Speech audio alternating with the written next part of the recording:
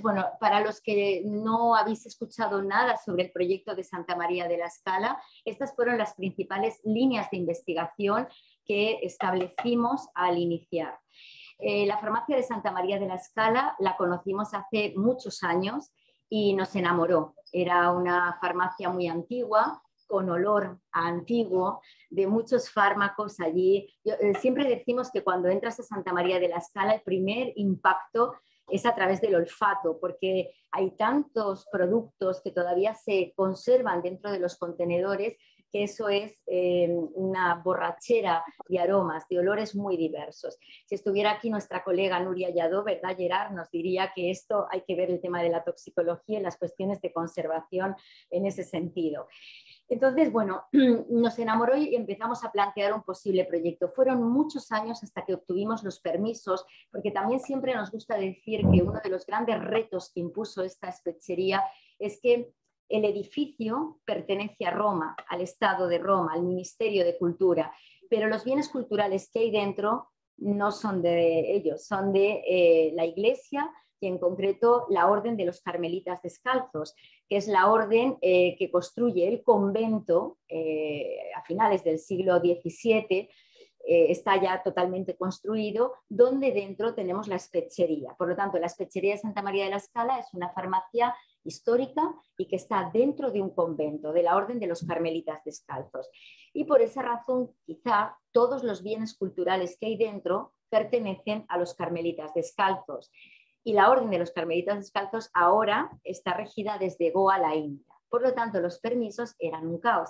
¿A quién se pedían? A Roma, a los carmelitas. Después de muchos años, esos permisos se extendieron y en 2016, a finales del 2016, empezó el proyecto de Santa María de la Escala.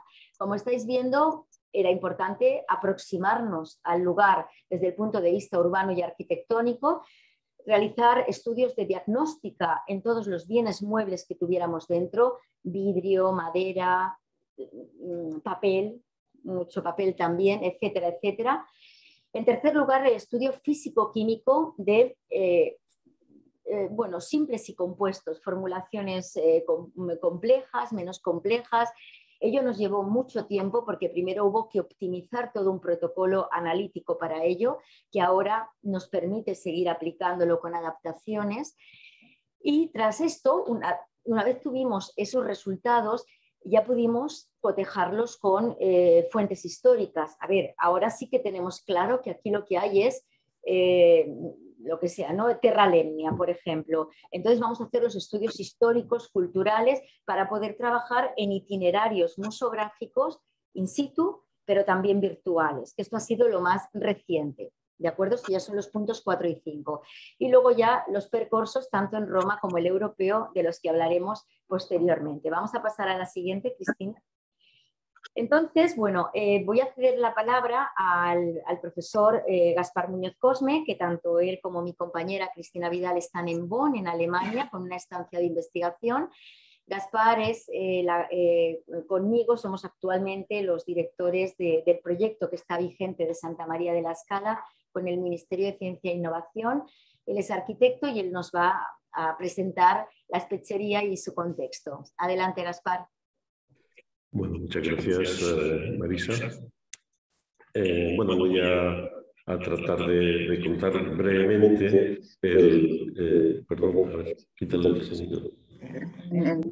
Sí, brevemente la ubicación de lo que es Santa María de la Escala en Roma y, la situación de la, farmacia, de la antigua farmacia. Aquí en estas dos imágenes que estamos viendo eh, se puede observar en la de la izquierda, una imagen de menor tamaño, eh, la posición en, la zona del Trastevere de, la, de lo que es la iglesia de Santa María de la Escala, en la plaza que lleva el mismo nombre, y, lo que es este edificio adosado, que queda como al norte de, la iglesia, en donde está el claustro y en la parte que se ve en la imagen más grande que da la plaza también, eh, se observa lo que es el, edificio de la farmacia. Es un edificio grande eh, que además se prolonga hacia el norte y ocupa como todo ese trozo de la manzana hasta llegar a, la, avenida de atrás, que es la vía Garibaldi. Eh, y, va bordeado por la, por la bordeado por la, por la calle de la escala.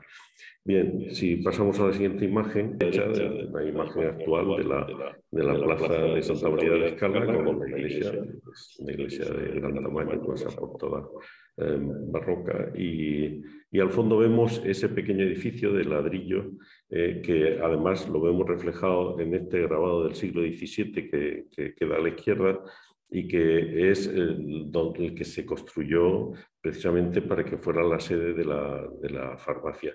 La entrada principal es la que vemos ahí, eh, precisamente en la parte baja del edificio, es la principal que subía antiguamente por una, escala, una escalera que luego ha ido cambiando con el tiempo, pero sí que vemos que desde el siglo XVII ya tiene una forma muy parecida a, la actual. Por favor, la siguiente.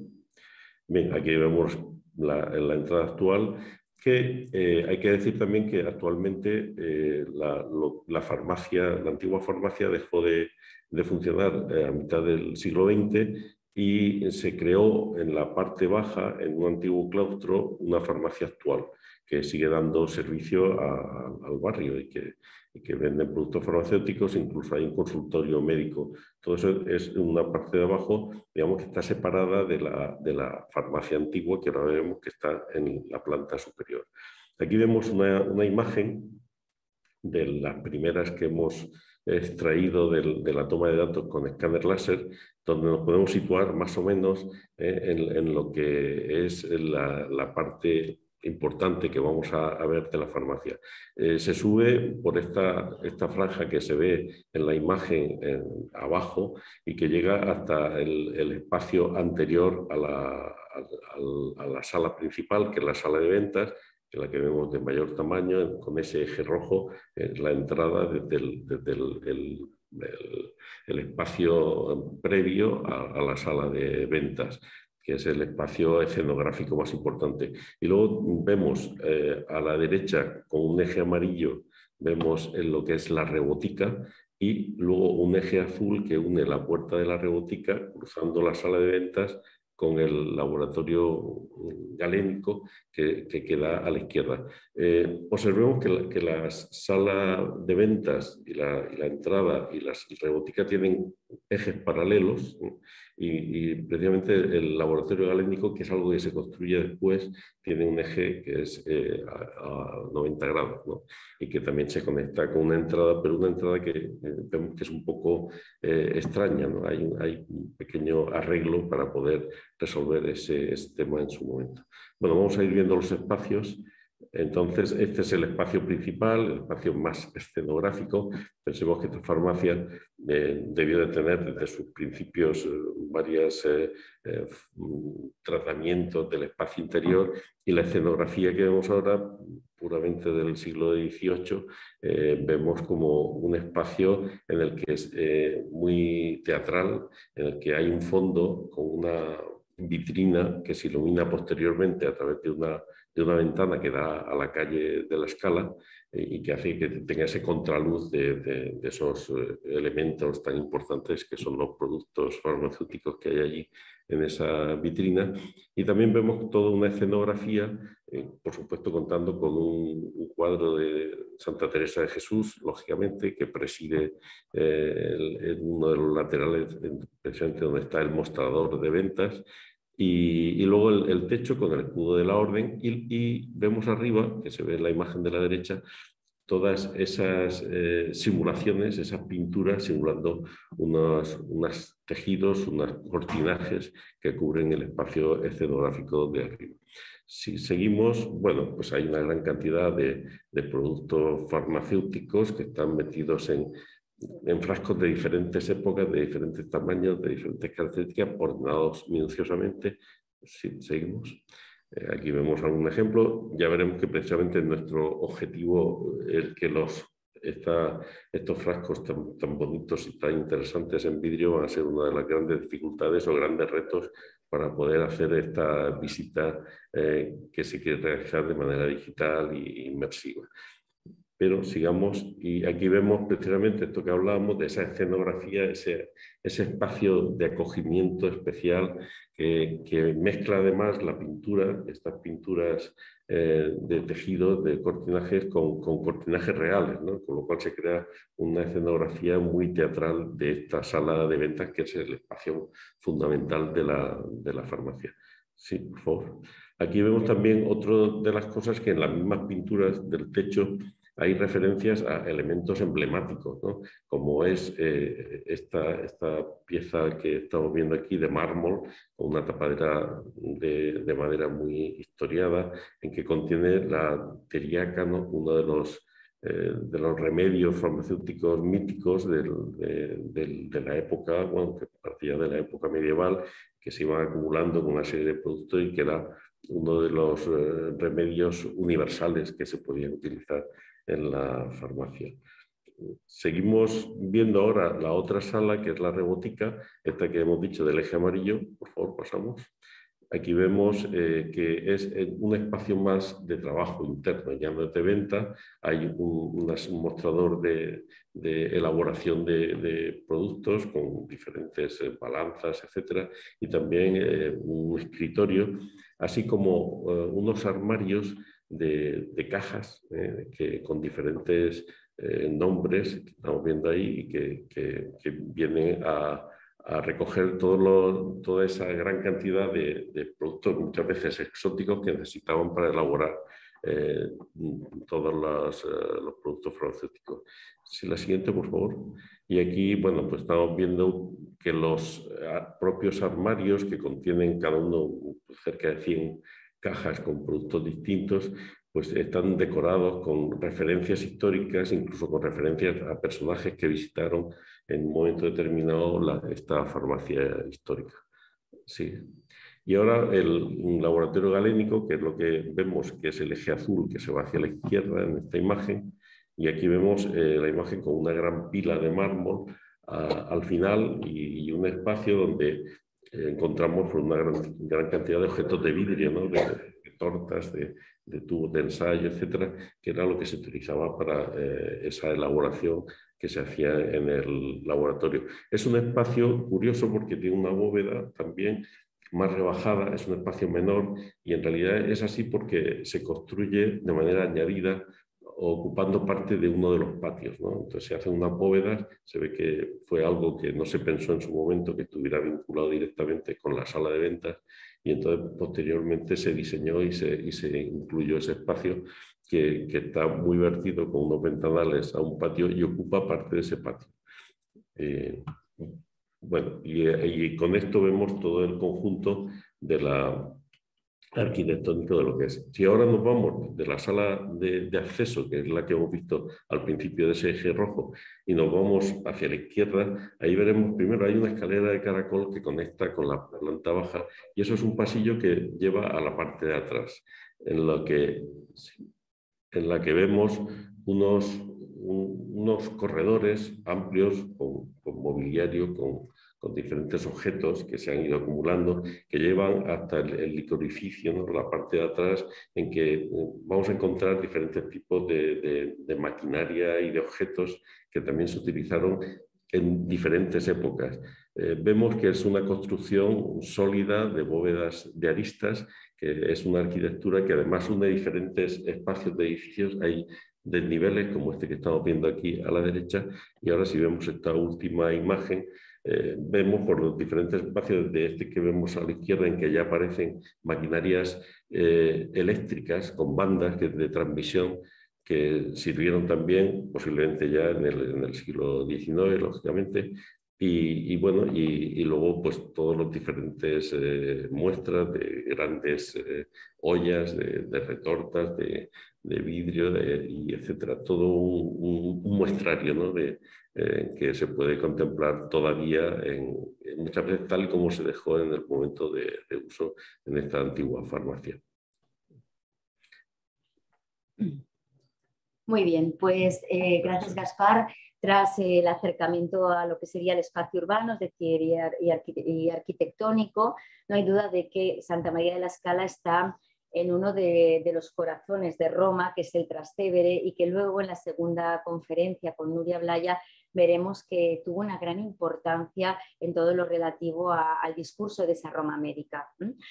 En segundo lugar, hicimos, hemos hecho a lo largo de los años mucha diagnóstica aplicada a los bienes culturales que están dentro de Santa María de la Escala en diferentes materiales. Vamos a pasar a la siguiente, como no hay mucho tiempo, vamos a poner como ejemplo eh, los resultados algunos de los resultados en el caso de los bienes en madera. Los estudios en eh, nuestro objetivo con toda la madera de Santa María de la Escala era no solamente eh,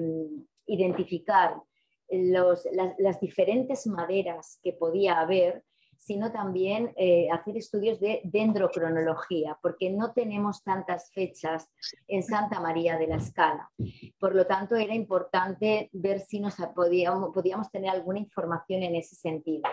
Estos estudios, ahora vais a ver una imagen, porque hay toda una red de laboratorios europeos que trabaja para poder dar respuesta junto con la Universidad de Valencia a los estudios que tienen que ver con diagnóstica artística y eh, análisis físico-químico de fármacos. Para nosotros fue muy importante que entraran en esta última fase arquitectos a Santa María de la Escala, porque cosas tan eh, aparentemente sencillas para ellos, para nosotros eran complicadas. Y entonces el laboratorio, que bueno, él ha llamado galénico, pero nosotras ya no nos atrevemos, desde que Miguel estuvo allí y nos dijo, esta tiene más pinta de ser un laboratorio de, ¿verdad? Sí. Sí, sí, sí, sí, sí, sí. Claro. Nosotros hemos mantenido los nombres que habitualmente se daban a esos espacios de Santa María de la Escala. Por ejemplo, la, la botica, allí se conoce como sala de ventas. Y el año pasado también haciendo un congreso con el MICOF nos dijeron, es que eso es la botica, no es la sala de ventas.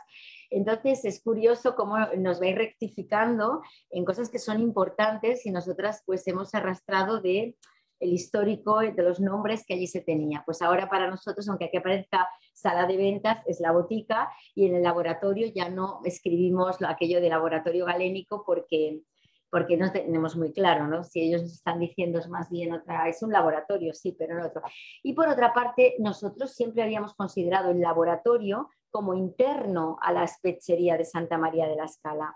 Sin embargo, los arquitectos rápidamente se dieron cuenta que ese laboratorio no había formado parte del interior de Santa María de la Escala ni a finales del siglo XVII ni durante el siglo XVIII, eh, que es un laboratorio que en el siglo XIX eh, se, ya se, es decir, estuvo externo y en un momento posterior se cubre.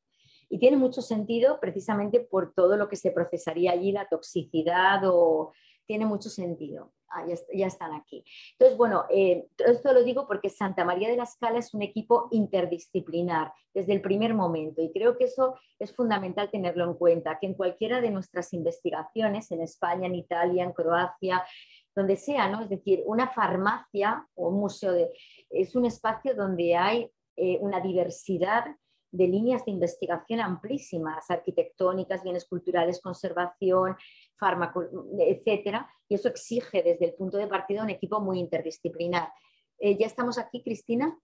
Sí, ah, ¿podéis ver la pantalla? Perfecto, vamos a pasar a la anterior, aquí. Entonces, como decía, en la diagnóstica, como no podemos pararnos en todo, solo como Santa María tiene mucho cristal eh, y tiene mucha madera. Sí que se hizo en su momento el estudio del cristal, de los contenedores de cristal, y sabemos que es un vidrio que se fabricó entre finales del 17, principios del 18, probablemente en la Toscana. Todo apunta a que los talleres de producción eran de la Toscana.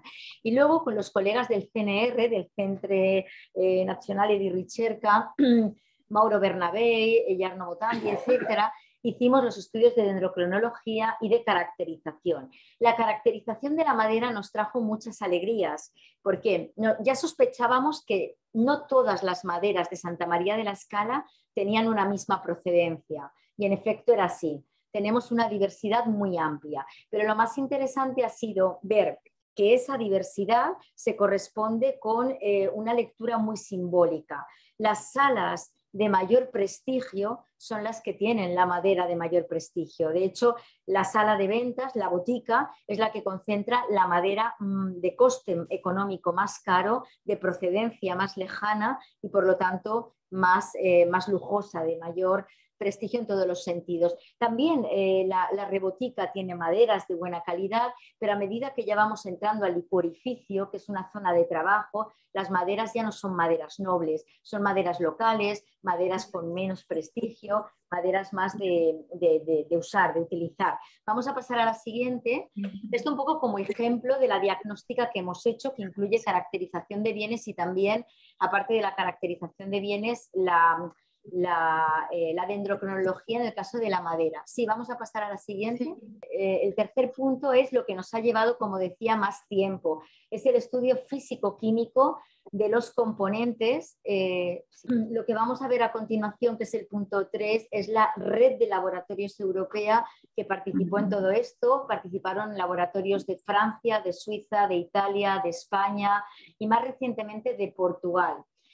Em, en un primer momento, nuestra obsesión con los estudios físico-químicos era saber si el nombre que aparecía en la etiqueta se correspondía con lo que teníamos dentro. Porque la farmacia de Santa María de la Escala, ese es el tercer punto, vamos a pasar a la siguiente si se puede. La farmacia de Santa María de la Escala eh, estuvo en uso desde finales del siglo XVII hasta 1952. Eh, ya en mediados del siglo XX. Entonces sí que aparentemente los frascos habían sido reutilizados una y otra vez. La etiqueta además parecía muy nueva, entonces era como que el frasco había recibido la etiqueta varias veces. Aquí estáis viendo todos los laboratorios que intervinieron, laboratorios como decía de Suiza, de Italia, de Portugal, de España eh, con la Universidad de Valencia eh, pues, liderando en ese sentido y bueno, pues ahí lo tenéis. Vamos a pasar a la siguiente. Y mm, eh, establecer el protocolo analítico costó un poquito más de un año. No fue nada fácil. Ahora os vamos a contar que Santa María de la Escala, aunque tiene mm, muchas sustancias minerales, en realidad lo que más predomina es el fármaco vegetal, compuestos de origen orgánico, que estaban tremendamente degradados. Entonces, eh, establecer el protocolo no fue nada fácil. De hecho, hicimos estancias de investigación, por ejemplo, en París fue muy importante, porque el Museo del Louvre, al igual que el Museo Británico, sí que tienen muchas décadas antes, mm, eh, claro, qué protocolo seguir, por ejemplo, para analizar ungüentos que vienen de, de cajas antiguas de Egipto o de Próximo Oriente Antiguo. Bueno, hicimos mucho estudio bibliográfico, contacto con laboratorios y finalmente nos quedamos con que el protocolo para poder identificar eh, las, sustancias que había en Santa María de la Escala eran técnicas microscópicas, técnicas de difracción, eh, técnicas espectroscópicas, cromatográficas y finalmente se hacía falta resonancia magnética nuclear, que esto ha entrado más recientemente. Em, la microscopía fue muy importante, ahora lo vamos a ver, porque partiendo de la microscopía óptica eh, bueno, lo vamos a ver después, pero eh, eso clarificaba la, clasificación de los materiales. Bien, aquí estamos viendo el protocolo, el protocolo analítico. Se empieza siempre con técnicas microscópicas, microscopía óptica, electrónica de barrido, a veces se ha trabajado con microscopía de transmisión electrónica o de fuerza atómica. Y una vez teníamos claros los resultados por microscopía, bajábamos a difracción. La difracción, por ejemplo, fue muy importante para el análisis de sales y el análisis también de piedras preciosas, la difracción de rayos X.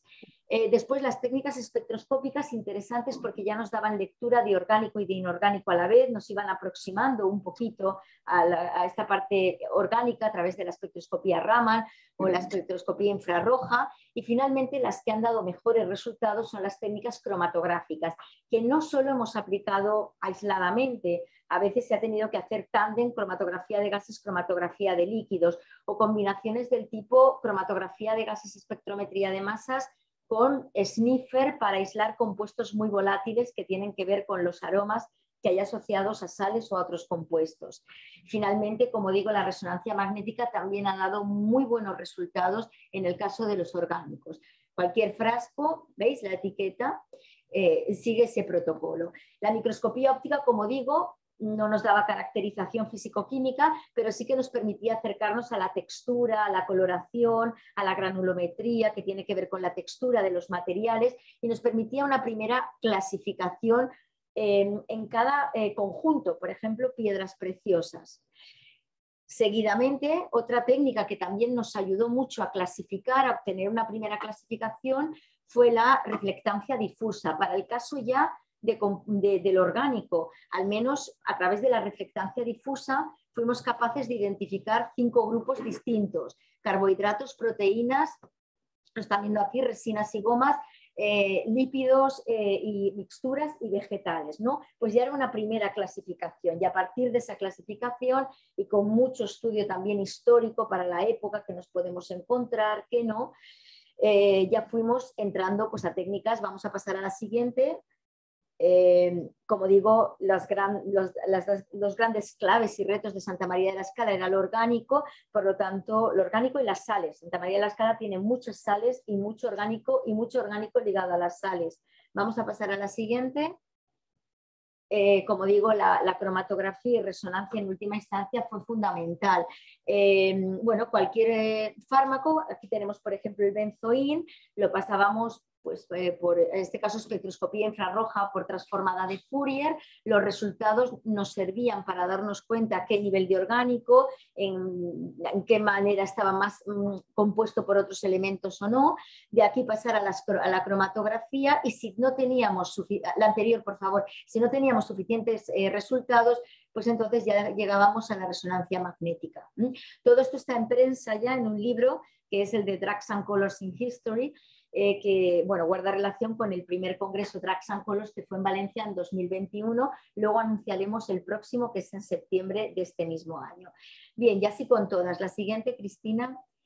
Em, en este caso, la importancia también, a veces la etiqueta nos decía que o no nos decía nada porque se había borrado o no teníamos etiqueta y aplicar toda esta batería finalmente nos permitía saber qué teníamos dentro. O sea que no solo para comprobar lo que hay, sino también para llegar a resultados. Esos resultados, con ayuda de las fuentes históricas, nos eh, acercaban a lo que sería la dimensión histórica y cultural de esos fármacos, esos fármacos en Roma, pero esos fármacos en el siglo XVIII, en el siglo XIX, con todas las dinámicas sociales, las enfermedades del momento. Algunas de las fuentes escritas las tenemos dentro de Santa María de la Escala, pero la mayoría están en el archivio histórico eh, preso de San Ivo de la Sapienza y también en la Biblioteca Nacional. Vamos a pasar a la siguiente. Y bueno, pues el objetivo al final de todo este estudio físico-químico, tenemos el entorno urbano, la arquitectura, por análisis físico-químico ya sabemos lo que contienen realmente los fármacos y al estudiar eso a nivel histórico y cultural podemos desarrollar ya itinerarios muy bonitos dentro de Santa María de la Escala a nivel eh, presencial, in situ y también virtuales. Em, bueno, pues por poner eh, algún ejemplo, ahora mi compañera Cristina va a comentar. Bueno, el anterior es importante porque pueden ver, Cristina, la cantidad de itinerarios en los que estamos trabajando, el estudio físico-químico, histórico y cultural de estas drugs, de, estas, eh, de estos fármacos, pues nos permiten hablar de, de, todo ello, ¿no? Un itinerario sobre el fármaco mediterráneo, la medicina judía, islámica, etc. Y Cristina va a comentar algún ejemplo. Hola. Sí, eh, como decía Marisa, pues se han diseñado distintos itinerarios teniendo en cuenta pues la gran cantidad. De, productos que, que aquí eh, se encuentran en esta farmacia. Y entonces, eh, el estudio de cada uno de todas estas sustancias servirá tanto como información para dichos itinerarios, pero detrás de cada uno de estos estudios hay una investigación pues muy minuciosa, muy precisa, que bueno, va a dar para muchas y muchas eh, publicaciones e investigaciones de todo tipo. Así, a modo de ejemplo, por ejemplo, uno de los itinerarios que son las sustancias procedentes del Nuevo Mundo, es decir, las que proceden de América. Hay una gran cantidad de ellas, el tabaco o la coca, por ejemplo, que es la que hemos eh, puesto aquí como, como, pequeño, como pequeño ejemplo. Entonces, hacer un estudio de dónde, eh, tanto geográfico, es decir, de dónde proceden eh, estos primigenios cultivos, así como todo lo que se ha investigado acerca, en este caso de la coca, de cómo ha llegado, ¿verdad?, hasta, hasta Europa y finalmente cómo acaba en la escala, pues es el propósito de seguir eh, investigando estas, estas sustancias. Claro, como nosotros además estamos en un departamento de historia del arte, le damos muchísima importancia a las imágenes. Y ya no solo es buscar las fuentes literarias, es decir, las primeras menciones y descripciones eh, de, esta planta o de las diversas que estudiemos, sino también cómo se representaban tanto en esos primitivos eh, herbolarios o en otras eh, imágenes, ¿verdad?, que, en las que aparezcan y tengan relación. Y eso lo hacemos con todas. En algunos casos, si, son, pues, si proceden del Mediterráneo antiguo, pues encontramos imágenes, por ejemplo, del antiguo Egipto. En el caso de América, pues en lo que es la información impresa, tenemos algunos ejemplos, como estamos viendo aquí en la obra de Juan Poma de Ayala, el primer Nueva Crónica y Buen Gobierno, que ya es siglo XVII, es decir, esto es algo tardío, pero desde la, de la época prehispánica, es decir, de la época en que se consumía esta sustancia por parte de la población andina, mucho antes de los incas, es decir, los incas le dieron una eh, gran relevancia a este producto, pero mucho antes también, y como lo vemos representado como en estas figuritas que están mascando, ¿verdad? Eh, mascando la coca, por eso se ve la, bolita de coca en las mejillas, dentro de la boca. Y también todo lo que son los instrumentos, los llamados poporos, que era de donde extraían, ¿verdad? La, la cal para mezclar la hoja de coca que tenían en la boca, es decir, todo ese procedimiento que conocemos a través del arte porque en, el área andina, como sabemos, no había fuentes escritas eh, antes de la, de la, colonia, pero sí podemos deducirlo a, través de, todas estas manifestaciones artísticas que ya digo se remontan a culturas muy anteriores a la, de los incas. Y ya, eh, por último, porque sé que tenemos hoy muy poquito tiempo, eh, también mm, tenemos un enfoque de género, ¿no? De hecho, uno de los itinerarios trata de ello. Entonces, cómo la importancia, en este caso, pues de la figura de las mujeres en la recolecta de, la coca, como podemos ver en este grabado del siglo XIX, y como siempre que podamos, pues también haremos esa indagación, esa investigación eh, con este tema que tanto nos interesa y que también desarrollamos en el seno de estas investigaciones. Bien, este era un brevísimo ejemplo de ver cómo se aborda el estudio para integrarlo en los itinerarios, aunque luego el itinerario que se ofrecerá de, forma virtual pues va a ser muchísimo más reducido, pero la información podrá estar eh, tanto en publicaciones como en páginas eh, web. Te cedo la palabra otra vez, Marisa. Sí, bueno, muy, muy brevemente, eh, el objetivo que tiene el proyecto de Santa María de la Escala actualmente en curso es que ese museo virtual que ahora comentará Gaspar, em, bueno, se pueda acceder a él y sea posible desplazarse por el espacio, pero que abrir una caja y esa caja, eh, imaginemos que es pues, terralemnia ¿no? o sal de Satur, se desplegará una ficha donde aparecerá la etimología de, ese nombre en, todas las lenguas posibles. Si es posible copto, griego, latín, unificar. Es decir, eh, va a ser el primer tesauro internacional y web semántica sobre materia médica. Santa María de la Escala funge así como el origen de un tesauro que espera ser mucho más grande y reunir eh, toda esa información a nivel como mínimo euromediterráneo, de manera que si yo tengo la terralemnia en Santa María de la Escala, bueno, yo no los carmelitas, pero tenemos la terralemnia en Santa María de la Escala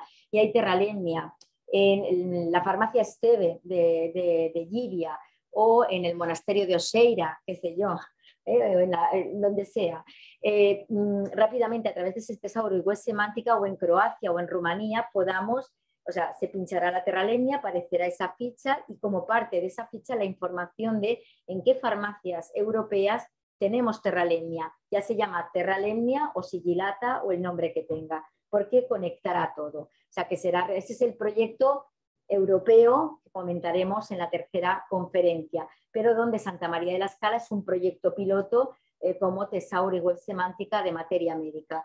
Y eso dentro de un museo virtual que Gaspar, si quieres continuar tú. A ver, es que de veras que hoy ha habido, él ha tenido que ir a otra sala de conexión porque se estaban acoplando los ordenadores y yo no sé si se puede conectar. Si no, pues lo pasamos rápidamente. Lo que ha sido pues toda la, la, toma, ¿verdad? Del e, el escaneo de, la sala que llevamos a cabo en el mes de, enero de, este año y eh, mediante pues un levantamiento con, con escáner láser que la verdad que tuvimos la fortuna de, en el tiempo que teníamos estipulado de haber podido llevar a cabo toda esta toma de datos, tanto de lo que supuso la toma de datos del edificio, es decir, de la arquitectura. Eh, aquí vemos algunas imágenes, ¿verdad?, de, esta toma de datos, de, este, de lo que realizamos, eh, la complejidad eh, que tuvimos pues, en algunos casos, como se pueden haber algunas eh, anécdotas, pero ya podemos ofrecer pues, esta, esta nube de puntos. Ahora mismo, claro, esto se ha realizado de enero, todavía estamos ¿verdad? con el, el tratamiento de, de, los datos, está haciendo el trabajo de gabinetes, están haciendo los dibujos para tener ya la, la, planta definitiva y integrar a la nube de puntos pues, lo que fue también el, levantamiento fotográfico métrico. Entonces ya, pero eh, a través de, estas vistas ya es posible ver que afortunadamente mm, pues se ha podido tomar todo de, forma adecuada y aquí, bueno, vemos las siguientes, eh, las distintas imágenes que ya comentó antes Gaspar un poco al hablar de las distintas estancias, de los distintos espacios eh, que, componen este interesantísimo edificio.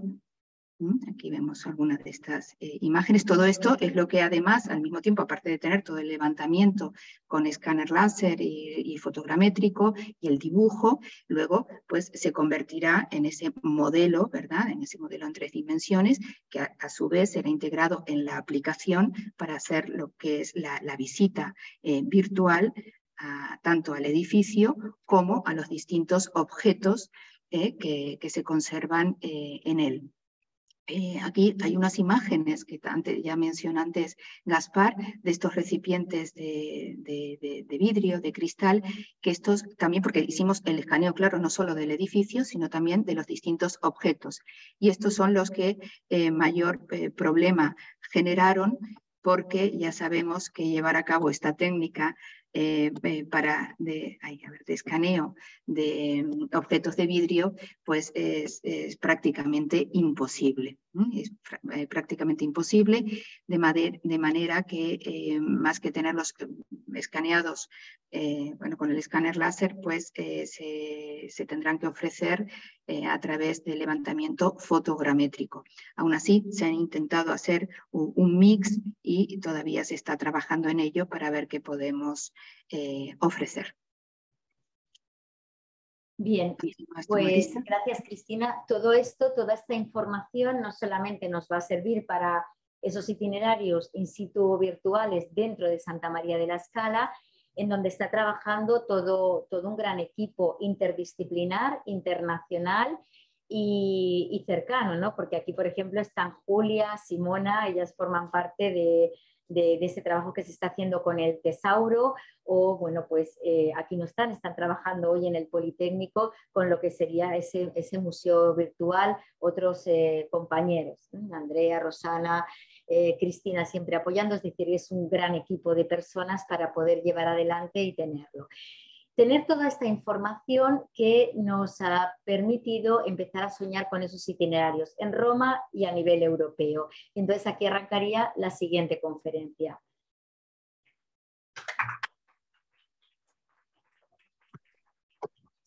Dejo de, dejo de compartir entonces. Gracias. ¿Sí? Sí, sí. Perfecto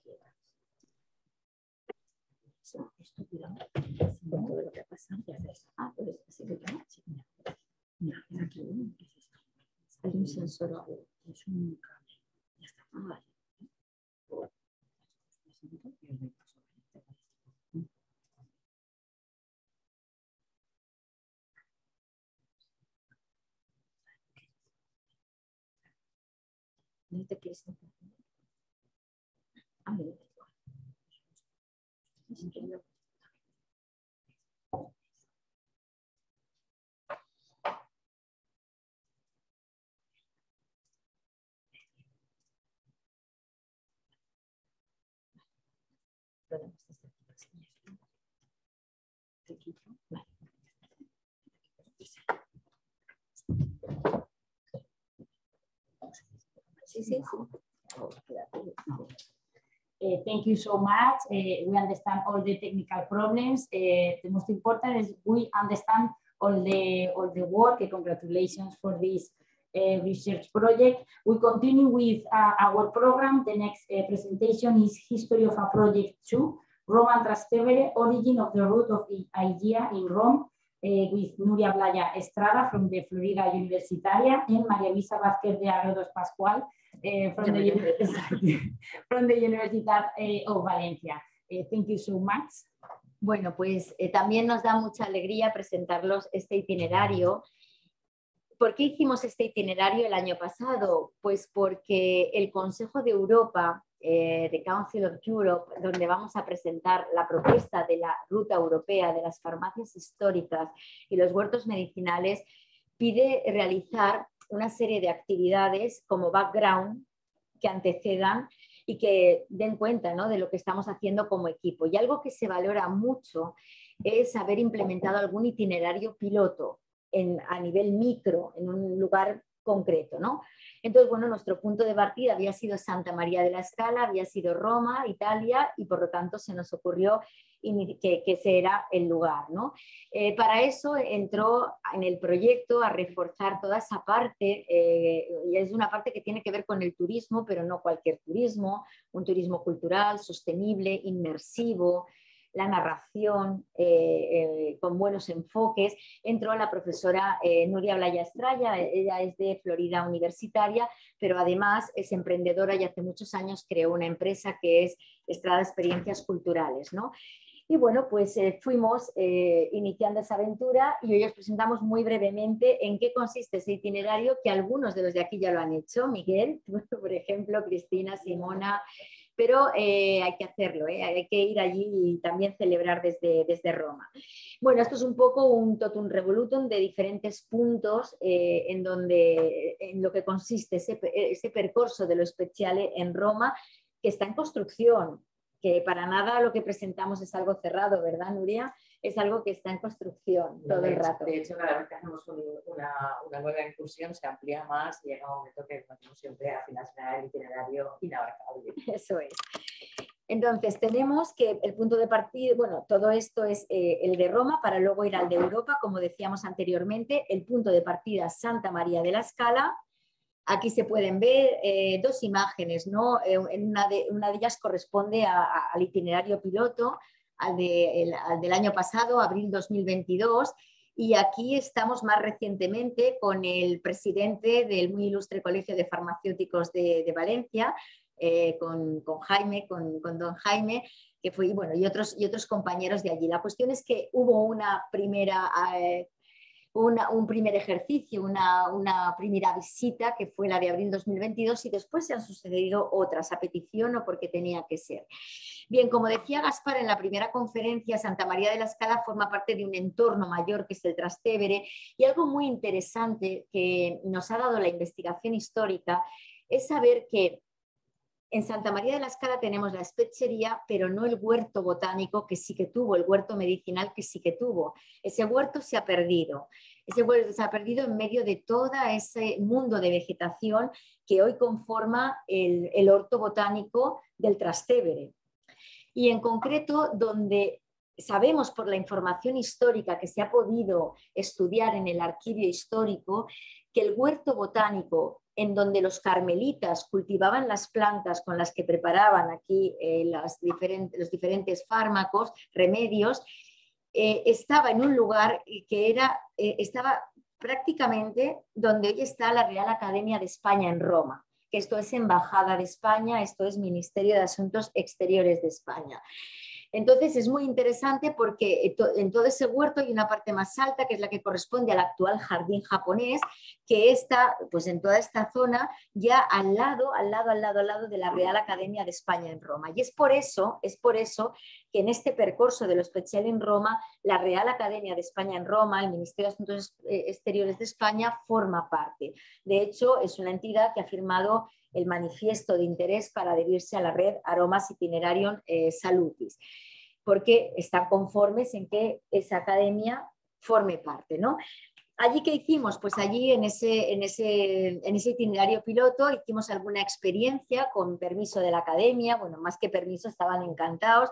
Eh, fue en este caso la experiencia de, de Laudano, en donde a través de las fuentes escritas, literarias, pero también fuentes visuales, intentábamos pues... Eh, eh, recrear ¿no? ese, ese, ese, uso del láudano, una tintura del opio, en el siglo XIX y XX, en ese mundo de los paraísos artificiales de Baudelaire, cuando el láudano junto con el opio, el hachís y, tantos, eh, y tantas otras drogas estaban a, la orden del día. ¿no? Y fue una experiencia verdaderamente muy, muy bonita. Nos dejaron la sala de retratos de la academia, donde bueno, cada uno de ellos salía, leía un fragmento, intercambiábamos información, todo esto en un lugar que además también nos permitió, y eso sí que fue una sorpresa, eh, Carles Terrasa, que era becario de la academia, nos había preparado como sorpresa en la cocina de la academia una experiencia completamente inmersiva a través de los cítricos. Los cítricos que son, eh, que son aroma, que son medicina, y que forman parte de esos huertos medicinales históricamente, eh, pues que van a ser parte de nuestra ruta europea junto con las farmacias históricas. Así que los eh, visitantes pues quedaron muy satisfechos. Les interesó el áudano, pero casi más la experiencia inmersiva en las cocinas de la academia, oliendo, testando la importancia de todo, de todo esto. Desde Santa María de la Scala se inicia un viaje a través del Trastevere en ese percorso de lo Speciale que desemboca en el monasterio de Santa Cecilia, nuestro querido monasterio de Santa Cecilia en Trastevere, que le ocurre exactamente lo contrario a la Spezzería de Santa María de la Scala. El monasterio de Santa Cecilia en Trastevere es un monasterio benedictino, ya sabemos todos la importancia que la orden benedictina tiene en la historia de la medicina, muchísima. Es la orden más importante con la escuela de Salerno, San Benito Nursia, etcétera, etcétera. Bueno, pues dentro de este, eh, dentro de este monasterio hubo una espechería. Una espechería que probablemente es un poquito más antigua que la espechería de Santa María de la Escala. Eh, lo que ocurre es que en 1936, una noche de 1936, el Vaticano llevó y la sacó y se la llevó al interior del Vaticano. Supuestamente esto se hizo porque eran ya tiempos muy difíciles, en Europa ya se oían tambores de guerra otra vez y se estaba intentando proteger patrimonio que se consideraba que era importante proteger. También sabemos por documentación histórica que hemos estado viendo con la Madre Abadesa, que en realidad más que eso fue casi una expropiación en toda regla. Nunca ha vuelto a la estrechería y además se sacó por un coste bajísimo. Em, entonces, bueno, ahora eh, lo que sí tiene entonces la estrechería, desde 1936 está en el Vaticano, eh, con otras que también se sacaron en este momento, como la de Santa María en Campomarchio, etcétera, y recientemente, muy recientemente, en los últimos dos años, el Vaticano ha hecho un esfuerzo por restaurarla y por ponerla en valor. Y bueno, ha sido una coincidencia porque la verdad es que no teníamos ni idea que iba a coincidir, pero el jueves Nuria y yo volamos a Roma porque estamos invitadas a la inauguración de la espechería de Santa María, de, perdón, de Santa Cecilia in Em, ahora en Vaticano. Esa va a ser una inauguración a puerta cerrada. El Vaticano, los que consideren, estará la madre abadesa también del monasterio de Santa, María, de Santa Cecilia en Trastevere y estaremos nosotras porque ya llevamos un año intentando ver cómo recuperar de alguna manera dentro de Santa Cecilia en Trastevere la memoria de esa espechería. Además, en un monasterio en el que eh, lo que sí que tenemos es el huerto medicinal. También se había perdido pero desde que la madre Giovanna llegó a Santa Cecilia, ella ha puesto mucho interés en recuperar en general la memoria histórica de ese monasterio. De manera que la madre Giovanna tiene un hermano que es botánico y que la ha estado ayudando en recuperar ese huerto eh, medicinal que, allí hay y que ahora eh, vuelve a ser operativo y vuelve a ser operativo eh, teniendo plantas que siempre hubo, de acuerdo con el estudio histórico, lavanda, romero, salvia, etcétera, etcétera, etcétera, y con las que ellas siguen preparando productos em, que en realidad eh, bueno, eh, ponen en valor la memoria a nivel de prácticas eh, de, ese, de, ese, monasterio. aceites de lavanda, de romero, jabones, pues todo, todo, todo, ese mundo. ¿no? Esta es una imagen Aquí una imagen donde también estamos viendo la visita eh, que, Nuria guiaba en abril 2022 más imágenes. Ella es Aurora, que también es una experta en botánica, en el campo, en el campo de las rosas en concreto. Y aquí tenemos a Jaime, pues conociendo, bueno, estamos entrando todavía a ese huerto con la madre eh, Giovanna en este, en este caso. ¿eh? Bien, desde el monasterio de Santa Cecilia in Trastevere, donde actualmente digo, no está las pecherías, está en Vaticano, pero estamos trabajando en, recrear, hacer la recreación histórica de, la que hubo. Y si todo va bien y el Vaticano da los permisos, se pueden tomar eh, las imágenes, la fotogrametría, etcétera, incluso generar una reproducción virtual en el, en el interior. Desde Santa Cecilia ya cruzaríamos hacia la isla Tiberina y Nuria va a decir algo sobre eso. Sí, bueno, y, en general.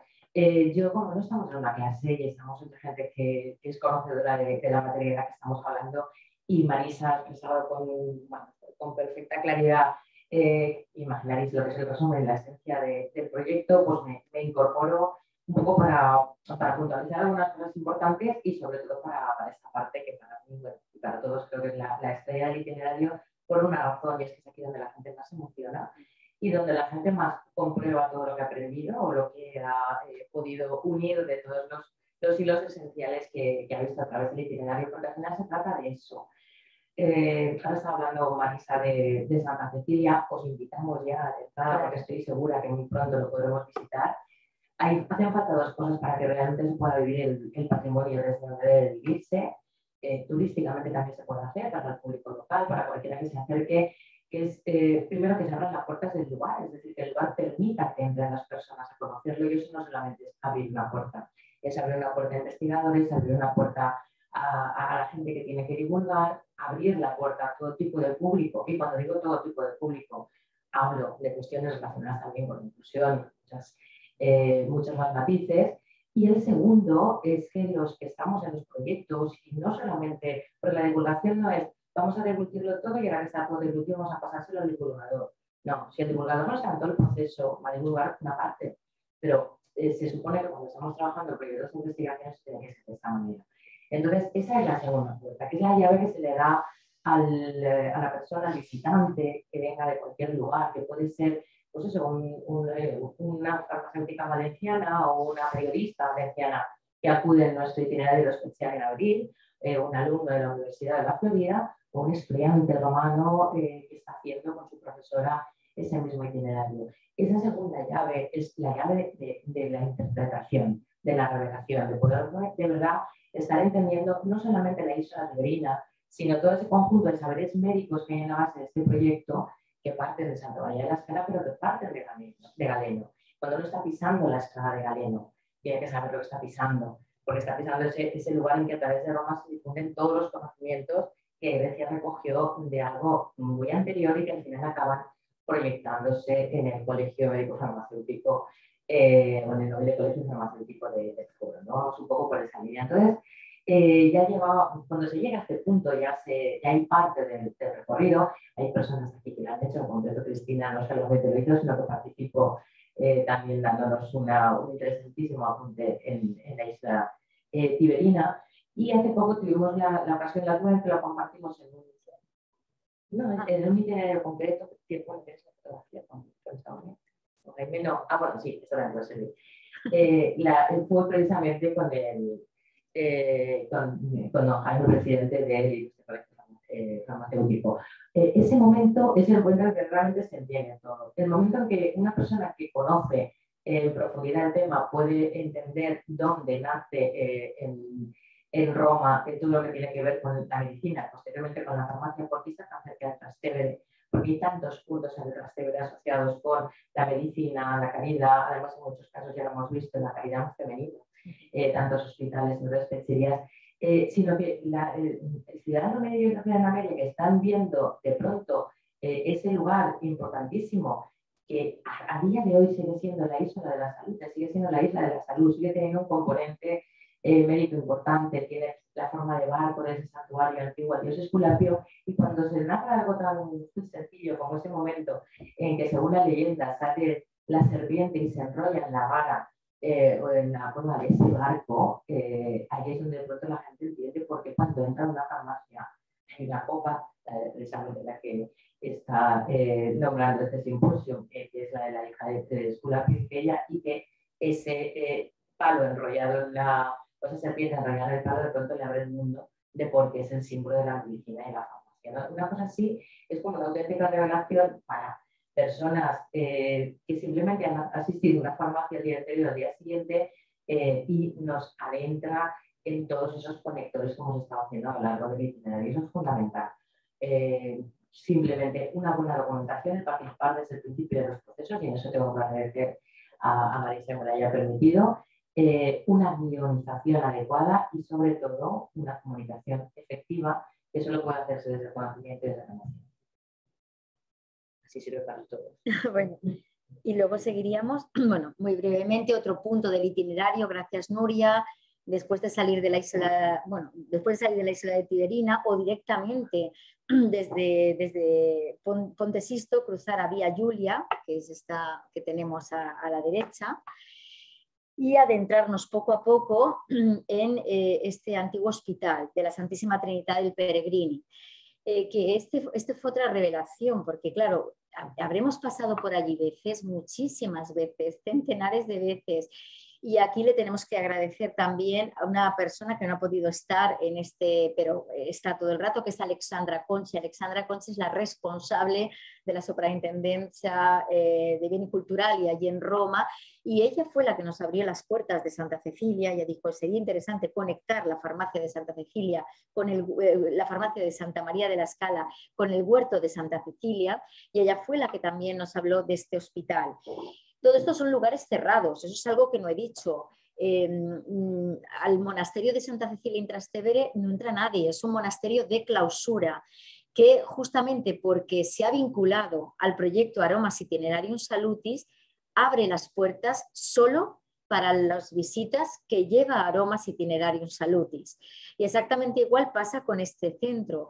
Este centro ahora ya no es un centro vacío. Eh, el antiguo hospital de la Santísima Trinidad de Peregrini, era un lugar muy importante en Roma en la antigüedad, porque todo aquel que llegaba para ir a San Pedro de Roma eh, y que venía de mucho tiempo, de estar en caminos y demás, debía de pasar tres días como mínimo aquí, por si acaso tenía ah, algo, o sea, alguna infección, lo que fuera, pues antes de llegar a... Bueno, todo eso ya se perdió, entre otras cosas, porque este lugar fue bombardeado con la Primera, la primera Guerra Mundial pero queda una parte, que es la que estáis viendo, y que ahora pues sigue teniendo un vínculo con la salud de alguna manera, porque se ha convertido en un centro de arte contemporáneo para personas con discapacidad. Es decir, en este lugar eh, donde llegaban los peregrinos, que probablemente tuvo también su botica para poder asistirlos, ya no queda nada de eso, pero actualmente esto se ha reconvertido en un centro en donde personas con, discapacidad realizan obras de arte y no cualquier obra de arte, porque luego esas obras de arte son seleccionadas, no, las de todos, pero hay una selección eh, que, se, eh, que, se, deriva, que se lleva a la Bienal de Venecia. Por lo tanto, es un proyecto muy bonito porque ellos trabajan allí con personas expertas de bellas artes, historia del arte, y tras esto hay una selección eh, donde algunos saben que van a estar en un certamen, en un espacio tan importante como la Bienal de Venecia, con lo cual eso también eh, representa para ellos una, una puesta en valor personal, les empodera, les sitúa, es muy, muy, muy bonito. Como un espacio puede resignificarse, por lo tanto, revisitarse con eh, funciones que no son las que tuvo, pero que sí que guarden de alguna manera esa, esa memoria. ¿no? Bien, y por supuesto, eh, otro lugar imprescindible en este itinerario que estamos conformando, Nuria, no sé si quieres tú comentar este. Bueno, pues eh, muy brevemente es eh, en, el foro, en el foro de Roma, un lugar que bueno, es ombligo ¿no? en tantos sentidos de, la historia de Roma. Allí al fondo vemos una arquitectura que parece que está ahí dejada caída como, como, como otras y que es justamente el antiguo templo en cuyo interior está actualmente a ver si lo he puesto aquí.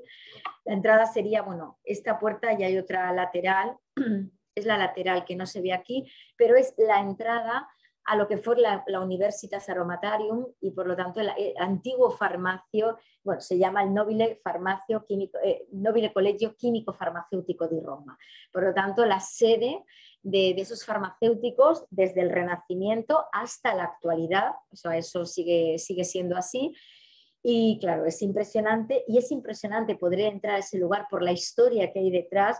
Es otro lugar poco conocido, o sea, pasa un poco, o sea, el visitante que va a Roma generalmente visita los foros, pero no entra y visita por dentro el Nobile Colegio Químico Farmacéutico, ni le, y por supuesto no le abren la inmensa ventana que desde la Chiesa, desde la iglesia, asoma al foro y es una de las ventanas eh, que son un lujo, porque bueno, te estás asomando a ese, a ese foro y, desde una posición inigualable. ¿no?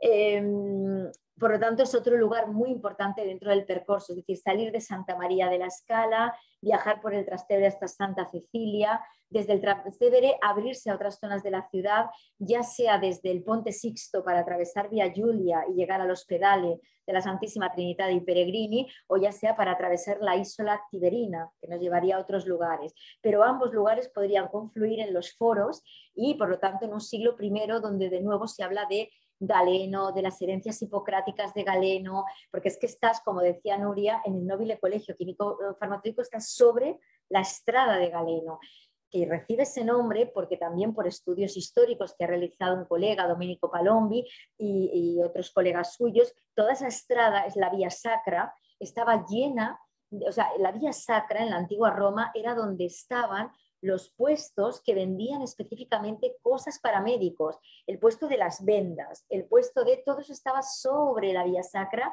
y esa ventana del Nobile Colegio te asoma a la vía sacra, esa historia, junto al Nobile Colegio, el auditorio donde daba las clases Galeno, es decir, entonces después de la escala Santa Cecilia, que es el después, es un viaje en el tiempo al revés, ¿no? Vamos a ver, porque aquí empieza nuestra historia, la historia de Aromas, junto con la de Santa María de la Escala, de Aromas de Santa Cecilia, la isla Tibelina, al hospedale eh, de Peregrini, de la Santísima Trinidad de Peregrini, pero de ahí, cualquiera de los caminos nos va a llevar a esos foros y a reencontrarnos con una antigüedad eh, que también reúne información sobre bueno, pues ese crisol de culturas y de conocimiento farmacéutico, medicinal, que es Roma desde el principio de los tiempos, porque en los sótanos de esos foros, y también hemos podido entrar de la mano de Domenico Palombi, y es uno de los lugares que esperamos poder incorporar a este percurso, todavía no, sea, no es visitable, están eh, en esas entrañas, eh, están los Pipetaria, que es donde llegaban desde el Mediterráneo oriental y otros lugares el mundo de especias eh, que entraban a Roma y desde Roma se irradiaban a todas las provincias del imperio y que hoy nos permiten hablar de una memoria común en Europa, de, de, un tesauro internacional, de una web semántica que reúne una memoria al menos euromediterránea y considerando ambas orillas del Mediterráneo, la oriental y la occidental. Eh, por lo tanto, hay que morir aquí para entender que todo lo que hemos visto tiene un origen y un origen que está aquí y que nos lleva hasta Oriente Próximo. ¿eh? Eh, si me permites, sí. antes de abandonar esta, esta zona, uno decir que, porque son las cosas que dan mucha atención también a quien la está visitando, ya con este visitando incluso virtualmente más adelante cuando se pueda realizar de esta forma también el percurso. Es la Vía Sacra número uno, o sea, es el centro del centro de, de los foros. Y luego muy cerca de allí, efectivamente, se puede, se podrá, los puedan visitar el producto. Eso es Sorrea, pero está también la Basílica de los Santos Cosmiremian, obviamente que tanto tienen que ver en el, en el itinerario, con tres niveles, una cripta muy interesante y sobre todo la posibilidad, desde la parte trasera de la, de la basílica, de mirar lo que era lo, que se supone que era la antigua eh, biblioteca galénica, eh, muy cerca de donde estaba el aula donde teóricamente daba clase, el teatro donde teóricamente hacía las, eh, las disecciones y tal, y eh, cerca hay otros lugares también muy vinculados con, con esto, como cerca de la isla de Berina también, que lo hemos nombrado, la sinagoga, por la relación que tiene también todo este tema eh, el hospital y Fratelli, los San Juan de Dios, que estuvieron acogiendo a, mucha, a muchos judíos durante la Guerra Mundial, en fin, eh, temas que no solamente se quedan en el siglo XVII, que se llevan hasta la actualidad y que siguen estando relacionados con la acogida, la medicina y, y la salud. Bueno, y esto ya lo hemos visto. Y eh, vamos a acabar con esta imagen para decir que todo este percurso en el proyecto del Ministerio de Ciencia e Innovación que está en curso actualmente, mm, de acuerdo con el que estamos trabajando el Museo Virtual, ese primer tesauro, también hay dentro del proyecto geógrafos eh, que bueno, pues con sistemas de información geográfica van a trabajar a partir de toda una información histórica en la que los historiadores previamente estamos trabajando, porque claro, hay que decir que, y por eso, eh, este percurso de lo especial en Roma es algo muy pequeño para todo lo que hubo en Roma entre el 500 y el 900. O sea, eh, en, el 500 Roma tenía un total de 300 especerías, de las cuales queda Santa María de la Scala en su sitio. Por eso es tan importante, eh, de verdad, porque todas las demás ya no están donde estuvieron. se han perdido el 90% y el otro 10%, eh, salvo Santa María de la Escala, pues tienen eh, una estantería, eh, algunos botes, pero todo lo demás, bueno, ¿qué os voy a contar? Aquí todos somos museos o todos sois colecciones, este drama que les ocurre a estos, a, estos lugares. Entonces, claro, pero lo que sí que tenemos es la información histórica en la que los historiadores hemos trabajado, seguimos trabajando y esa información Mm, contiene el lugar exacto donde estaban esas especerías, tanto religiosas como laicas. Y todo eso a finales del 2024 estará conectado en una cartografía única en Roma, que es la de esa Roma médica, ¿no? Eh, que recupera esos lugares, esos tal, totalmente. Por lo tanto, bueno, en eso estamos y eso es una pequeñita parte eh, como experiencia piloto de ese percurso ya europeo, que es de lo que vamos a hablar y ya es lo último antes de daros paso a, a vosotros. Muy bien, ya está. Gracias. やもめてやね。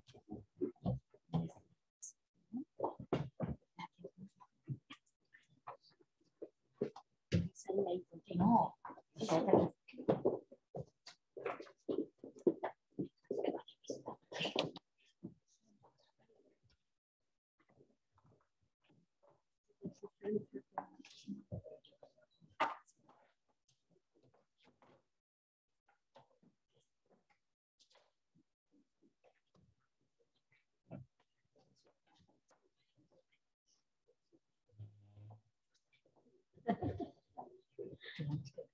No. Sí. Sí, ahí. ¿Listo?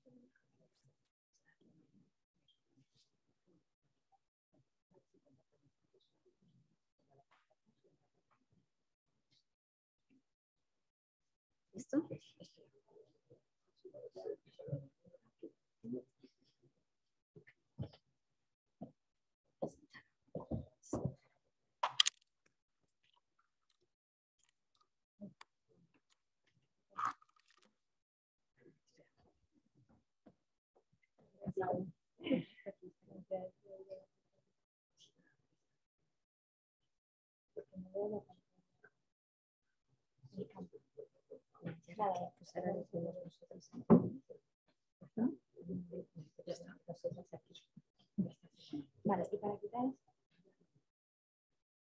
¿Vale? Pues presentamos, no, da igual. Bueno, eso también vas a hablar, pero, pero bueno, nos presentamos para que continuamos. Thank you so much, uh, Marisa and Nuria. After this uh, presentation, uh, we need to visit and we need to walk this Percorso de lo Speciale. Um, we continue with our program. Um, our next presentation is History of a Project Free, Safeguarding and Making Visible to Invisible, the European Route of Historical Pharmacy and Medicinal Gardens. We don't change, we change a little bit the speakers, uh, continue with uh, Marisa, and with uh, Simona Tardi and me, Cristina Exposito, exactly. It's uh, the part of the team of Aromas Italianum Salutis. Uh, Simona, I give the floor. Thank you. Thank you, Cristina. Uh, thank you all for coming here today. Um, I will, um, we will speak in, in Spanish. Uh, most of you already know the, um, uh, the project, the beginnings. Uh, new uh, interested people are uh, from Spain, so I think it's good to have the presentation in English and then talking in, in Spanish.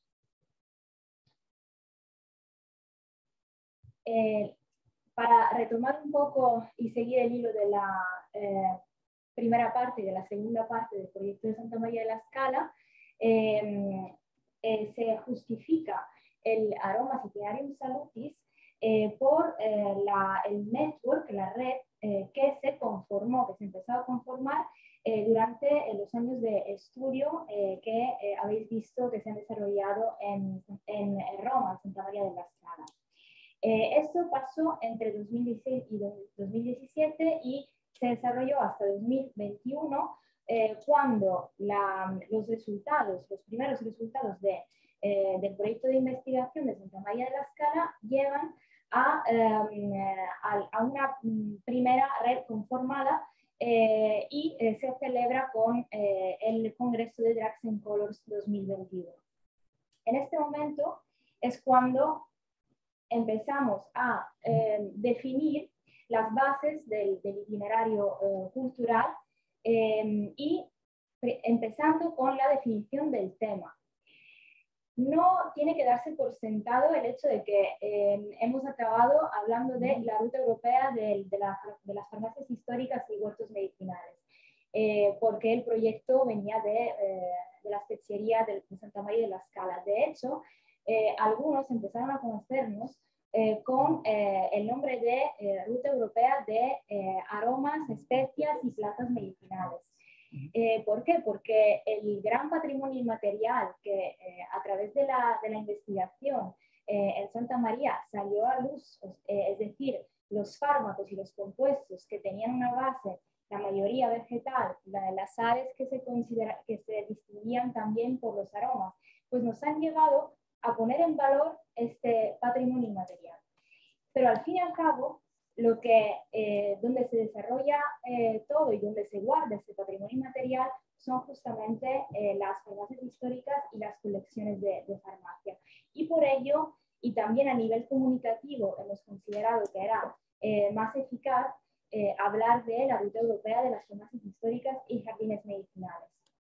Una vez identificado el tema, eh, por supuesto, esto nos ha llevado a eh, identificar los elementos de patrimonio, material e inmaterial, y eh, a consolidar lo que ya teníamos como red internacional y ampliarnos a otros países. De allí se han adherido Croacia, Rumanía, Suiza, Portugal ya estaba e Italia. Y luego entre 2021 y 2022 hemos empezado a coordinar actividades preliminares para eh, fortalecer el network y también para eh, empezar a comunicar al público eh, el tema del itinerario. Y creando, por supuesto, una visibilidad, una visibilidad común. por esto hemos realizado el, el logo, la web, donde pueda eh, que pueda aglutinar toda esta información sobre los, eh, los sitios de patrimonio y miembros que tenemos dentro del itinerario. Estas eh, cinco etapas no son casuales, son un consejo que da el programa de certificación de los itinerarios culturales del Consejo de Europa. En 2022 hemos fundado, fundado la asociación eh, Aromas Itinerarium Salutis, que es la responsable, em, la entidad responsable que gestiona el itinerario y también su presentación al Consejo de Europa. Actualmente la asociación es una asociación no pro, eh, sin ánimo de lucro, eh, que tiene base en Valencia y la, la, sede central es la Universidad de Valencia, la Facultad de e Historia, Y también os he dejado para más información la, la web de referencia que es aromasitianusalutis.eu.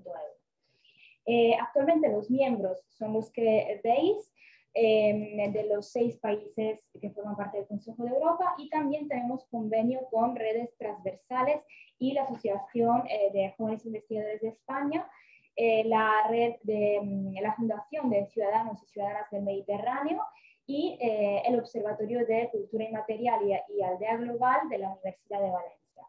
Junto con los miembros nos permite esta em, conformación, nos permite promover actividades interdisciplinares, como ya hemos visto, el tema em, permite esta interdisciplinariedad.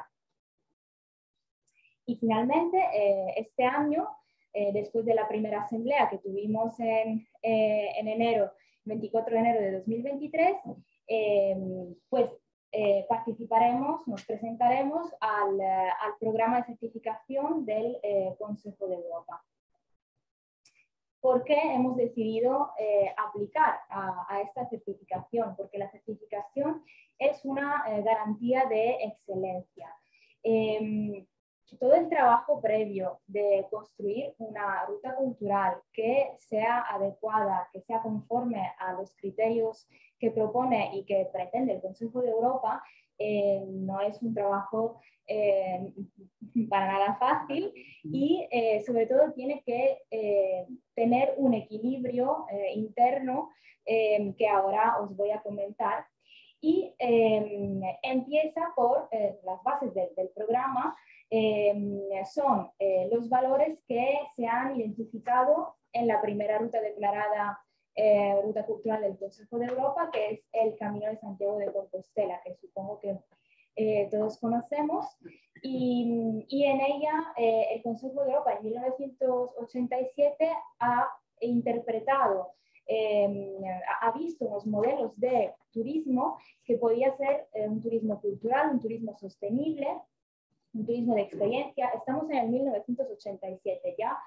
Eh, desde hace unos 30 años se hablaba de, eh, sobre todo en, Estados Unidos, se hablaba de em, interpretación del patrimonio, em, modelos que ya iban hacia un turismo sostenible para eh, enfrentarse a lo que era el turismo de masa.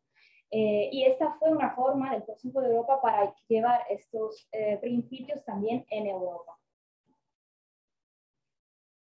y las bases de, eh, del programa eh, se, em, es decir, se, fundamentan en los eh, cinco campos de acción que todas las rutas culturales del Consejo de Europa tienen que perseguir. Y Aromas ha aprobado sus objetivos y acciones según estos cinco campos de acción en su primera Asamblea General. Los cinco campos de acción son la investigación, y aquí eh, quiero, para ir un poco más rápido adelante, pero en, esta, en este punto quiero destacar eh, que Aromas Itinerarium Salutis va a ser, eh, el, ha sido el primer itinerario que, se, que aplica para la certificación que tiene sede en una universidad. No hay otros itinerarios, hay alrededor de 50 rutas culturales declaradas por el Consejo de Europa y ninguna tiene eh, su sede eh, oficial en una universidad. Sin embargo, el Consejo de Europa prevé que como primer punto, como primer campo de acción, es eh, la investigación. Y esto tiene sentido porque a partir de la investigación, como hemos visto en las precedentes presentaciones, em, la investigación puede dar las bases para la construcción de un itinerario con bases científicas y eh, también para la creación de un network eh, sólido. El segundo campo de acción es naturalmente el patrimonio, poner en valor el patrimonio cultural y comunicarlo también eh, desde el punto de vista de la educación a los jóvenes investigadores, promoviendo intercambios culturales y sobre la educación de los jóvenes europeos. El cuarto eh, campo de acción son las prácticas contemporáneas, porque lo que, mm, quiere, em, lo que queremos demostrar a través de los itinerarios del Consejo de Europa es que todos los temas tienen, eh, no solamente recuperan algo del pasado, sino que tienen un valor en el presente. Y con todo el tema de las prácticas medicinales tradicionales y, los estudios que estamos llevando, pues hemos eh, considerado que también en este campo de acción podemos trabajar mucho eh, desde, desde Aromas Itinerarium Salutis.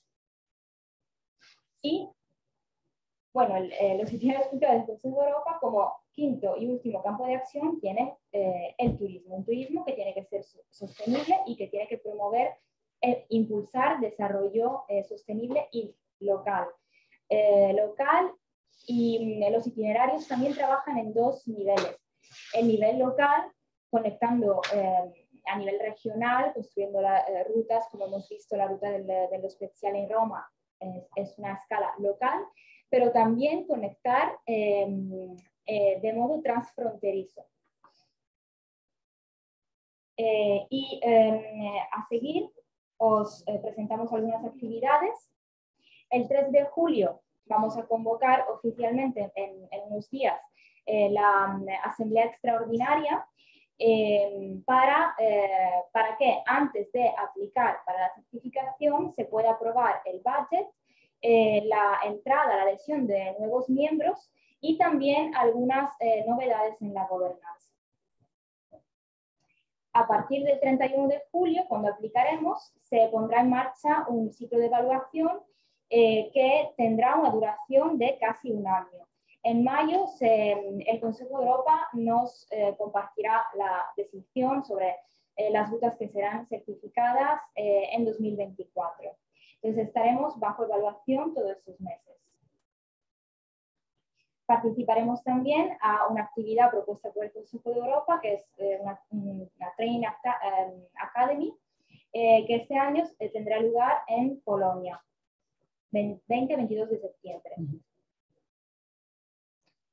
Y en paralelo, porque parece que pese a que el año es largo, todo tiene que coincidir en los mismos días, tendremos los días del 21 al 23 de septiembre de este, de este año, como ven ahí ya el Save the Date, ¿no? el, el primer programa para el segundo seminario internacional de Drugs and Colors in History eh, from the past to the present. Como se ha mencionado a lo largo de las conferencias anteriores, en este caso estará la sede en Évora, coordinado por también bueno, eh, la doctora Catarina Miguel, que es parte del eh, comité científico de la Aromas Itinerarium Salutis, y ahí bueno, tienen también la, la página web que pueden consultar y que también les invitamos a que puedan presentar cualquier tipo de eh, investigación o proyecto que seguramente será muy bien recibido. Eh, luego seguimos.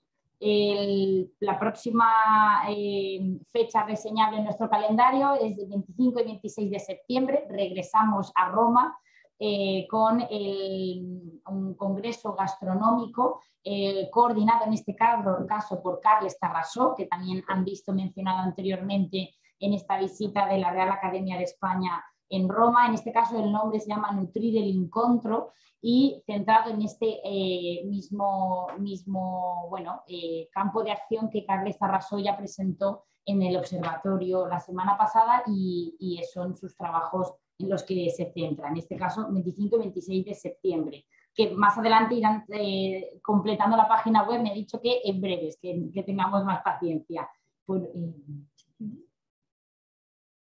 y también en el mes de octubre, eh, fecha provisional, estamos un poco todavía a la espera de saber, pero bueno, posiblemente entre el 6 y el 8 de octubre tenemos este workshop, este seminario, este encuentro de diferentes especialistas en el ámbito de, la farmacia, donde también el aroma un salutis podrá presentar los avances realizados eh, tras la anterior toma de muestras de todo el botamen que componen parte de, de la colección del Museo de Givia concretamente de la farmacia, la farmacia eh, Esteve.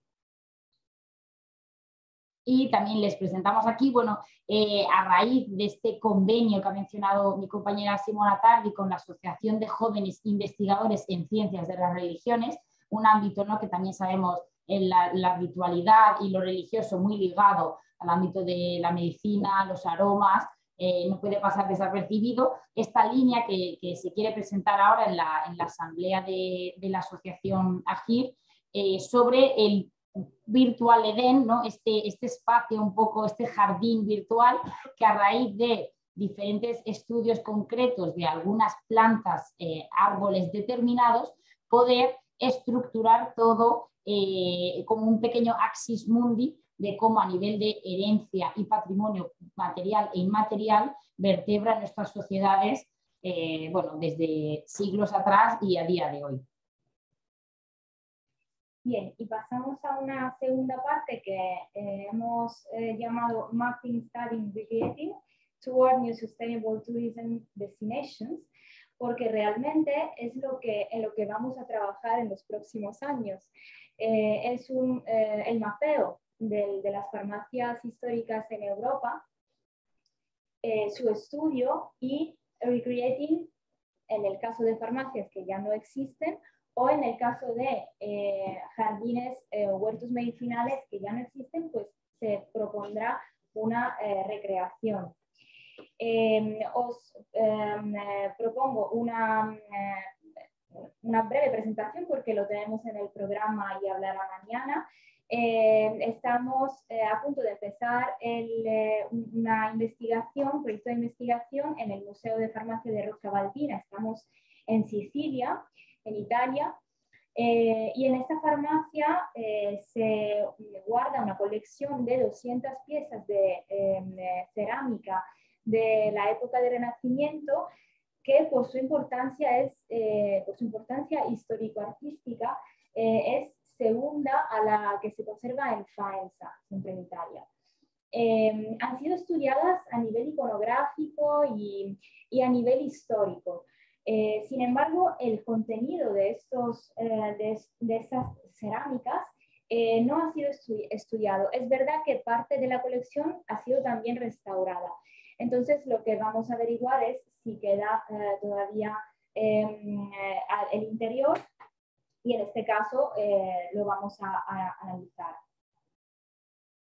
Y como recreación, Em, hace poco hemos tenido la oportunidad de visitar el Ribarroja del Turia em, en la comunidad valenciana, eh, que es miembro fundador de, Aromas y Salutis, y em, tras una reunión con el representante de Corriba y eh, con el Ayuntamiento de Ribarroja, pues se ha eh, propuesto la recreación de un jardín árabe en este espacio que, veis. Eh, ¿Por qué? Porque está vinculado a una eh, torre árabe que todavía se, guarda en esta plaza, que se llama Plaza de la Torre, em, y entonces también es un proyecto eh, que, está por empezar. Y, y, ahora, bueno, hablando de proyectos, doy paso a, a Marisa. Bueno, muy brevemente, ya que pues, eh, estaremos todo el rato investigando en realidad, pero sí se solicitó este proyecto a la Generalitat de Valenciana como Asociación Aromas Itinerarium eh, Salutis, pues un poco parecido a lo que ha sido Roma, ¿no? Aquí en Valencia intentar generar esa ruta de las farmacias históricas y los huertos aquí.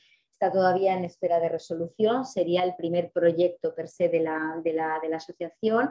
Sabemos que se resuelven estos días por elecciones, eh, pero esto eh, hay, que, hay, que, esperar todavía. Y la idea es un poco es eso, poner en valor, porque aquí en Valencia lo hemos hablado muchas veces con el MICOF, eh, que forma parte de este proyecto por otra parte, es decir, el MICOF es parte oficial del proyecto, pues bueno, se ha perdido todo este patrimonio farmacéutico, una parte muy importante, esa memoria, entonces, bueno, sería conseguir trazar esa ruta y hacerla visitable, por supuesto que sí. Es decir, hay algunas farmacias que, sí que quedan todavía, como por ejemplo la del Toro, la de Requena, pues un poco a partir de lo que queda, que es muy poquito, eh, presencia de huertos, aunque poquito, unir y testimonio, reunir mucho archivo, de, generar un archivo también de memoria oral de todo lo que se pueda recuperar eh, en, ese sentido, de lo que hubo hasta hace relativamente poco y sin embargo ya no, ya no hay.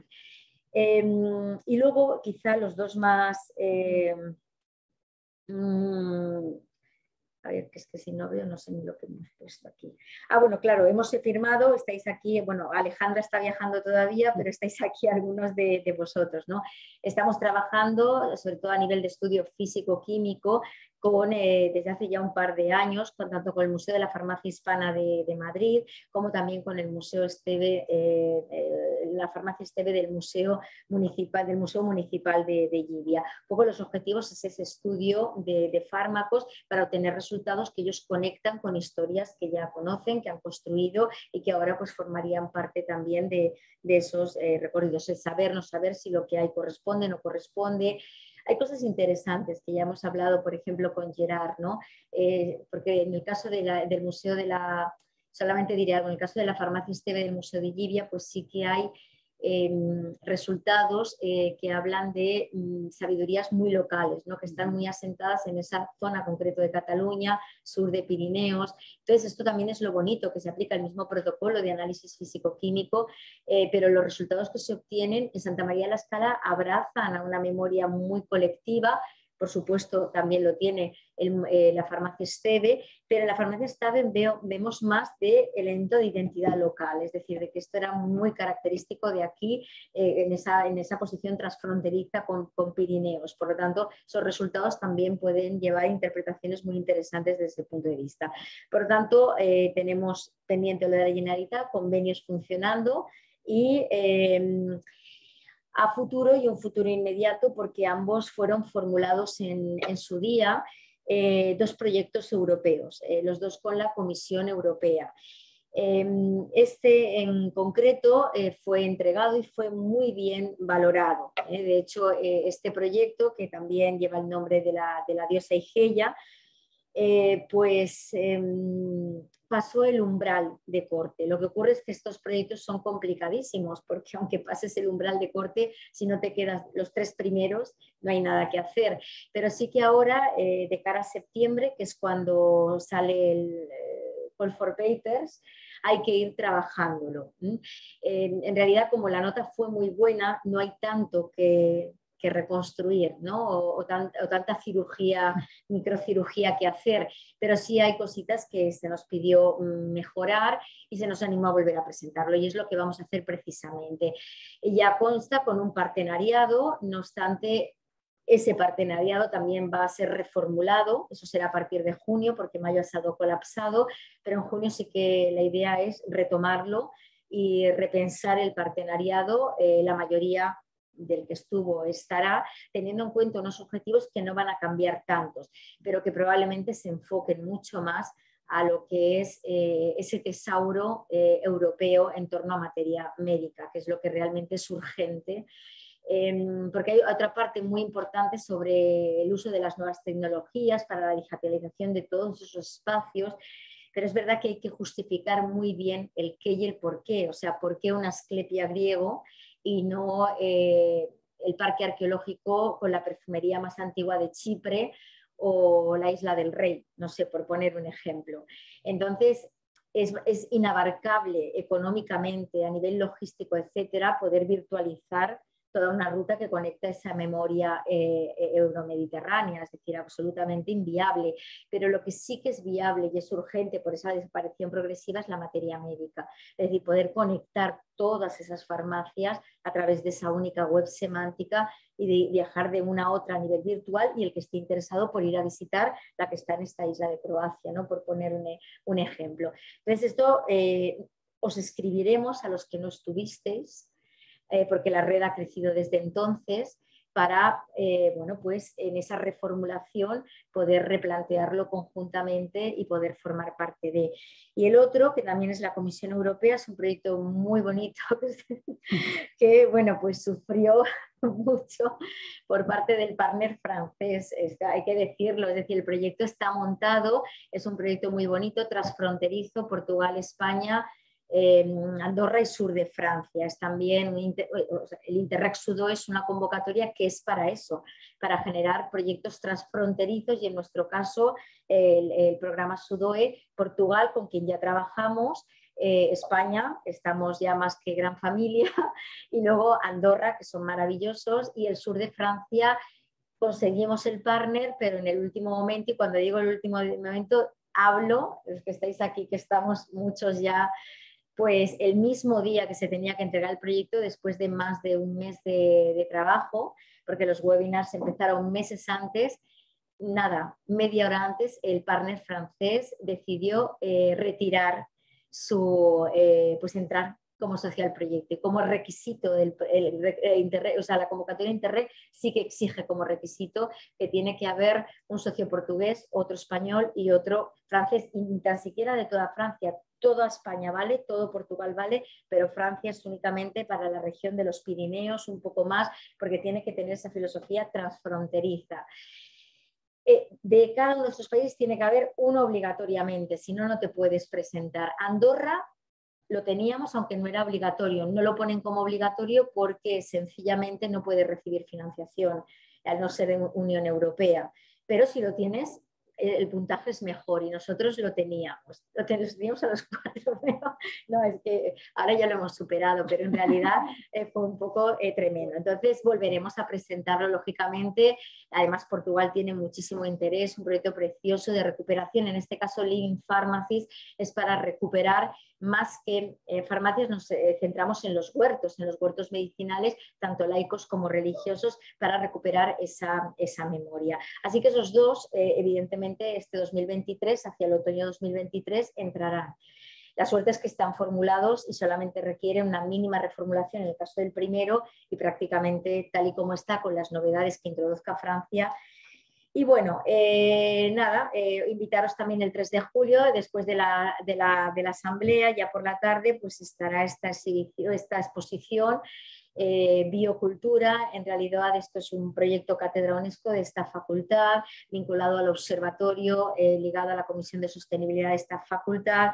Y bueno, pues ese proyecto eh, Cátedra UNESCO este año, en donde se intenta revalorizar aspectos del patrimonio inmaterial. El año pasado fue la alimentación, el anterior fue la relación entre patrimonio inmaterial y desarrollo humano. Este año se ha dedicado a la medicina tradicional y bueno, es una exposición en la que están participando desde ONGs, eh, bueno, en muchos países, Argentina, la India, bueno, etcétera. Y bueno, será en el Centro para la Alimentación Urbana Sostenible de aquí de Valencia, el CEMAS, que es un centro que está vinculado con la FAO Naciones Unidas y ahí es donde se inaugurará. Imaginamos que estará la vicerrectora de sostenibilidad eh, y bueno, que os invitamos a todos eh, vosotros a estar presencialmente o también generaremos en la red información será eh, luego transferible a otros espacios, ya la universidad desde luego, porque cuenta con financiación de la universidad y fuera de la universidad, donde lo pidáis y donde queráis, porque serán fotografías en cartón pluma fáciles de transportar sin ningún problema. O sea que tenemos un acción plan interesante y todo lo que vaya entrando, porque claro, esto es infinito. So, thank you very much for your attention.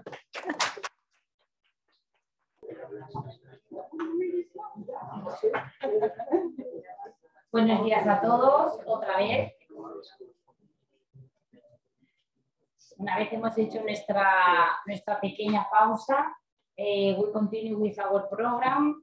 Uh, our next presentation is uh, with Cecilio José Benegacito uh, from the Royal Academy of Pharmacy de aquí en España y nos va a presentar the Spanish Pharmaceutical Historical Heritage Network. Thank you so much, Cecilio, and I give the floor. Muy bien. Pues muy bien, muchas gracias. Muy buenos días a todos. Eh, a todos los que, bueno, hemos decidido compartir hoy la, la, lluvia de Valencia esta mañana. Creo que es un buen augurio. Y, dentro de ese mundo húmedo, humedal, ¿no? de, de augurio, de, de buen rollo, pues estoy encantado de estar hoy entre, entre vosotros, entre ustedes, los que, como digo, estamos físicamente aquí hoy, en la, Facultad de, de, la Universidad de Valencia, y todos aquellos que nos, que nos, ven, que nos ven, que nos están siguiendo hoy, y aquellos que después, posteriormente, pues la posibilidad de, streaming ahora y de, de después analizarnos o vernos posteriormente. Bueno, mi presencia hoy aquí pues tiene un, en primer lugar, pues obedeciendo o digamos siendo eh, pues correspondiente con la invitación que se me formuló por parte de la, de la organización con la cual estoy en contacto hace, hace ya tiempo. Mm, presento esta, esta ponencia, que es el proyecto del inventario del, de, la, herencia farmacéutica en, España, de tal manera que la presentadora, muy gentilmente por cierto, pues me ha, se ha referido a mí como miembro de la, de la Real Academia. Está puesto así porque esto es así. Pero básicamente estoy aquí en función de mi, de mi vinculación al Consejo General de Colegios Oficiales de Farmacéuticos de España. El Consejo General hace algunos años fue sensible a, una propuesta se le presentó por parte de algunos presidentes de colegio, como es mi caso, presido el colegio de Badajoz en este, en este tiempo y de Extremadura también, de tal manera que llegamos a la conclusión de que no se estaba haciendo absolutamente nada en torno a los temas históricos, a los temas de, de heritage, a los temas en general pues que tuvieran que ver con el mundo de la farmacia, ciencia y arte, con el mundo de la farmacia considerado como un mundo pluri, como un mundo holístico y como un mundo en el que estaba muy bien que los farmacéuticos cobren a final del mes, que nos ocupemos de la receta electrónica, por cierto, eh, pues creo uno de los hitos fundamentales, sin la cual no hubiéramos podido ser capaces de atender a los 45 millones de españoles desde las 22.000 farmacias, a no ser eh, auxiliado precisamente de esos medios electrónicos que nos hemos facilitado nosotros mismos dentro de la receta electrónica. Como digo, eso es lo que nos dedicamos básicamente en los colegios. Ahora pasaremos un poco, un poco revista a perfeccionar el ejercicio profesional farmacéutico. Aquí hay también, y agradezco la presencia de, del Colegio de Valencia, del muy ilustre Colegio de, de Farmacéuticos de Valencia. Y como decía, pues también eh, mi presencia aquí es, es, en función de ello. Yo agradezco pues particularmente a Marisa Vázquez, que nos ha bueno, promovido todo este tema. De broma decía antes de que nos cerraran la sala, la cerradora de la sala que me acompaña aquí a la derecha, también se, se dedica a eso, la, la, clavera, la cancerbera de, de nuestro espacio físico, pues eh, decía bajo la atenta mirada también de, de, Simona Tardi, pues de cómo entre todos podíamos ir haciendo cosas. Por mi parte, como les digo, eh, mi presencia aquí pues tiene que ver con todo, con todo esto. Entonces agradezco mucho la oportunidad que nos dan, que nos damos de, de seguir viviendo todo este hilo que nos hace transitar por la herencia clásica, por la herencia hipocrática, por la, por la herencia galénica y hasta la receta electrónica. Y entonces, como tenemos esa posibilidad, pues yo creo que debemos de, de compartir todos y de, y de alegrarnos. Bien, miren, eh, la vieja, el viejo refrán dice que si quieres conocer el pasado, mira el presente, que es su resultado. Si quieres conocer el futuro, mira el presente también, que es su causa. Entonces creo que, está muy bien el que nos encontremos presencialmente y virtualmente y concretamente en momentos que nos harán mirar hacia atrás y podemos interpretar este, este presente y a su vez también eh, nos dará las claves y nos dará un conocimiento profundo para, para los siguientes. Miren, les presento aquí, a ustedes seguramente no haya que, no haya que hacerlo porque son ustedes conocedores. Esto está pues, puesto esta ponencia también para un público quizás más generalista. Aquí tienen a la diosa Clio, que es la diosa de la historia. La historia, pues la diosa Clio, aquí se la traigo en la personalización que hizo de ella eh, Vermeer. Y la diosa Clio incorpora, además de ser una, una imagen, estamos en el auspicio también de la historia del arte, además de ser pues, una, una musa de un modo pues, realmente estético en su dibujo, en su modo, en sus colores. Sé que ustedes también proceden del mundo de los colores, pues miren qué pantones más bonitos incorpora la diosa, qué, vestiduras, en fin, que cómo podemos ver ahí pues mucho de la, de la belleza del arte. Pero la iconografía no es menos importante ahí. Nos da que ver que la diosa lleva un libro, lo lleva en la parte izquierda donde se lleva el corazón, está con, con el libro, ¿vale? y a la derecha lleva una cosa que nada más que se ve un tubo, pero eh, en, una, en otra imagen mayor, lo que pasa no he encontrado una resolución que me fuera adecuada, pero es un trombón de varas. El trombón de varas es el libro y la trompeta, de tal manera que la historia nos hará recogerla en el libro pero necesitamos también la trompeta. De tal manera que tenemos que cubrir toda esa experiencia, todo ese conocimiento, toda esa sabiduría. Y es en lo que creo que estamos transitando a día de hoy, en el libro y en la trompeta. Decía anoche también con alguno de los participantes con el que compartí un rato, le decía que un periodista antiguo me informó, me dijo, me resultó muy, muy agradable la idea, que hay que poner un huevo y cacarearlo las dos cosas. Si uno pone un huevo y no lo cacarea, pues no se entera nadie, como si no lo hubiera hecho. Al revés, si uno cacarea sin poner el huevo, uno vende humo y a la primera puedes engañar a alguien, a la segunda, por supuesto. Entonces, eh, nosotros estamos en la función de la diosa Clio, de llevar el libro, de llevar la trompeta y de poner un huevo y cacarear. Me parece importante, me parece interesante. Bueno, les propongo eh, pasar un pelín de revista algunas de las, de las citas clásicas, precisamente, que nos introduzcan en todo esto. Dice Cervantes, y ahí, ahí, está en, mi diapo en inglés, y lo prefiero leer directamente aquí, que es emula, la historia es emula del tiempo, depósito de las acciones, testigo del pasado, ejemplo y aviso del presente y advertencia de lo por venir. Todo eso creo que resume en, boca de Cervantes eh, por qué los historiadores hacemos y podemos hacer historia. También la historia hay que, creo que no es el caso, pero bueno, hay que ser cuidadosos de que sea historia, de que no sea memoria. La memoria de los hombres es frágil, pertenece a cada persona y sin duda eso pues podemos ir tejiendo el hilo de la historia con las memorias individuales, pero en eso también hay que ser pues bastante, bastante cuidadosos. Y luego, finalmente, pues la historia de la farmacia, a lo que nos dedicamos, en, decir de Javier Puerto, eh, es todo lo concerniente a los aspectos profesionales en sus vertientes institucionales, corporativas, sociológicas, económicas, legales, culturales, biográficas o bibliográficas, y todo lo tocante al sustento científico y tecnológico de su actividad, en tanto tenga relación directa o indirecta con el diseño y elaboración de los medicamentos o con las aspiraciones del ser humano enfermo respecto a la virtud curativa de los fármacos.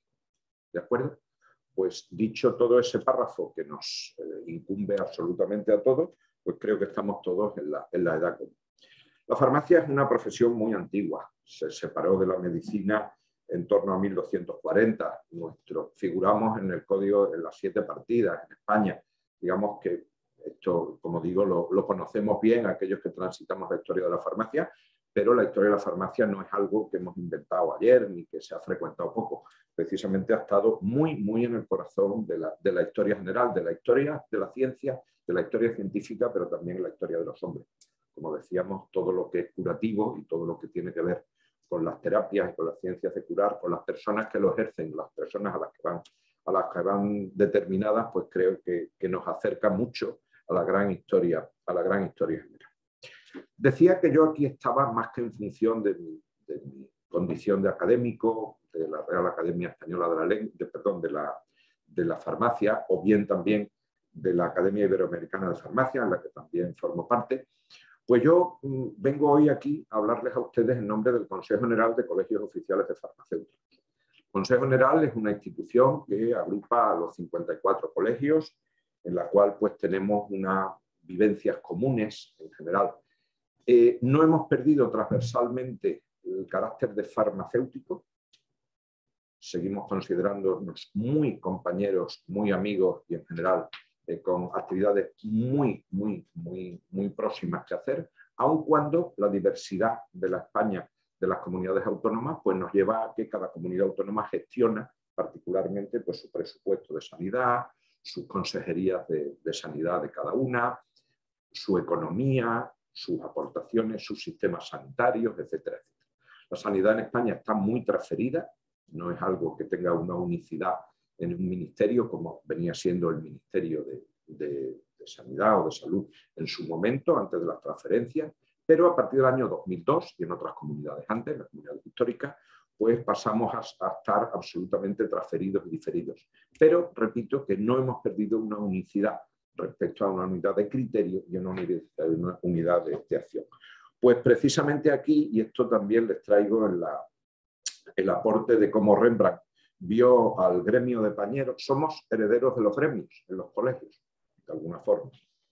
Somos unos gremios evolucionados, unos gremios para el paciente más que para los profesionales, pero también la, simbología aquí pues, nos puede ser de, alguna, de alguna utilidad. Esto es una junta de gobierno de un colegio, da igual, en este caso un gremio de, pañeros, una gilda de, pañeros. Miren, está aquí en medio el presidente, no tengo para señalarlo, bueno, con el cursor, vale. Pues mira, el presidente es este señor, aquí es evidente que está aquí, el secretario está aquí a la izquierda pasándole las hojas de, de las actas, gracias. Muy bien. Vale, aquí está a la izquierda el tesorero, con su, con su bolsa, como en, todos en todos los sitios. Esto da igual que sea para una, una junta de gobierno de una facultad o para cualquier, para cualquier cosa, para cualquier eh, cosa que tenga una, no sé, una, comunidad de vecinos, funciona así. Aquí está el vicepresidente, otro señor que es un vocal, y aquí a la izquierda, aquí dentro está el director técnico, que se ve que, que cobra de la entidad porque no lleva sombrero, los demás están chocados y este señor está en un segundo plano, pero efectivamente es el aporte técnico que todos llevamos. Bueno, pues esta foto, que, pertenece pues, al pincel de Rembrandt, de 1662 para una isla de, Pañero, pues puede seguir sirviendo con toda naturalidad a los colegios, a cómo los colegios eh, pues nos, nos desarrollamos. Los colegios son asociaciones profesionales que pasan a ser obligatorias en la España de 1898 y a partir de ahí, pues es nuestra historia de colegios. Hay colegios mucho más antiguos, como el Colegio de, Valencia, que en sus raíces en 1400, pero la legalidad de la colegiación obligatoria en España viene pues bajo, bajo Sagasta en ese tiempo. Y precisamente estos colegios, agrupados en el Consejo General de Colegios Oficiales de Farmacéuticos, con unos entes intermedios autonómicos que corresponden eh, pues al Consejo o al Consejo Extremeño o a cualquiera de los consejos que nos agrupan por comunidades autónomas, pues eh, forman parte de todo ese entramado que, como digo, pertenece a la Organización Farmacéutica Colectiva. Y como les decía, pues hace del orden de seis años el Consejo empezó a pensar que algo había que hacer dentro del mundo de la historia y de los historiadores y de nuestra herencia cultural y de nuestra herencia científica.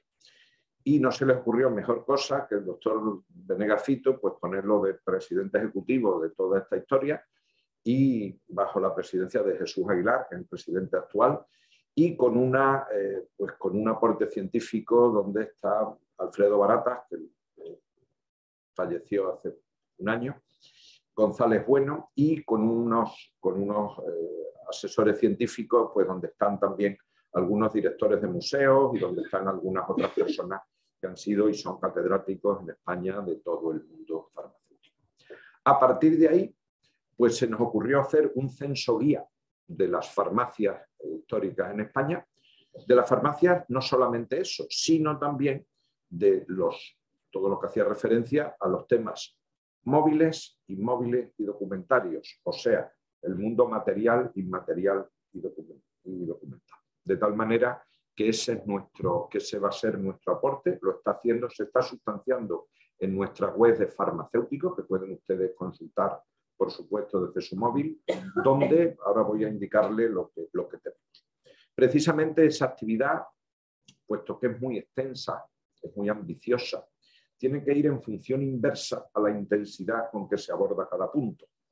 Precisamente, eh, la, claro, la farmacia de la especiería de Santa María de la Escala, pues ustedes pueden eh, ver hasta qué tiene el último reducto de la última brisna, del último bote con la última cartela pero claro, eso sería inabarcable en los 500.000 kilómetros cuadrados que tiene España, de tal manera, 50.000, perdón, kilómetros cuadrados que tiene España, y mm, sería inabarcable. Tenemos, por tanto, que hacer un tema macro que nos incumba a todos, donde pues, hemos identificado del orden unos puntos, pero con una ficha única. Quizás esto es lo que le da, le confiere una capacidad especial. Precisamente vamos a analizar todos los puntos de interés farmacéutico bajo una sola referencia, bajo una sola ficha, que, como digo, unifique esa posibilidad de conocimiento. Vamos a identificarla también dentro del mundo virtual con una, con una geolocalización que está hecha y vamos, les voy a indicar a ustedes cómo ha ido repasando, o sea, cómo ha ido produciendo esto. Voy a avanzar un poco porque efectivamente esa es, esa es nuestra ficha, nuestra ficha unitaria que hace referencia a si hay botamen, a si hay eh, maquinaria científica, si hay eh, pues, todo tipo de, aparatos, de aparataje, etcétera, de si hay orlas que nos lleve a identificar personalmente, a si hay bibliografía, a si hay fondos bibliográficos, si esos fondos bibliográficos son actuales, a si hay archivo, digamos, con una, una ficha general de conocimiento de todos estos puntos Esto empezó en el año 2018, ahí tienen ustedes la primera vez que se habló de esto en el Congreso Nacional de, Burgos. Eh, figuro aquí en medio el doctor eh, González Bueno y el doctor Alfredo Baratas, que como digo, pues lamentablemente falleció el, año pasado. Se presentó ya en, el, en, la FIP, en la Federación Internacional Farmacéutica en, en Singapur, y bueno, pues realmente es un tema en el que hemos estado pues, transitando todos estos años. Con el parón de la pandemia, es evidente, pero eh, donde efectivamente pues seguimos encantados de seguir trabajando en todas estas cosas. Como digo, eso nuestra primera, nuestra primera posibilidad fue esa, donde se fueron incorporando. Lo primero que hicimos fue historiar los colegios, los 52 colegios de farmacéuticos, ¿de acuerdo?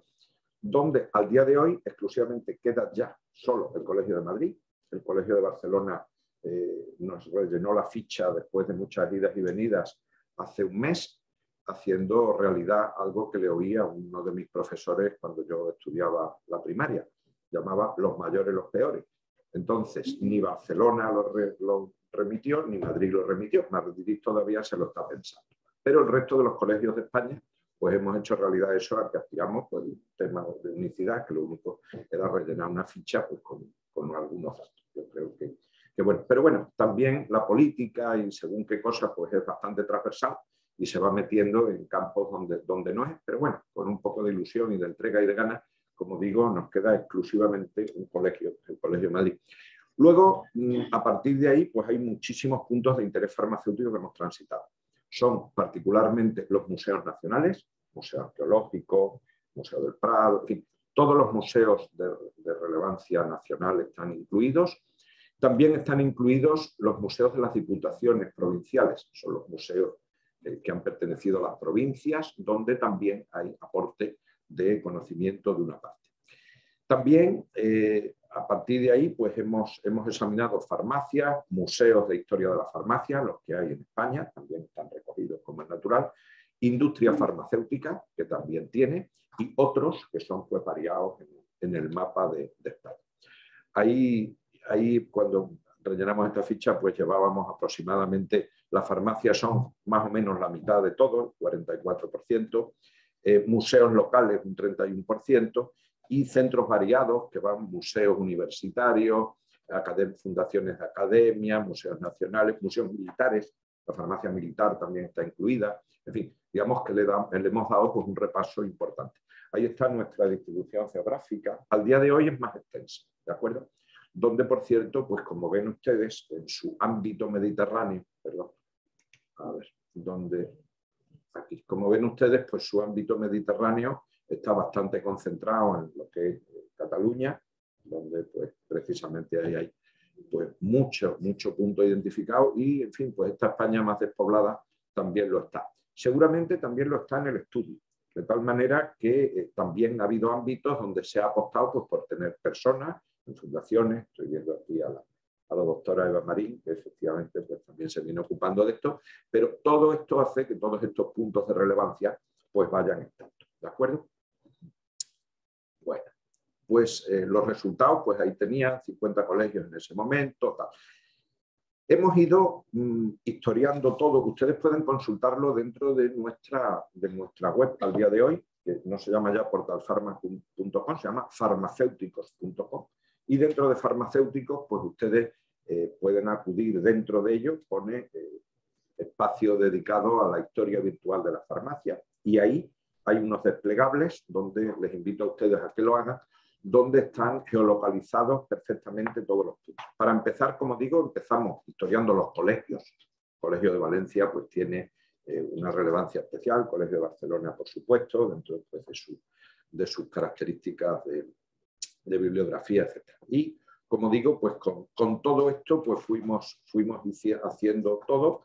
Aquí les voy poniendo unas pantallas de cómo tal.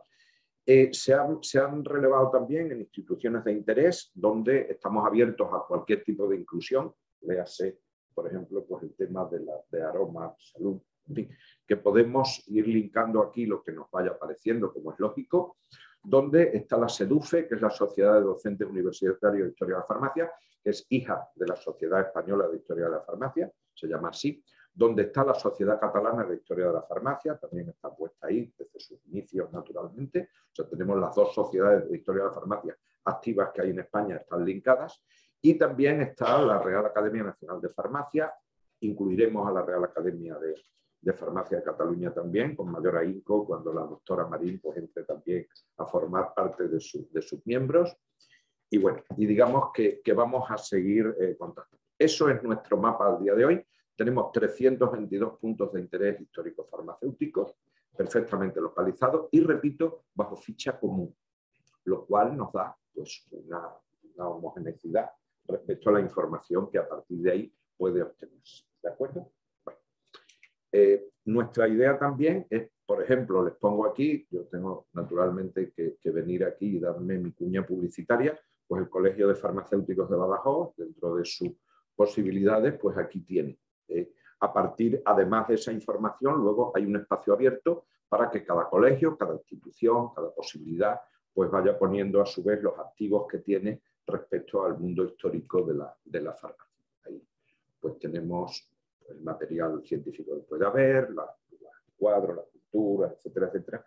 Y todos los colegios de España nos han ido enviando, ¿de acuerdo? Hay quienes nos han enviado vídeos y están puestos, hay quienes tienen sus propios links a sus propias colecciones históricas. Y bueno, dentro de esta, de esta España heterogénea, pues hay quien no tiene más que el nombre y hay quien tiene pues, un desplegable realmente rico. Nuestra idea y nuestras ganas es que esto vaya aumentando. ¿De acuerdo? Pero tenemos al día de hoy, y ya voy concluyendo, nuestro segundo escalón en esto. Estamos haciendo eh, pues, lo mismo que el patrimonio material, inmaterial y documental, Estamos al día de hoy con los farmacéuticos ilustres españoles. Eh, la farmacia no la hemos inventado nosotros también en el año 18, sino que ya parece ser que hay algunos, algunas personas que ya transitaron por la, por la farmacia y fueron ilustres y nos ayudaron a todos. Esto es la reunión del 23 de noviembre de trabajo la actualización de los trabajos históricos del Consejo, donde estuvimos pues, la secretaria general, yo mismo como presidente ejecutivo del proyecto, el doctor Puerto, González Bueno, la doctora Marín, eh, la doctora Rocío Ruiz, responsable de la creación de la base de datos de los farmacéuticos españoles, y para ello, director de marketing y director de gabinete de, presidente. Y ahí estuvimos reunidos, ahora en junio tendremos la siguiente reunión. Y bueno, pues ahí está el, tema del patrimonio histórico, como, como, les decía, lo que estuvimos viendo, pero basado en el, en el que es, digamos, pues la, la estructura mayor de historia de farmacia. Hay otras y otros, también están recogidos. Y en principio, pues hemos considerado poner, ponerle un nombre casi, casi eh, sensible para nosotros, que es el Roldán, bueno, pues de algún modo puesto al día. ¿eh? Lo mismo que hizo Fonker con, con, la botánica, pues nosotros estamos con el Roldán, pero precisamente para hacerlo evidente y para todo ese, eh, todo ese acervo de farmacéuticos históricos españoles, muertos, difuntos, porque tuvimos también la consideración de hacerlo con vivos, pero dijimos que nos era mucho mejor pues historiar nada más a personas que han tenido relevancia, desde Averroes para acá, naturalmente, pero nada más pues personas que ya no, que ya no estén vivas. Y, y estamos en ello, como digo, hemos identificado muchos huecos del Roldán. Roldán, por ejemplo, no, no incluyó ninguna mujer farmacéutica, están incluidas tenía un sesgo político evidente, está corregido y digamos que nos hemos ocupado de, poner al día, de actualizar toda la información que del Rodin y de otros historiadores de la farmacia se ha venido haciendo. Y ahora ya voy concluyendo. También le doy a ustedes noticia de otras actividades que estamos haciendo desde el Consejo General. La pandemia también dio para que Carmen Recio, la directora técnica del Consejo, y yo mismo nos dedicáramos a, escribir el libro Ocho días de octubre, que es la formación de la, organización farmacéutica colegial, que están a su disposición también de todos aquellos que quieran recibirlo, pues basta con, escribirle al consejo y le remitirán un, ejemplar. Nos hemos dedicado a la, primera fundación, les hablaba que los colegios se fundan en 1898, la, la fundación legal, y precisamente ahí está visto las actas, la primera reunión que hubo de la organización farmacéutica colegial para dar ideas y irnos dando norte de cómo el tema de los colegios en la España reciente, en la España pues, actual, ha venido, ha venido. También, a su vez, dentro de, este, de, este mismo, esta misma ola, pues también la pandemia dio para que en el archivo de India diéramos con el inventario de, de la botica de Magallanes, que se convirtió en una exposición en la FIP, la vieron farmacéuticos de 100 países y constituyó pues, un éxito verdaderamente notable, entiendo. Y ahora les diré cómo esta historia continúa. Esa es la presentación que hicimos en la Nau Victoria en, Sevilla, precisamente pues, con presencia de la Armada, con presencia de, personas que, han venido teniendo que ver con la historia nuestra de la farmacia, pero también con otras, con otras historias. El libro se presentó también en la Real Academia Nacional de Farmacia, también virtualmente en la, en la Real Academia Catalana. Y, bueno, y esto se, se, gestó una exposición haciendo una recreación de, de todo ese mundo de la botica de Magallanes que nos ha dado para seguir haciendo investigación sobre inventarios de barcos, de embarcaciones y de, y de naos. De tal manera que también la diosa Igeia y la fortuna nos ha permitido dar ahora, después del inventario de Magallanes, hemos dado con el inventario de la primera botica de América.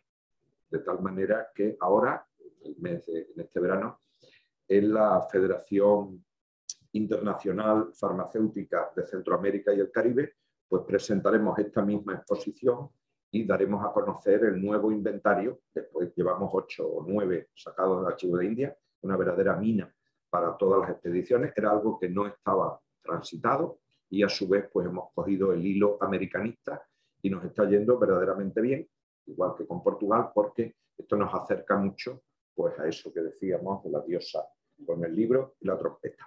Esa es la parte de la trompeta que vamos pues transitando, como les decía a ustedes. No solamente eso, hemos hecho un documental con personajes, con personas en torno a estos inventarios, donde en esa Sevilla del siglo XVI van y vienen las naves América, hablan de los inventarios, hablan de las terapias, etc.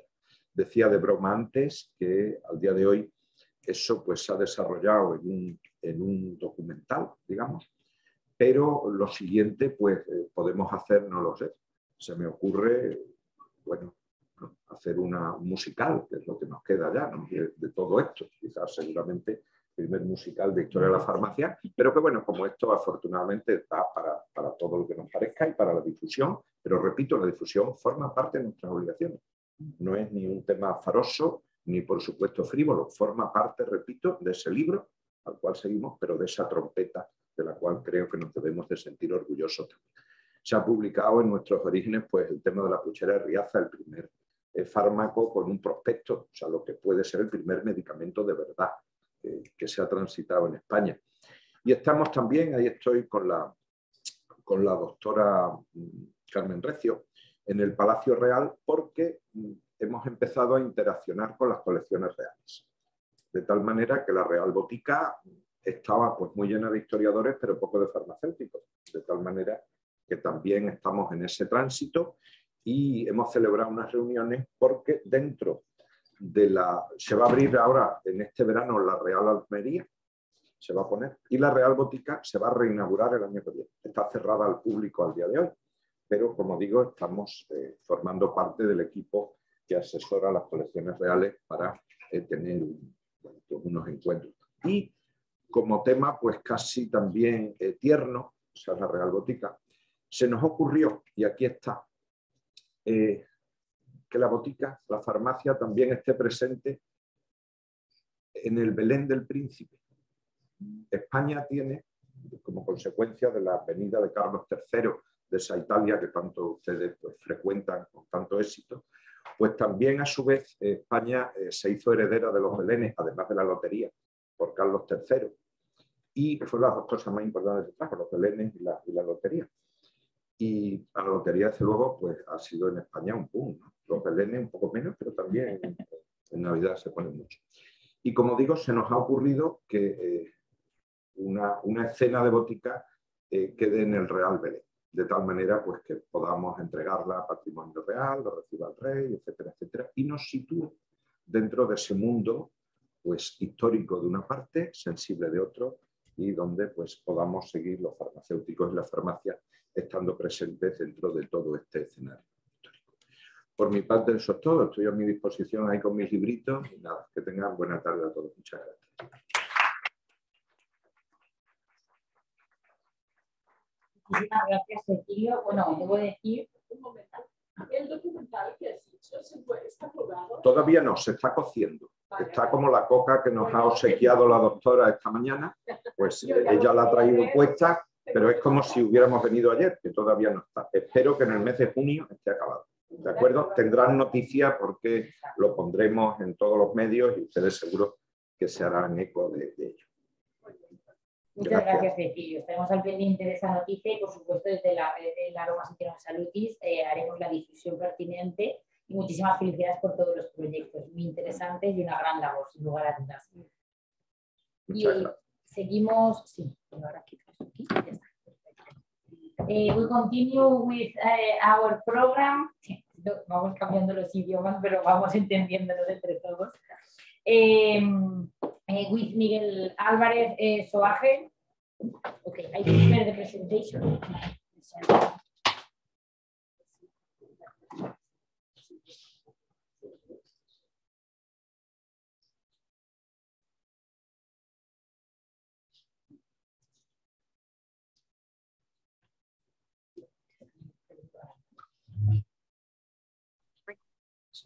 Yes.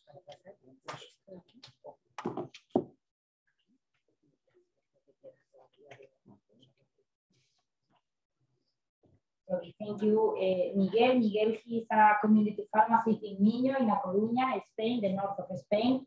And Miguel uh, talks about uh, Ribera Sacra, Galicia, Spain, landscape, history and conservation of a pharmaceutical heritage with echoes in contemporary literature. Thank you, Miguel, and I give the Hola. Pues nada, muy bien, muchas gracias. Eh, nada, lo primero, lógicamente, agradecer a la Universidad de Valencia y a la profesora Marisa y a, Simona y a, Cristina, ¿no? todo su trabajo y, la gestión de esta jornada. Eh, bueno, mi, comunicación pues va en este sentido. No es exactamente el, título que tienen ahí en la propuesta, pero bueno, hace referencia a, un recorrido entre dos monasterios, entre dos boticas monásticas, eh, Oseira, Santa María la Real de Oseira y Santo Estebo de Rivas de Siri, el, actual parador nacional. Eh, lo he titulado pues, de Oseira a Santo Estebo, dos boticas monásticas en una ruta de novela. Eh, en este sentido, mi comunicación quería enganchar con eh, la novela eh, de la autora María Oruña, El bosque de los cuatro vientos. Eh, tuve la suerte de colaborar con ella en, algunos temas de esta novela hace cinco años y ella tuvo el detalle pues, de citarme y de, y bueno, a raíz de ahí pues mantenemos una, una relación continua. Y, en, la, en, la, en, la, novela, dos, los dos protagonistas, llegado un momento, hacen un recorrido, abandonan Santo Estebo, donde eh, transcurre eh, toda la trama, y se desplazan hasta Oseira, hasta el monasterio. Pero ella no entra en detalles de, cuál es esa ruta, ¿no? Y a mí me pareció muy interesante bueno, pues retomar esa escena y, proponer cuál podría ser la ruta que llevaron, o por lo menos qué ruta me gustaría a mí que hubieran llevado eh, desde el punto de vista turístico. Y eso es la propuesta que voy a hacer, centrándonos en las boticas de ambos monasterios y un recorrido que las pueda unir en apenas 60 kilómetros. Bien, eh, como veis ahí, pues esta propuesta, apenas 60 kilómetros, en coche se hace nada, em, nos permite descubrir un enorme patrimonio histórico eh, y natural en el interior de Galicia. Quizá, eh, yo siempre invito a la, gente a que descubran el interior de Galicia y que la costa puede estar muy bien, pero hay algo más que la Toja, el Grove y San Senso. Eh, y tenemos un patrimonio enorme en, Galicia. Eh, dos monasterios. Eh, el de Oseira principalmente está entre, se pueden citar entre los más grandes de España. Son 40.000 metros, tres claustros enormes. Eh, y Santo Esteban, no a esa altura, pero es un gran monasterio también. La ruta nos va a permitir descubrir incluso varios prioratos de estos monasterios, como el de Aguada, perteneciente a Oseira, o el de Pombeiro, a Santo Esteban. Y aparte, pues como ven ahí, eh, sorpresas, como por ejemplo la iglesita de San Miguel de Bufiños, que entre otras cosas, pues eh, conserva un sarcófago romano eh, de, San Pejerto, que se trasladó allí. Fueron, es una pieza que alguien, no se sabe bien, trasladó allí en el siglo XIX. La ruta también nos permite descubrir una iglesia paleocristiana, quizás de las más antiguas de Galicia, cuando van por allí de turismo, pues siempre se habla de San Pedro de Rocas, que sin duda es muy interesante, pero posiblemente Santa María de Temes sea anterior. Y allí se descubrió, entre otras cosas, la, lápida de otro sarcófago romano y, como vamos a ver en algunas fotos, eh, varios elementos como fustes y capiteles de un templo romano, no románico, romano. Eh, atravesaremos la Sierra Martiñá, que, está, que pertenece a la red Natura 2000, y eh, iniciando el recorrido, que no lo especifique, al contrario de, de, lo que se cita en la novela, Santo Estebo a Oseira, mi propuesta es al revés, de Oseira a Santo Estebo, por una cuestión evidente, es que en Santo Estebo hay alojamientos de sobra o un parador y en Oseira no hay nada. Eh, atravesaríamos la Sierra Martina y descenderíamos por pequeños valles hasta los Peares, la confluencia de los ríos Mil y Mil eh, y Niño, eh, y disfrutaríamos de miradores, a la Ribeira Sacra, una necrópolis neolítica y diferentes eremitorios en la Ribeira Sacra entre ellos San Juan de Cachón, que es el origen del monasterio de Santo Esteban.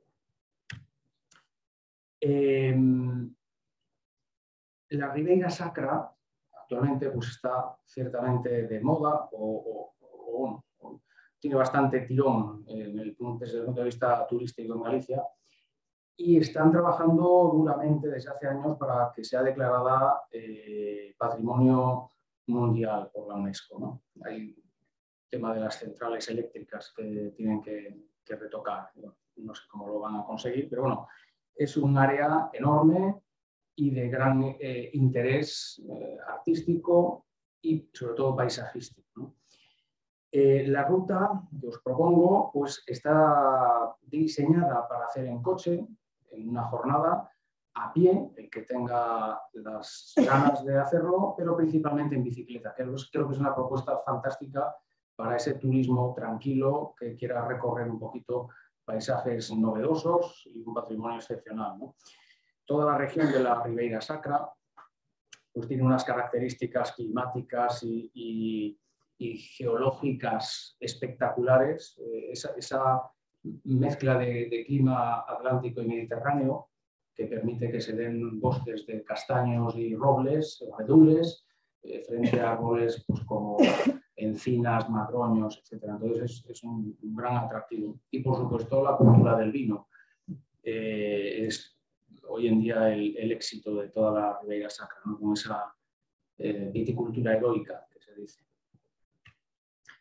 Bien, aquí pues os dejo un par de imágenes. Este es el inicio del recorrido esto es aquí en Perfecto. Aquí, este es el valle donde, donde está Oseira, que se aprecia ahí, esa es la abadía de Oseira, ¿eh? todo el Ribeiro se abre por ahí. Entonces, la ruta sale en sentido contrario, cruza la sierra, la Sierra Martiñá, ¿eh? y por tanto, como veis, atraviesa parajes de gran atractivo. El alto de la sierra pues, es un poquito más pelado, pero son esos paisajes de campiña, que yo creo que, bueno, para el que busque un turismo tranquilo, fuera de la, de la época estival, lógicamente. Este es un paisaje para hacer en primavera, en otoño, y nos eh, desvela pues, eh, atractivos pues, como estas pequeñas aldeitas con estructuras tan espectaculares como este arco, hecho en, lajas de, una sola pieza. Eh, o el, este es el priorato de Santa María de Aguada, perteneciente a Oseira, La iglesia fue románica, tiene una, fachada barroca y este es el, realmente el priorato que está abandonado. Y este es un poquito el recorrido ¿eh? que va siguiendo la carretera, mi propuesta, todo el, río Bubal, hasta Peares, que está ahí abajo, y luego subiríamos esta ladera porque Santo Esteban está allí detrás. Por aquí viene el Sil, esta es la Pena Pombeira, otro mirador. Y aquí, pues la foto eh, desapareció.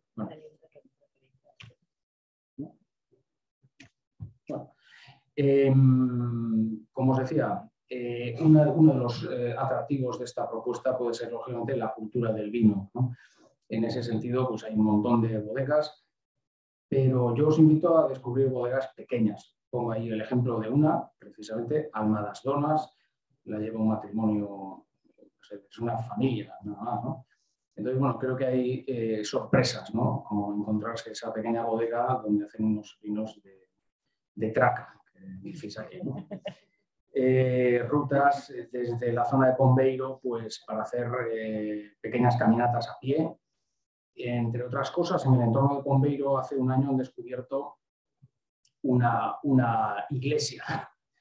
Eh, donde, se, donde en, mitad de un bosque donde solo había dos sarcófagos eh, antropomórficos, se pusieron a excavar y, apareció una iglesia. Es la enésima iglesia que se descubre en esa, en esa comarca. Y como os decía antes, pues eso, desde el recorrido nos lleva literalmente hasta la necrópolis de Amoura con sus mamos, sus dólmenes, ¿eh? Eh, miradores espectaculares como este de Alampa o, Castro, que está justo, justo encima de Santo Esteban. Estas son las vistas desde esta pequeña bodega que os decía, de Armadas Donas. Este es el balconcito. Estáis ahí tomando un, un mencía, un vino blanco, un vino tinto. Este es el sil. Y ahí arriba, ahí está, eh, no, aquí está Santo Esteban. Fijaros qué, qué laderas más espectaculares. Esta es la zona de Pombeiro, esta es la bodega que os digo. Y aquí está el priorato de Pompey. Todo esto perteneció a Santo Esteban en su día, en torno a la iglesia románica de Pompey, San Vicente Pompey. Eh, aquí tenéis una imagen muy parecida. Esto es mm, el entorno de Peares, la Pena Pombeira, y allá al fondo, en esas montañas, por ahí está Santo Esteban. Esta es la iglesita de Temes, Santa María de Temes, ¿eh? Iglesita románica, eh, la rectoral, la casa rectoral, que es una casa descomunal, incluso está construida con sillares de granito, por tanto, mm, ahí hubo pasta, hubo mucha pasta y, es algo extraño porque la iglesia es bien modesta. Y entre los sillares de la iglesia, aquí tenéis un ejemplo, esto es un capitel romano reutilizado, como ese capitel, pues hay una, casi una docena de elementos eh, incrustados en, las paredes de la iglesia. Este es el mirador eh, de, en Amoura. ¿eh? tenéis aquí el río Sil, que viene de allá, viene por aquí hacia Peares, y este es el parador, el monasterio de Santo Esteban de Rivas de Sil. Mi propuesta también iría hasta, como os he comentado, San Juan de Cachón, que es donde estuvo en origen ese monasterio, una pequeña ermita en mitad de la ladera, y está por ahí. Hay que meterse por el bosque todo para abajo, pero está aceptablemente transitable e incluso indicado para que nadie deje la, la viga en el intento. Bien, eh, os comentaba em, los dos monasterios, Santa María de la Real de Osella y Santo Esteban de Rivas de Sil. Eh, los dos eh, tuvieron todo lo necesario para eh, velar por la salud de, enfermos, pobres y peregrinos. Oseira, con más medios, monasterio cisterciense, tuvo una importantísima farmacia desde el siglo XVII hasta la desamortización. No así Santo Esteban, benedictino, que a pesar de ser parador y parecer un gran monasterio actualmente, fue un monasterio de segunda puede ser muy bonito hoy en día, pero fue un monasterio de segunda en la orden benedictina y por eso, por ser de segunda, es que los benedictinos instalaron en él un colegio de artes y filosofía, que nunca se hacía en los monasterios principales. Eh, y acerca de su botica, a pesar de que María Oruña la novela la describe excepcionalmente bien, apenas hay datos. Es todo un poco una historia novelizada. Eh, mm, he hecho estudios en archivos eh, del último mes y no hay datos que, respalden la existencia de esa botica, por incluso he encontrado datos de que la propia botica, el propio monasterio de Santo Esteban, iba a la ciudad de Orense, al colegio de los jesuitas, a comprar allí medicinas. Encontré un inventario del, colegio de los jesuitas donde figura como clientes los monjes de, Santo Esteban. Bien, esta es una imagen del monasterio de Oseira. Esta es la zona de... No se ve la iglesia, bueno, esta es la zona de la hospedería. La hospedería y aquí viven los monjes. Y esta es una imagen de Santo Esteban. Espectacular, muy bonito, un monasterio, una iglesia relativamente pequeña, tres ábsides y tres naves, eh, y un gran claustro porque tenía que albergar, al, a, los, a los alumnos, a los estudiantes. Por eso es grande pero, pero, pero poco más. Eh, en cuanto a la abadía de Oseira, como os he dicho, una enorme eh, iglesia románica y una farmacia muy importante desde finales del siglo XVII.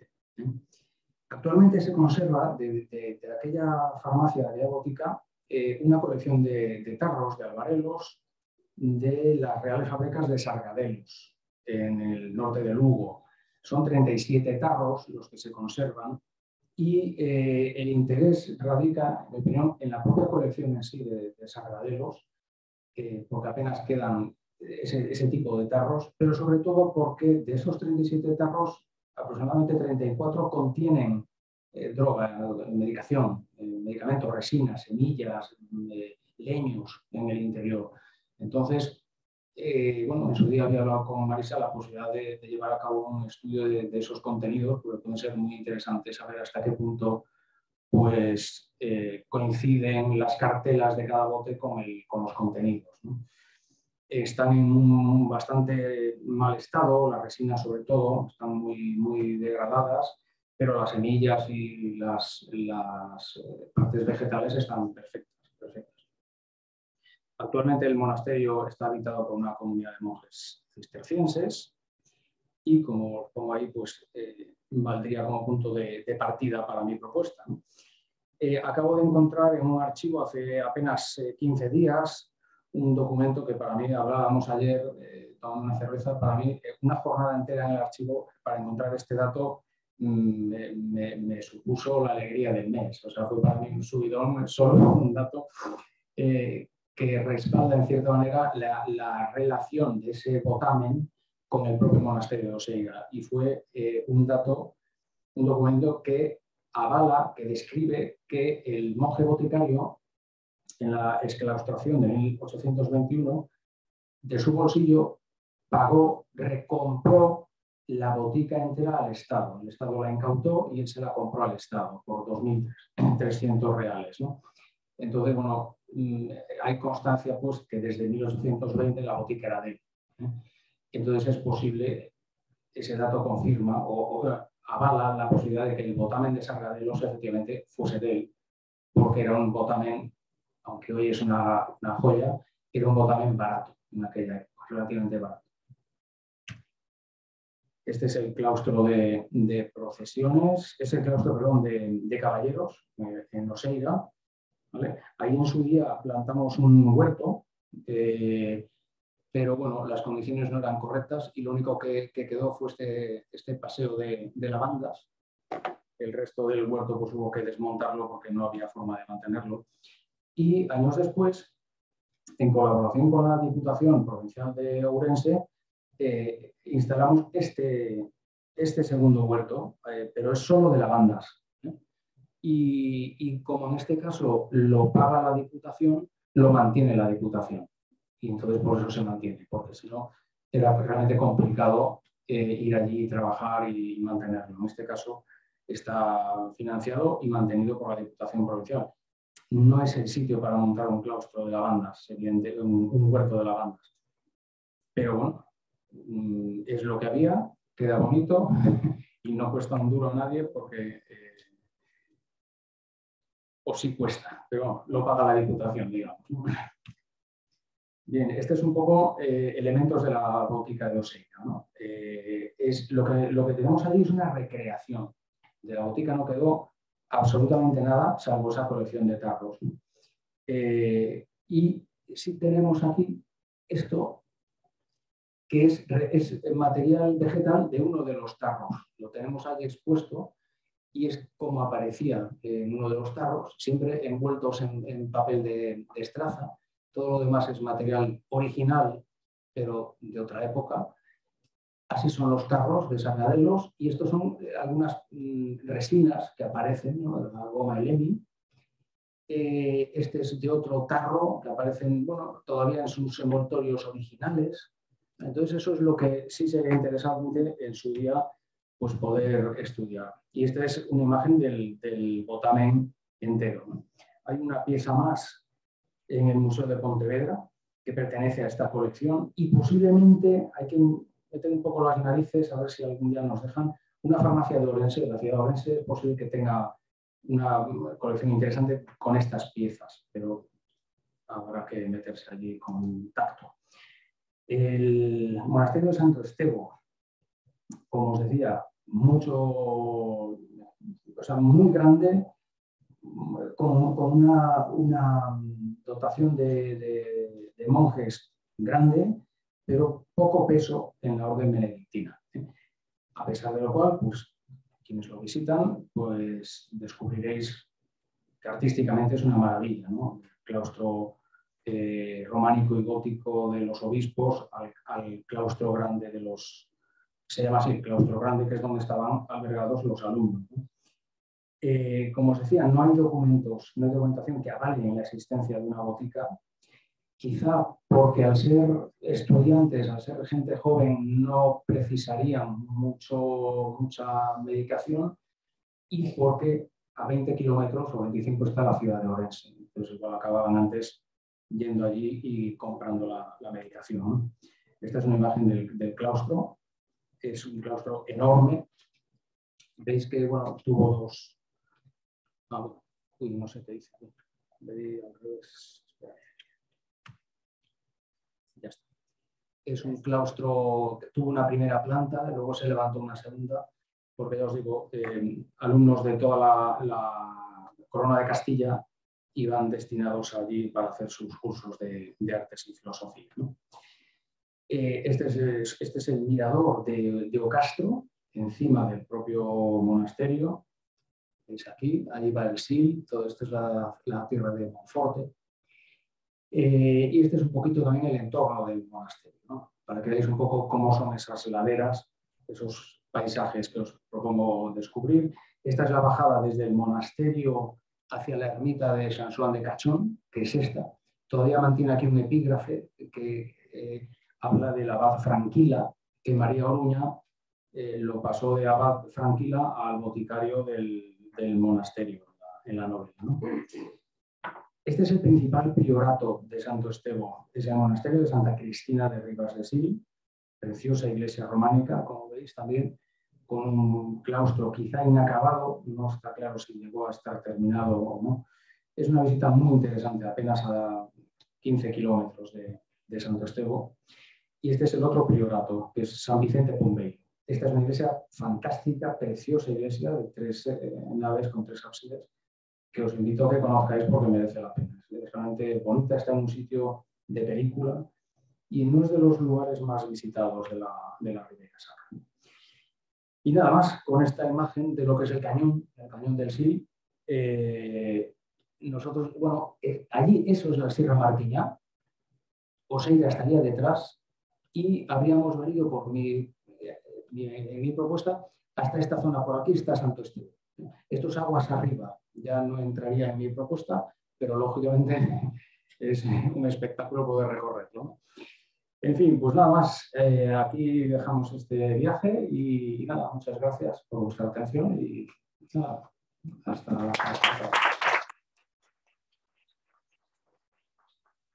hasta. gracias Miguel por ajustarte al tiempo y por traernos estos preciosos paisajes Ah, que sí. que lo único que nos hacen es despertar las ganas de irnos eh, claramente con la mochila a, a recorrerlos. Pero claro, uno ve estas imágenes, luego va allí y resulta que se pone a llover a las 8 de la mañana y no para hasta las 12 de la noche. Bueno, pero la lluvia es vida, no nos vamos a quejar nosotros y ciertamente Cu- Cuando fuimos estuvo de película, ¿eh? Sí, sí. Muchísimas gracias y por supuesto recomendamos también el, el libro, ¿no? El bosque de los cuatro vientos de la escritora María Oruña que, que también eh, nos, ha, nos ha relatado Miguel y que a nosotras también ya nos lo ha recomendado también Marisa, así que todos pendientes. Eh, we continue with our program, but eh, we have a little change. Eh, right now, talk, we present okay, al Museo de la Farmacia Hispana de la Universidad Complutense de Madrid, in Spain, with Alejandra Gómez Martín. Okay, and now I present again eh, to eh, Alejandra Gómez Martín and Antonio Isaac González Bueno from the Museo de la Farmacia Hispana and with the intervention with the Hispanic Pharmacy Museum of Madrid, Complutense University of Madrid, Spain, Collection, Conservation and History. Thank you, Alejandra, and I give the floor. Eh, pues muchas gracias. Muchas gracias por la invitación. Espero, no sé, eh, hay muchas personas que han estado ya en el Museo de la Farmacia Hispana eh, aquí y supongo que quizá viendo este congreso, pero bueno, los que no han estado, espero introduciros al fantástico museo que tenemos en la Facultad de Farmacia de la Complutense. Antonio, que es mi director, no ha podido venir, pero estoy yo, yo soy la conservadora del museo desde el año 2016. Y, nada, voy a hacer una pequeña introducción de la historia del museo, lo que conservamos allí y cómo lo conservamos y los proyectos con los que estamos vinculados, ¿vale? Porque es un, museo que tiene muy poco presupuesto, casi nulo, ¿vale? Eh, ¿Se me escucha bien? ¿Se me ve bien? Pues ya, bueno, adelante. Os presento a la Complutense. La Complutense, pues, la universidad, una de las universidades de Madrid, es un campus muy grande y dentro del campus de Moncloa, que es lo que está en la ciudad universitaria, hay diversas facultades, entre ellas pues, la Facultad de Farmacia. Eh, la Complutense en total son, bueno, somos 15 museos y 15 colecciones, todos ellos visitables. El único inconveniente es que el Museo de la Farmacia Hispana dispone de una persona como yo que se dedica en exclusividad al museo, todos los demás no. Todos los demás son los profesores o eh, becarios los que se encargan de poder enseñar en el museo cuando tienen hueco entre la docencia y la investigación. Entonces, pues efectivamente el Museo de la Farmacia Hispana de todos los de la Complutense es de los más visitados, pero porque estamos más disponibles, ¿no? más abiertos al público. Ofrecemos una visita guiada todos los días, lectivo, está lleno hasta junio, todos los años se llena. Es un museo que gusta mucho eh, y que es visitado por, sobre todo, centros culturales eh, asociaciones de mayores y también institutos que tienen la formación en técnico de farmacia eh, y pues investigadores aparte, etcétera, etcétera. Pero ese es nuestro público. Entonces nosotros estamos dentro de la Facultad de Farmacia y la Facultad de Farmacia tiene otras colecciones también. El herbario, tiene colección de modelos de plantas para la docencia antigua, etcétera, Os cuento un poquito la historia del museo porque es muy interesante. Para quien no la conozca, bueno, la ciudad universitaria empieza a forjarse en el año 27, en un proyecto en época de Alfonso XIII, y eh, lo que se hace es crear, bueno, intentar eh, juntar todas las facultades que andaban dispersas por Madrid en un único espacio. Eh, para configurar esa ciudad universitaria se crea una junta constructora que estaba compuesta de unos 25 o 30 catedráticos de la época y presidida por Alfonso XIII. Esa es la primera reunión de la Junta Constructora de la Ciudad Universitaria. Eh, la suerte que tenemos nosotros, el Museo de la Farmacia Hispana, es que en esa Junta Constructora de la Ciudad Universitaria estaba nuestro fundador, que es Rafael Forch, una persona, un ilustre catedrático de Historia de la Farmacia, el primero de España, nace en Montblanc, tiene origen catalán, pero luego hace carrera docente en Madrid. Ella viene casado y tiene sus hijos en Madrid. Y ahí le tenemos. el puntero? Aquí. Este Rafael, aquí, estupendamente con eh, Alfonso XIII. Y aquí aparece ¿ves? su nombre, Rafael Fuerte. Bueno, ¿Por qué es importante esto? Eh, su presencia en la Junta Constructora es muy importante porque la Facultad de Farmacia moderna, vamos a decir moderna, al edificio donde estamos ahora, de los años 30, eh, fue diseñada como un espacio para un museo. Y eso en la Complutense no se da no es insólito. Entonces, eh, la Facultad de Farmacia fue diseñada como un espacio para un museo de farmacia porque Rafael Ford tenía influencia en la Junta Constructora y en el diseño de los edificios, sobre todo de la Facultad de Farmacia. Eh, y eso es algo singular en el museo que hay que destacar porque todos los demás museos de la Complutense pues, se han ido ubicando donde quedaba un hueco disponible. No es el caso del museo. En nuestro caso, pues la ubicación sigue siendo la original y eso es muy importante, ¿no? Y el papel que juega pues, Rafael Ford, que es nuestro fundador, y que desde los inicios del siglo XX está formando una colección de objetos que tengan que ver con la historia de la farmacia con un objetivo fundamental que es un objetivo docente. El objetivo de poder enseñar esa asignatura de historia de la farmacia a sus alumnos de una forma atractiva y visual. Eh, y ese es el principal objetivo del museo fundacional que sigue, eh, que sigue siendo ahora todavía, porque los alumnos de farmacia siguen cursando historia de la farmacia tienen obligatoriamente que visitar el museo y hacer una práctica sobre el museo. Así que eso se mantiene. Lo que pasa es que desde los años 90 está también abierto al público general. Este edificio de la moderna Facultad de Farmacia ya estaba hecho y rehabilitado en los años 40 eh, la antigua Facultad de Farmacia está en otra zona de Madrid, está en la zona de tribunal, más por el centro, y esto es a partir de los años 30. La guerra civil se desarrolla aparte del frente de la universitaria, con lo cual los edificios de los años 30 quedaron destrozados, se tienen que rehabilitar y se inauguran ya en el año 43. ¿vale? Así que realmente es un edificio histórico rehabilitado en los años 40. Toda esa plaza donde uh, está la Facultad de Farmacia, Medicina, Odontología, está considerada bien de interés cultural de la comunidad de Madrid, con lo cual la fachada y parte de los interiores no se pueden tocar, están protegidos. Pues nada, aquí os presento los, rostros, las caras de los protagonistas de la historia a los que tenemos que agradecer que tengamos en Madrid pues, uno de los, mejores, museos de farmacia del mundo. Entonces tenemos a Rafael Ford, que os lo he presentado, eh, y que está eh, como docente hasta los años 50, luego se jubila hasta un par de años más como director del museo. Coge las riendas del museo el personaje que tenéis en el centro, que es Guillermo Ford, que era su hijo, ¿eh? que ayudó a montar el museo y que, es el siguiente catedrático de Historia de la Farmacia. Siempre es así, el Museo de Historia de la Farmacia lo dirige el catedrático de Historia de la Farmacia de la Facultad de la Complutense. El hijo hace cosas muy importantes, hace el inventario de la colección y fotografía las piezas, para mí como conservadora pues lo agradezco muchísimo. Amplía la colección y se amplían los espacios con él. Eh, fallece joven, fallece en el 87 y coge de nuevo otra vez la rienda del museo, otro, el siguiente catedrático de Historia de la Farmacia, que es la persona que tenéis ahí a la derecha, es Javier Puerto, que ha estado, este, justo hace dos semanas ha dado la última clase ya como catedrático de mérito, con 73 años, y la señora que está allí Eugenia Mazuego, que fue la primera conservadora del museo, desde el año 93 hasta el 2016 cuando entré yo. ¿vale?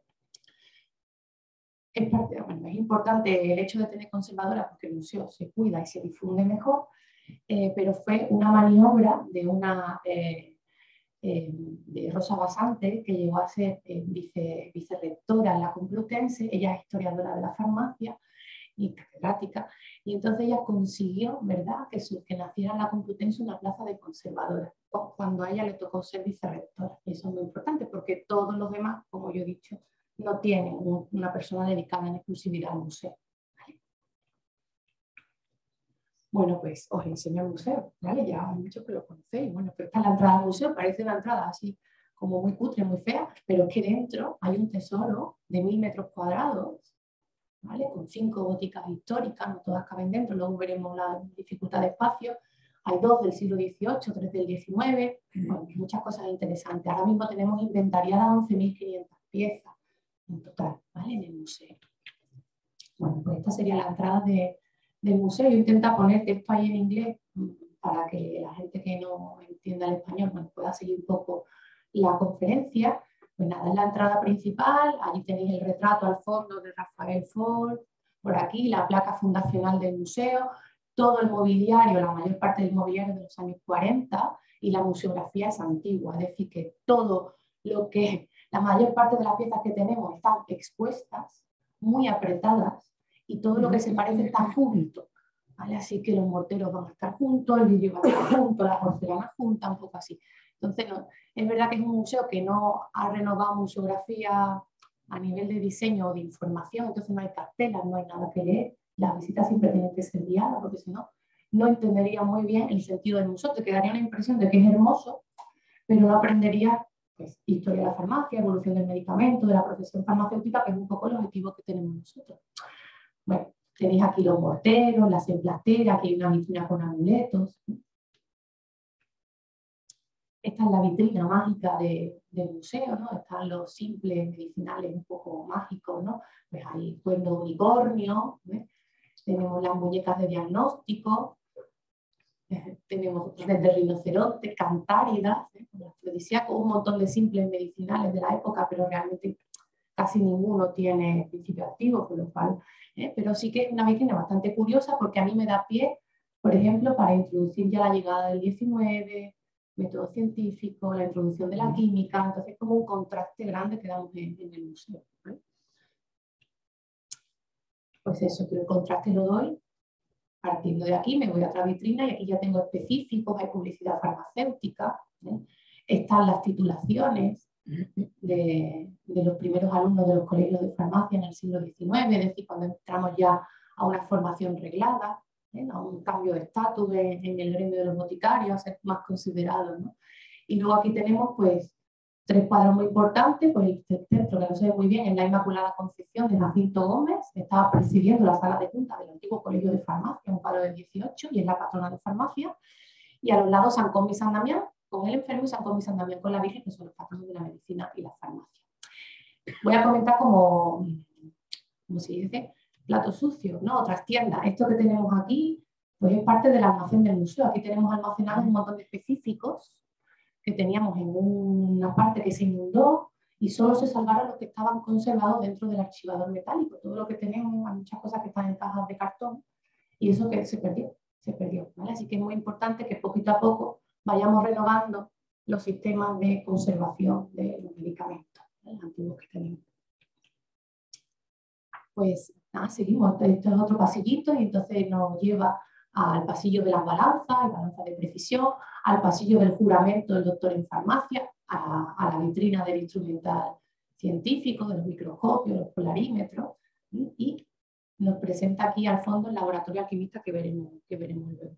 Pero ves que hay mucha diversidad de piezas, ¿vale? hay muchos materiales, eh, muchas técnicas, en fin, y el museo realmente no, no tiene eh, sistemas de eh, control de climatización, por ejemplo. ¿no? Nosotros eh, no, tenemos la calefacción central del edificio y eso, pues sí, en, invierno se mantiene unos 22 grados con la calefacción encendida, pero cuando llega eh, la Navidad, de que cierra la facultad, todo eso baja a 7 grados y ahí está hasta que se vuelve a encender la facultad ¿no? en enero y volvemos a coger temperatura. Y en verano, pues a lo mejor alcanzamos los 32, 35 grados en sala.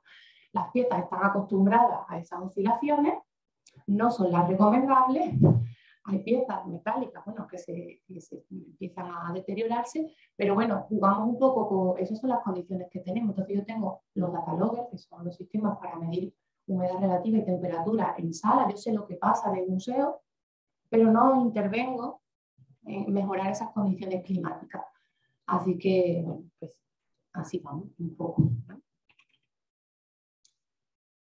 Acabamos la sala principal, este es la, zona que yo le digo de galénica, donde hay un montón de instrumentos que valían para elaborar esas formas medicinales. Hay pildoreros, una centrífuga por aquí. Eh, esto es para marcar las cajas, ¿no?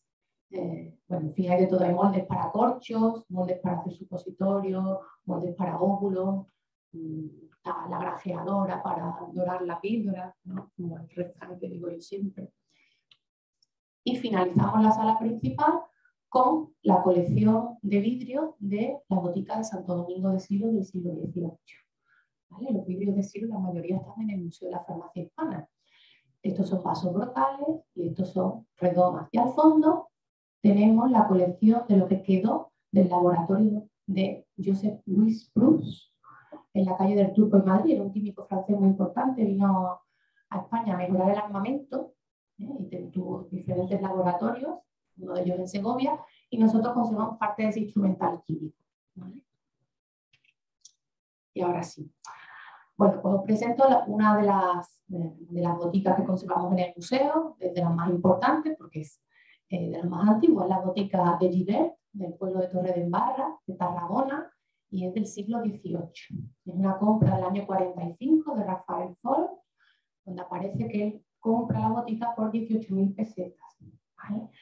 que era un dinero muy importante. Lo que puede comprar él es el mobiliario únicamente, porque el botamen ya se había perdido. Es una familia, los Chiver, que va pasando el negocio de padres a hijos, cierran en los años 40 y se trasladan a Barcelona. Entonces se queda la botica cerrada con los niños del pueblo jugando por sé que lo que cuentan los escritos que los botes quedaron, eh, quedaron todos rotos. ¿eh? Bueno, pues está la botica. El mobiliario de la botica de Giver del 18 y el botamen de la botica Ferrer de Puigcerdá, más al norte de Cataluña, también del siglo XVIII. Entonces, un conjunto muy espectacular, ¿eh? donde empezamos a trabajar con Marisa, con Cristina, con Simona, en todo este maravilloso proyecto ¿no? de la ruta de las boticas y los jardines medicinales europeos históricos. ¿no? Entonces, ellas vinieron aquí y estudiaron, estamos estudiando ¿no? todo el contenido que aún se podía conservar en ese botamen de la botica Ferrer del 18. Y entonces están ahí recogiendo muestras eh, para luego hacer el análisis físico-químico, que es a lo que ella se dedica y, que estamos, lo está haciendo por diferentes boticas españolas. ¿no? Y es muy interesante para nosotros. Eh, otro de los espacios singulares del museo es el laboratorio alquimista, tenemos que partir de lo que yo os he dicho al principio, que esto es un museo docente. Entonces, para Rafael Ford, al final de los años 40, era muy importante recrear un espacio donde fuera atractivo y sugerente explicar a sus alumnos los orígenes de la ciencia química. Así que lo que hace es mandar recrear un laboratorio alquimista y decorarlo con piezas originales del siglo XVIII y XIX. Así que tenemos este fantástico laboratorio alquimista y ahí pues tenemos alambique, hay retortas, redomas, ¿eh? el caimán disecado en la entrada. Y el pobre caimán, digo, eh, sufrió un problemón no hace mucho en pandemia. En pandemia el museo se quedó cerrado bastante tiempo. el edificio es antiguo, recorre el edificio muchas bajantes de agua, que si no se descargan las cisternas, esas bajantes de agua se deterioran, estallan o se quiebran, ¿no? se agrietan. Entonces, durante mayo de 2020, una de esas eh, bajantes eh, pues, se quebró y sufrimos una fuga de agua bastante importante que recorrió el techo del laboratorio alquimista y fue a parar al caimán. ¿vale? Entonces vino por aquí y le cayó todo al caimán y el caimán se quedó totalmente blanco de, la pintura que había y todo haber estado recibiendo agua constantemente. Entonces finalmente se restauró y ya está estupendamente en su sitio. ¿eh? Pero bueno, contamos con aproximadamente una fuga de agua anual. Y no se van a, restituir, no se van a cambiar esas bajantes, sino que se reparan con unas abrazaderas metálicas que las contienen un poco, pero siguen siendo las originales de los años 30. Otro espacio muy importante del museo es la copia de la botica del Hospital de San Juan a las afueras, que es el Hospital Tavera. En Toledo en el Hospital del 16 con una botica del 17 y nosotros tenemos una copia. Pasa que la copia del año 28-29, muy importante. La encarga Aurelio Gamil, que era dueño de los laboratorios farmacéuticos valencianos, para llevársela a la exposición iberoamericana de Sevilla en el año 29. Esto fue como un stand comercial ahí en Sevilla donde se representaban todas las industrias. ¿Eh?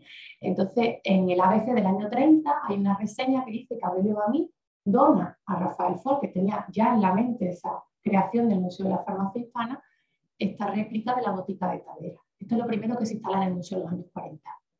Se fueron a Toledo los alumnos, Guillermo, el hijo, ¿no? el padre, a coger medidas, se recrearon las estanterías, se puso suelo, ¿eh? se hicieron una especie de bovedita y se colocaron todas las cositas en su sitio así que tenemos una botica hospitalaria. Es interesante. Esa es la historia. Y esto que veis al fondo es el famoso ojo de boticario, pues realmente el mueble original Toledo. El mueble original está en Toledo.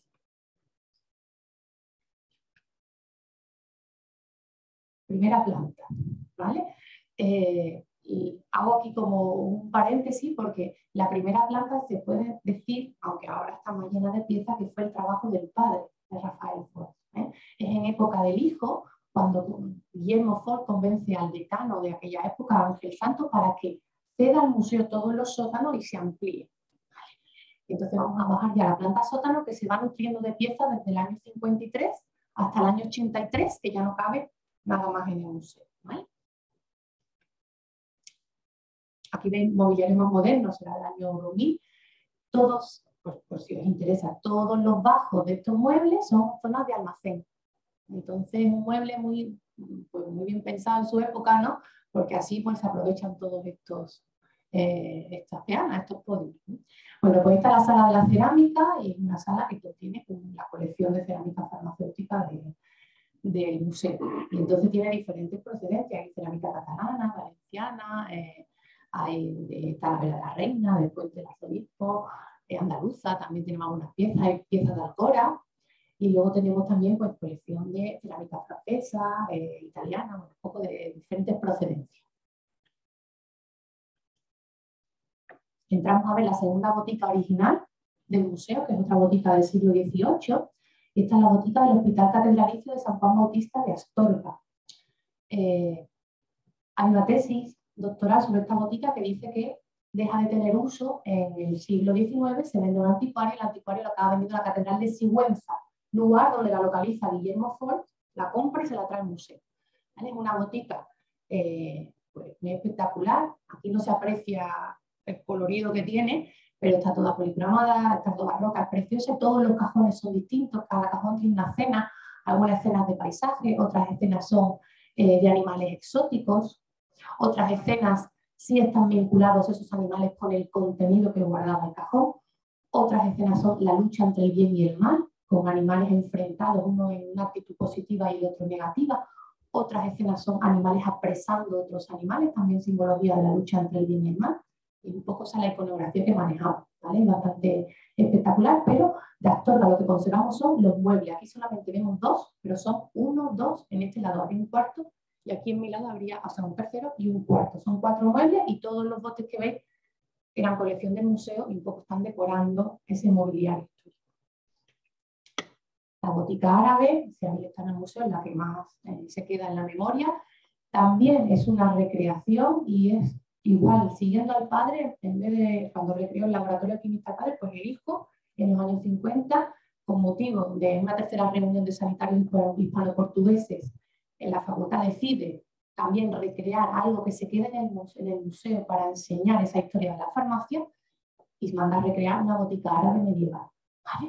Y, bueno, muy bonita, está hecha aquí que estamos en Valencia. Todos los botes que veis aquí son reproducciones de la cerámica de Manises y están encargados a José Ross, que era un ceramista valenciano de una familia de ceramistas que tenía aquí la fábrica La Ceramo, que ahora es patrimonio industrial, pues lo van a rehabilitar, una fábrica muy importante que se encargaba de no perder esos modelos de Manises. ¿no? Y todo, yo conservo las acuarelas las acuarelas de ese ceramista a Guillermo Ford, sugiriéndole modelos ¿no? para, para ilustrar un poco, para decorar esta botica árabe.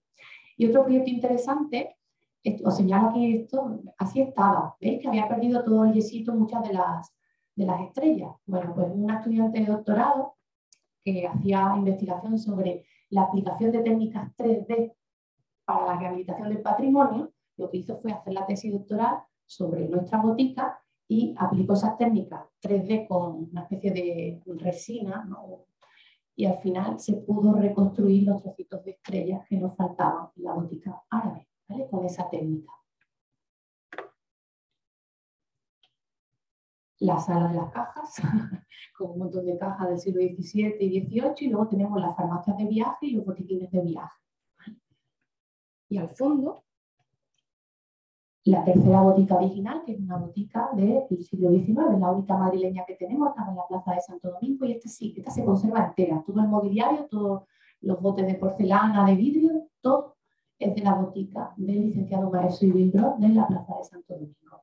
¿Vale? Con esa, ese misterio de las estrellas de David Judías, pero como yo no tengo documentación de la época, pero bueno, siempre dejo en el aire que pudiera ser judío ya el que regentara esa botica porque estamos a finales del 19 y ya había libertad de culto en España de nuevo.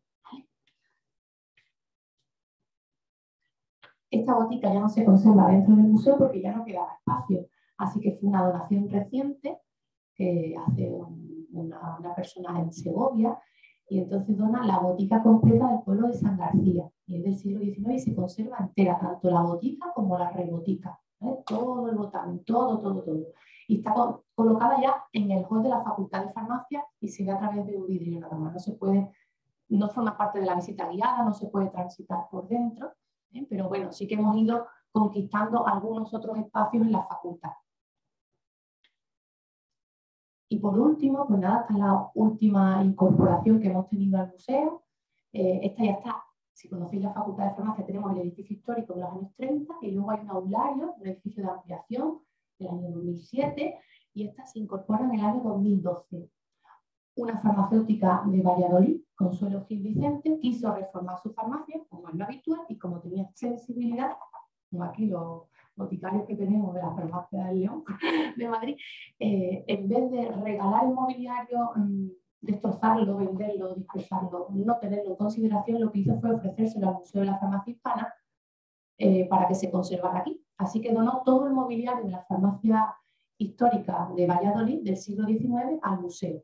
Y luego se ha ido decorando con piezas que eran colección del museo. Lo que realmente ella dona es el mobiliario que pertenece a una familia de boticarios de Valladolid muy importante, que es la familia Bellojín. Manuel Bellojín está ahí, aparece aquí las iniciales Manuel Bellojín, el mostrador es un espectáculo también para, para ver. Y esta me vale para terminar un poco diciendo que realmente estamos viendo el trabajo de un padre y un hijo, los Ford, ¿no? Rafael Ford y su hijo, que fueron dos grandes apasionados de la historia de la farmacia, dos personas muy entregadas a este Museo de la Farmacia Hispana y que luego todo eso se ha ido conservando por el resto de catedráticos, por el doctor Puerto, ahora por mi director, por Antonio. Eh, pero fíjense lo importante que han sido los Ford, que cuando fallece el hijo, eh, pues tenía algunas propiedades y esos alquileres los sigue cobrando la Facultad de Farmacia y forman parte de los beneficios que tiene la Fundación Ford. Hay una fundación que se dedica con ese dinero que se recoge a dar becas para hacer tesis doctorales sobre historia de la farmacia y legislación farmacéutica. Pero a veces, cuando tenemos dificultades en el museo, esa fundación también está disponible y de hecho costeó el traslado y la, restauración de esta botica de Manuel Bellujín. Así que es importante que incluso ya en muerte, ¿verdad? Todavía tengamos eh, esa ayuda de, la familia. Y Ah, bueno, no, no, iba a terminar aquí, iba a terminar con el drama, para que veáis un poco las fugas de agua que tenemos. Como también tenía que hablar de conservación, bueno, pues la, por ejemplo, la botica última que hemos visto, la de Manuel Bellujín, que está en el edificio del Aulario, es un edificio muy bonito, premio de arquitectura, que tiene una planta alta y luego el otro está como enterrado en la tierra y tiene unos pilares así como invertidos, inclinados. Cuando ha habido problemas con el riego, ese agua se ha filtrado a través del terreno y ha entrado en la botica que está en la planta sótano a través de las juntas del suelo. Afortunadamente, y esto se lo tenemos que dar la gracia a la conservadora anterior, a Eugenia, Eugenia fue precavida y elevó todo el mobiliario sobre unos plastazotes, sobre una, especie de tacos eh, de PVC negro, de forma que, bueno, estas pequeñas fugas de agua pues no, no, no daña el mobiliario. ¿eh? Pero bueno, eh, no daña el mobiliario si no supera los 10 centímetros. Si supera los 10 centímetros, dañaría el mobiliario. Hay que intervenir rápidamente. Bueno, pues esto es uno de los problemas, ¿verdad? Que se refuerza la junta aquí, pero bueno, igual se filtra porque hay mucha cantidad de agua. Y esta es otra de las inundaciones, de las fugas de agua, ¿veis? Que llega, llegó hasta la botica árabe, desde la farmacia de Santo Domingo, la sala de cajas, hasta la botica árabe. ¿Qué hemos hecho? Pues lo que hemos hecho es colaborar con el Instituto de Patrimonio Cultural de España, que nos han propuesto mm, que copiáramos una de sus ideas, que es tener un carro de emergencias, sobre todo muy enfocado a esas fugas de agua. Entonces tenemos ese carro guardado en uno de los almacenes del museo y contiene mucho material secante, mucho material para, como barrera del agua y luego una aspiradora, pero aspiradora de una carche ¿no? que aspira agua. Entonces, bueno, pues con esto eh, lo tenemos ahora. Ya hemos, uso, hemos hecho uso de ese carro de emergencia, porque ya digo que es frecuente en la fugas de agua, pero bueno, estamos un poco más, más protegidos. Y nada, muchas gracias, encantada de venir. Muchas gracias, Alejandra. Bueno, tiempo, tiempo eh, clavadísimo y también recomendamos a todos visitar este maravilloso museo porque nosotros que hemos podido estar, pues bueno, es un, disfrute y, también todo, todo, el patrimonio que, que, se conserva. Así que un buen trabajo que hacéis. Muchas gracias.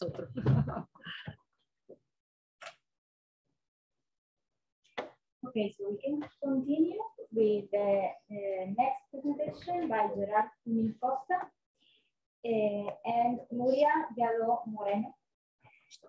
The Esteve Pharmacy Municip Municipal Museum of Libya, Spain. Research, Conservation and Dissemination. Bueno, uh, gracias. Bueno, pues como decía Simona, pues somos del del Museo Municipal de Llivia y eh, vamos a hablar un poco de, la farmacia Esteba, aunque no es lo único que gestionamos, sino que gestionamos pues, un, un patrimonio bastante más vasto ¿eh? y de colecciones varias, eh, ya lo hablaremos esto, ¿no? un poco, digamos, de índice vamos a, hablar de esto, situación, un poco de la historia del, museo y de la, de la, farmacia Esteba. Vamos a hablar de, de las colecciones, del valor de esta colección y finalmente un poco de la gestión que hacemos de este, de este patrimonio. ¿no? Uh, para empezar es un poco para situaros, ¿eh? nosotros estamos aquí, veis, eh, este puntito de aquí, ¿eh? al borde de la frontera franco-española, aquí tenemos puesto la, el mapa de la península y aquí tenemos pues, el mapa de Cataluña, nosotros estamos aquí cerca de Andorra, ¿no? como podéis ver.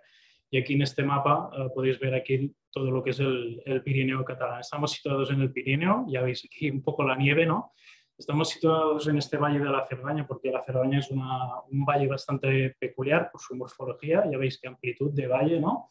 Y esto es Llivia, que está aquí sentado pues, eh, al pie de la colina del castillo. El castillo está aquí donde se toma esta foto, ¿no? Ah, otra particularidad de Llivia es que es el único enclave que hay en la, en la frontera franco-española. ¿Veis? Aquí que está pues, delimitado todo este enclave y aquí es la, es la frontera, ¿no? Y esto es Puigcerdà, que es la capitalidad de, de este lugar. ¿no? Aquí vemos Llivia. Llivia está, pues, como decía, debajo de la colina de este castillo y aquí veis el castillo de Llivia, que es una construcción del 1315. ¿vale?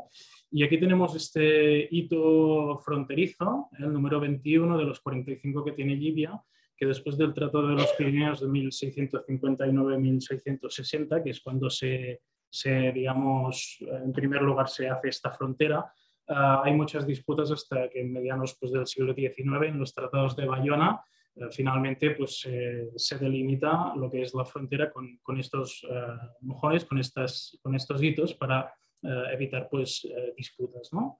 Nosotros estamos en este edificio de aquí, que está compartido con el ayuntamiento, está en esta parte de aquí, aquí veis la, la colina del castillo, está lugar opuesto de donde veíamos la otra foto, y estamos en un enclave, pues, aparte de la singularidad política, estamos en un enclave también patrimonial muy destacado. No, solo, no tan solo por lo que vamos a ver ahora, sino porque aquí tenemos pues, el yacimiento romano, que ahora veremos alguna imagen, y, estamos aquí cerca en este edificio, delante tenemos este conjunto que es de, de una, la iglesia gótica de finales del 16, ah, fortificada. ¿no? Ah, bien, ah, un poco, digamos, la, digamos que haya una farmacia en una población pues, que ahora está alrededor de, de los 1.500 eh, habitantes, un poco viene por su historia. ¿no? Eh, eh, ahora la capital es Puigcerdà y demográficamente es mucho mayor que Llivia, ¿no? está ya pasando los 10.000 habitantes hoy en día, pero fue la primera capitalidad de la Cerdaña, seguramente ya ibérica, aunque no tenemos restos, Ah, pero también, digamos, de, época romana. De hecho, aquí tenemos el, foro romano, está, digamos, este eh, yacimiento, y aquí tenemos los restos de estas esculturas, seguramente de la familia, ah, digamos, imperial. ¿no? Ah, después, digamos, siguió siendo capital hasta el siglo XII, hasta que lo sustituye Puigcerdà, y se convierte en un enclave, sobre todo en la Edad Media, digamos, fortificado. Pero también eh, es un centro, digamos, es como una subcapitalidad, digamos, ah, de la Cerdaña, ¿no? Y esto es el hecho, digamos, que por eso también hay, digamos, una farmacia, ¿no? Las farmacias, sobre todo los tres otros profesionales médicos de la, de la medicina están distribuidos por todo, por todo el territorio, pero las, las farmacias sobre todo están eh, situadas pues, en, sitios que, que, marcan una capitalidad. ¿no?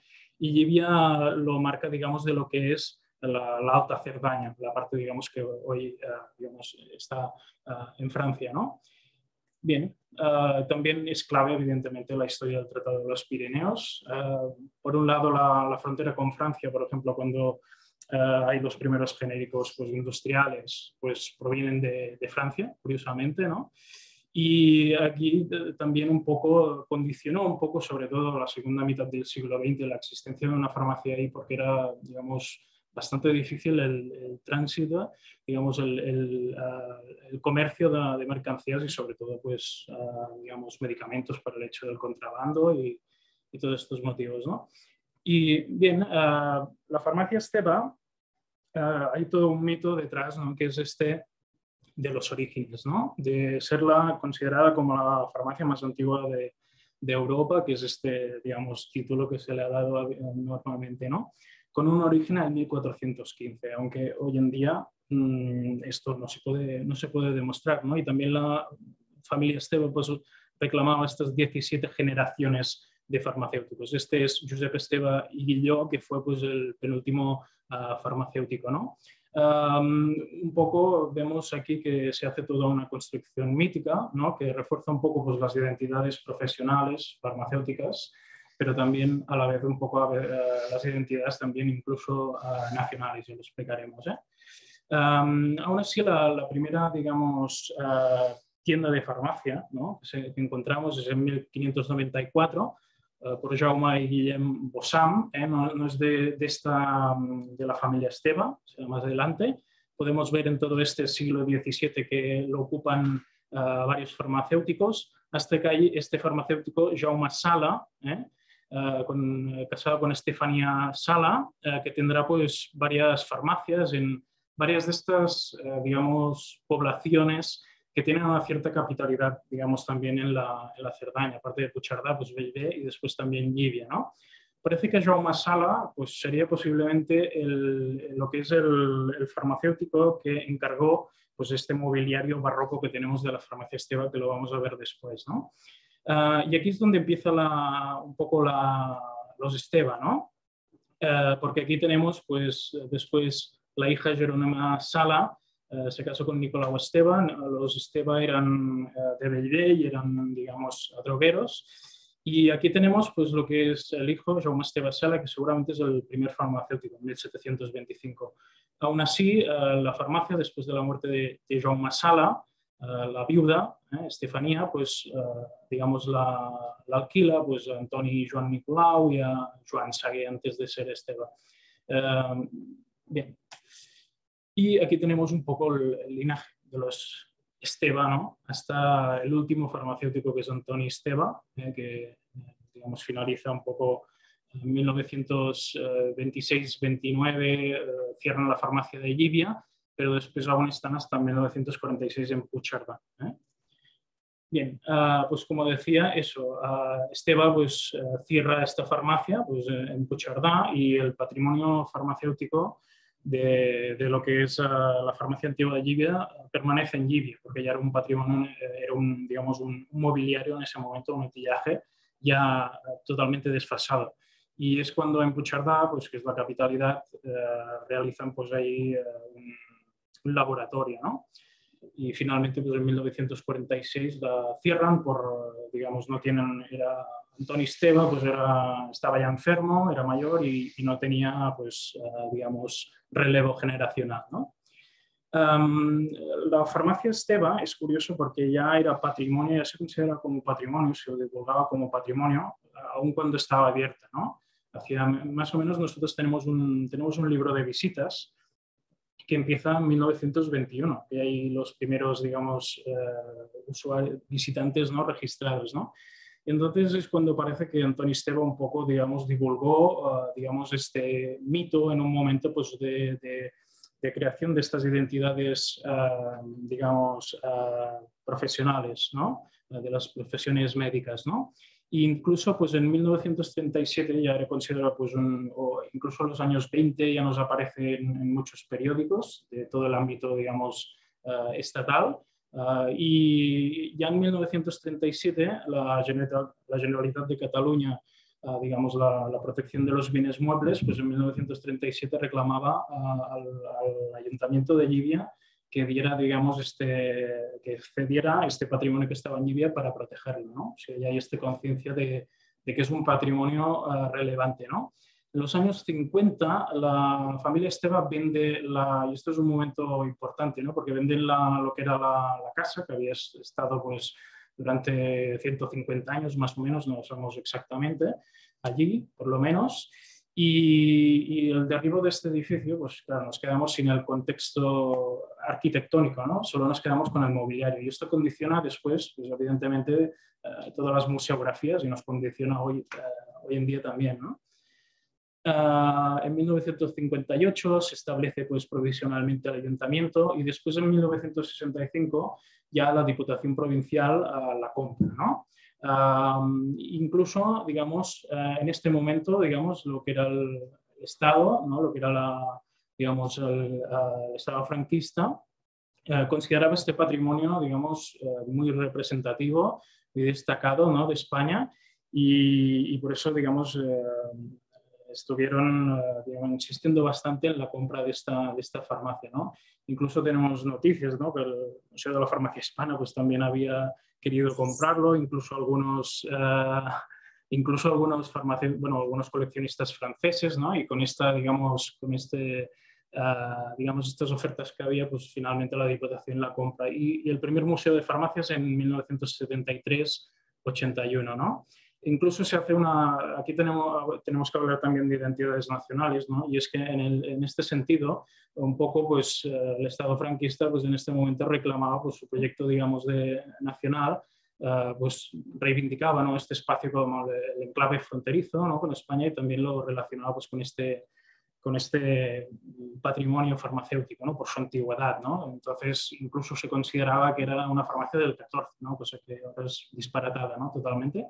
En la democracia, evidentemente las competencias en cultura las asume la, la Generalitat de Cataluña y entonces, a partir de entonces, eh, digamos, el, Museo de Llívia forma parte de la primera red de museos eh, comarcales de Cataluña, que ahora ya no existe esto. Y, y, el, y, el, mismo ayuntamiento de Llívia en 1980 pues, funda el patronato del museo que se, extinguió, se extingue en 1900, uh, perdón, en 2014. Ah, aún así, nosotros eh, tenemos que decir que, como decía antes, que mm, no solo somos un museo de, farmacia, somos un museo también porque tenemos un patrimonio ah, arqueológico muy vasto. O sea, pensad que es una, una ciudad romana ¿no? entera que tenemos ahí. Y además también pues, tenemos el castillo de Llívia, que habéis visto ya las fotos estas aéreas hechas con dron, que también es, es inmenso. Y además también uh, recientemente, bueno, hace dos años que hemos terminado pues, el plan estratégico y también hemos, eh, digamos, incorporado otro, otro tema, digamos, que es la frontera y el enclave, ¿no? Por, eh, digamos, validar un poco, difundir también esta singularidad que atrae muchos visitantes también en Gibe, ¿no?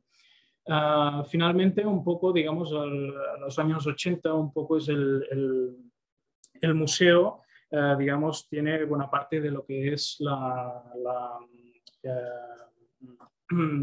digamos, tiene un incremento de público importante, no ejerce funciones de museo, que aún así, digamos, como no hay, en ese momento aún no había, uh, no había un equipo profesional hasta, hasta 2011, un poco mm, va a menos, ¿no? A medida que pasan los años. Y sí que en 2012 se instala una nueva museografía que lleva polémica, ¿no? Un poco, porque es una museografía que, digamos, corta bastante con las anteriores, ¿no? que querían simular un poco pues, este espacio, digamos, de la antigua tienda, y ahora es más, digamos, como un museo, ¿no? visto desde el punto de vista del, del, público, ¿no?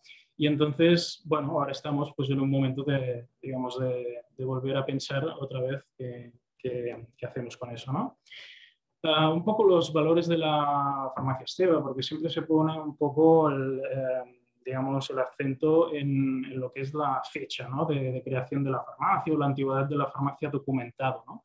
Pero nosotros, sobre todo en la divulgación que hacemos, lo que ponemos el acento es en el valor que tienen las colecciones. ¿no? Siempre se ha dicho que es la farmacia más antigua de Europa. ¿eh? Esto es un, una, un, hecho que difícilmente lo, lo, es, ¿no?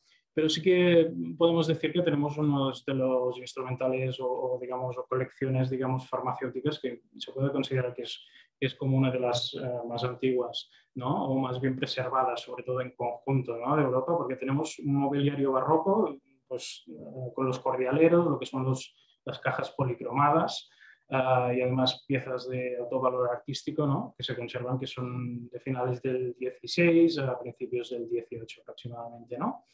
Ah, bien, además también eh, actualmente no solo tenemos la farmacia Esteba, sino que también aquí eh, tenemos la farmacia Martí, incluso digamos donaciones recientes de la farmacia Mat y de, la Estrella, que son de la provincia de Barcelona. ¿no? Aquí tenemos, por ejemplo, este, este cordialero, ¿no? hecho por un escultor del barroco pues, destacado, que es Josep Suñé, eh, conocido por el hecho de, de, hacer estas columnas salomónicas, es un poco de, digamos, su seña de identidad. Y bueno, aquí tenemos, este es el cordial de, la farmacia Martí, este es de la Esteba, son casi iguales, son de la misma mano. Y digamos, digamos pocos cordialeros también se encuentran, digamos, hechos como si fuera uh, una pieza de, de, una iglesia, ¿no? un altar barroco. ¿no?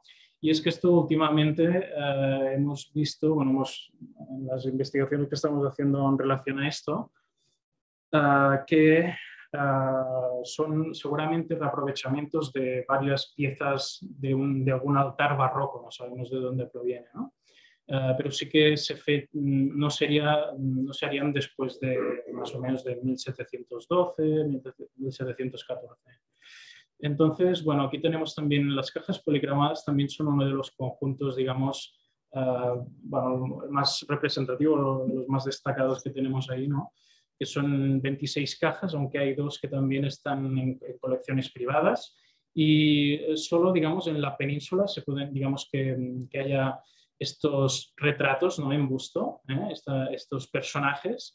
Uh, solo hay dos más identificados, perdón, no, me he equivocado, son, son cuatro, ¿eh? en el Museo de, de, de, Bellas Artes de Madrid, ¿no? que parece que son del mismo autor, aunque no lo podemos, no hemos podido certificar exactamente. Eh, y bueno, sobre todo hay santos, ¿no? cristianos, católicos. Aquí podemos, seguro que identificáis eh, bien esta, esta pieza, que aquí tenemos pues, a, Santiago, ¿no? con las conchas que lo identifican. Y a veces, no siempre, pero a veces se relaciona un poco el contenido ¿no? con, con, un poco los atributos curativos que tiene este santo. ¿no? Después tenemos también esto, los albarelos. ¿eh? Aquí y también una imagen de los, de los productos. Aquí tenemos pues, un cuento de Cantárides por un lado y la Aristoloquia por el otro. ¿eh? Eh, son, digamos, dos albarelos eh, de cerámica. Los más representativos son estos, que tienen este azul cobalto. originalmente eran, eran monocromos y parece que después, con la moda de los, digamos, la moda bañolas, ¿no? Eh, se, eh, digamos, a finales del 18 se, se, hace esta inscripción y esta especie de óvulo, ¿no? Ah, parece que son de manufactura valenciana, ¿no? Después también los productos, conservamos buena parte de ellos. En el proyecto, pues en el Aromas Itinerarium Saludis hemos estado pues, haciendo los análisis de, estos productos, que hay una presencia muy importante de producto local, de producto que es ah, esencialmente vegetal. Nosotros estamos en una zona de montaña donde se extraen también muchos de estos productos, pero también hay productos de, todo el mundo, ¿no? Un poco.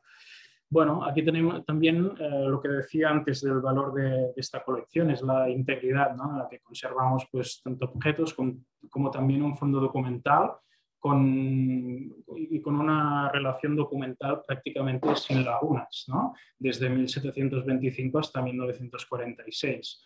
Ah, y por lo tanto se puede seguir muy bien la historia de estos farmacéuticos y la historia también de, de, este, de este negocio. Aquí tenemos uno de los libros, digamos, más destacados de la colección, el más antiguo, de 1725, que es el libro receptario que seguramente Jaume Esteve fue quien lo empezó a, escribir. Esto lo, este lo tenéis en línea en la página, bueno, está en el archivo comarcal de Cerdaña, por si alguien tiene curiosidad. En el portal de archivos en línea de, la Generalitat pues se puede ver en el archivo comarcal este libro digitalizado que se hizo antes de, digamos, de, la restauración en mil, perdón, 2017. Y aquí tenemos, por ejemplo, un, ejemplo de, también el año pasado restauramos algunas de las farmacopeas más antiguas, que son eh, todas del, eh, cuatro farmacopeas, que son de la primera mitad del siglo XVIII. Ah, y ah, bueno, ah, tenemos un fondo de 460 libros en esta biblioteca, que algunos de otros son de, la, de lo que es la, la farmacia Esteba. ¿no? Bueno, finalmente un poco, eh, esta última diapositiva, ¿tenemos tiempo? Sí, perfecto. Un poco aquí hablaré de lo que es la, gestión actualmente de este patrimonio. Como decía, nosotros hacemos una, gestión, digamos, mm, no solo a la farmacia, sino también a otros ámbitos. Y recientemente, pues hemos hecho, recientemente, en 2021, pues hicimos nuestro, nuestro plan estratégico, ¿no? en el cual, pues, bueno, tenemos eh, seis objetivos de los cuales, eh, digamos, mm, queremos desarrollar sobre todo un, un nuevo mm, digamos, posicionamiento del, museo y de la farmacia. La farmacia mm, actualmente ¿no? Mm, no está, digamos, mm, tan valorada como antes por el público, por el montaje museográfico que, que hay actualmente, que estamos, digamos, en proceso de, digamos, de, revalorización, de, y entonces, lo que es, eh, digamos, esta, esta farmacia, también un poco la, no solo la interpretamos desde el punto de, vista, del patrimonio, sino que también nos sirva este museo los conocimientos que tiene para, mm, digamos, hacer salud, ¿no? hablar de la, de la salud, ¿no? incidir sobre todo en los aspectos, digamos, que el, público, ¿no? Ah, digamos, se identifique más, ¿no? Y, por ejemplo, como hemos visto el tema de, los, de las medicinas, ¿no? de, los, de los compuestos, de los fármacos, es una parte pues, importante por el hecho de que nos puede hablar pues, de las enfermedades del momento, nos puede llegar incluso a, trasladar a productos que actualmente se usan, ¿no? evidentemente evolucionados, eh, y se puede hablar de, de, muchos temas digamos, relacionados con la salud. Nosotros, de hecho, estamos, este museo lo estamos, eh, digamos, estamos creando un poco la, experiencia, porque sea una experiencia, digamos, de, salud. Ahora también recientemente, digamos, nosotros dentro del plan de museos de, Cataluña también ah, hay lo que se llama pues, museos y salud, ¿no? que incluso estamos trabajando pues, con, los, con los CAP ¿no? Ah, para, digamos, hacer, digamos, actividades, ¿no? experiencias relacionadas con la salud y también con un clúster eh, transfronterizo, que es el clúster Sol Soleil, eh, que está pues, en la parte francesa y española, pues también trabajamos para productos, digamos, que, en los cuales se valoricen los, los, eh, digamos, los elementos ¿no? de, de, salud que hay en la Cerdaña y que también esté incluido pues, el Museo de Libia como una experiencia pues, saludable y una experiencia pues, que contribuya a la, a la salud comunitaria. ¿no? Nosotros trabajamos en estos dos aspectos, en lo que es el aspecto de la, de, la comunidad y lo que es el, el, como público, sea, el aspecto de la comunidad y el aspecto pues, del, del, turismo también, ¿no? Y vamos a incidir un poco en el turismo, digamos, europeo de, de, de salud, ¿eh? conjuntamente con este clúster. Y bueno, un poco pues ya sería, sería esto. Muchas gracias.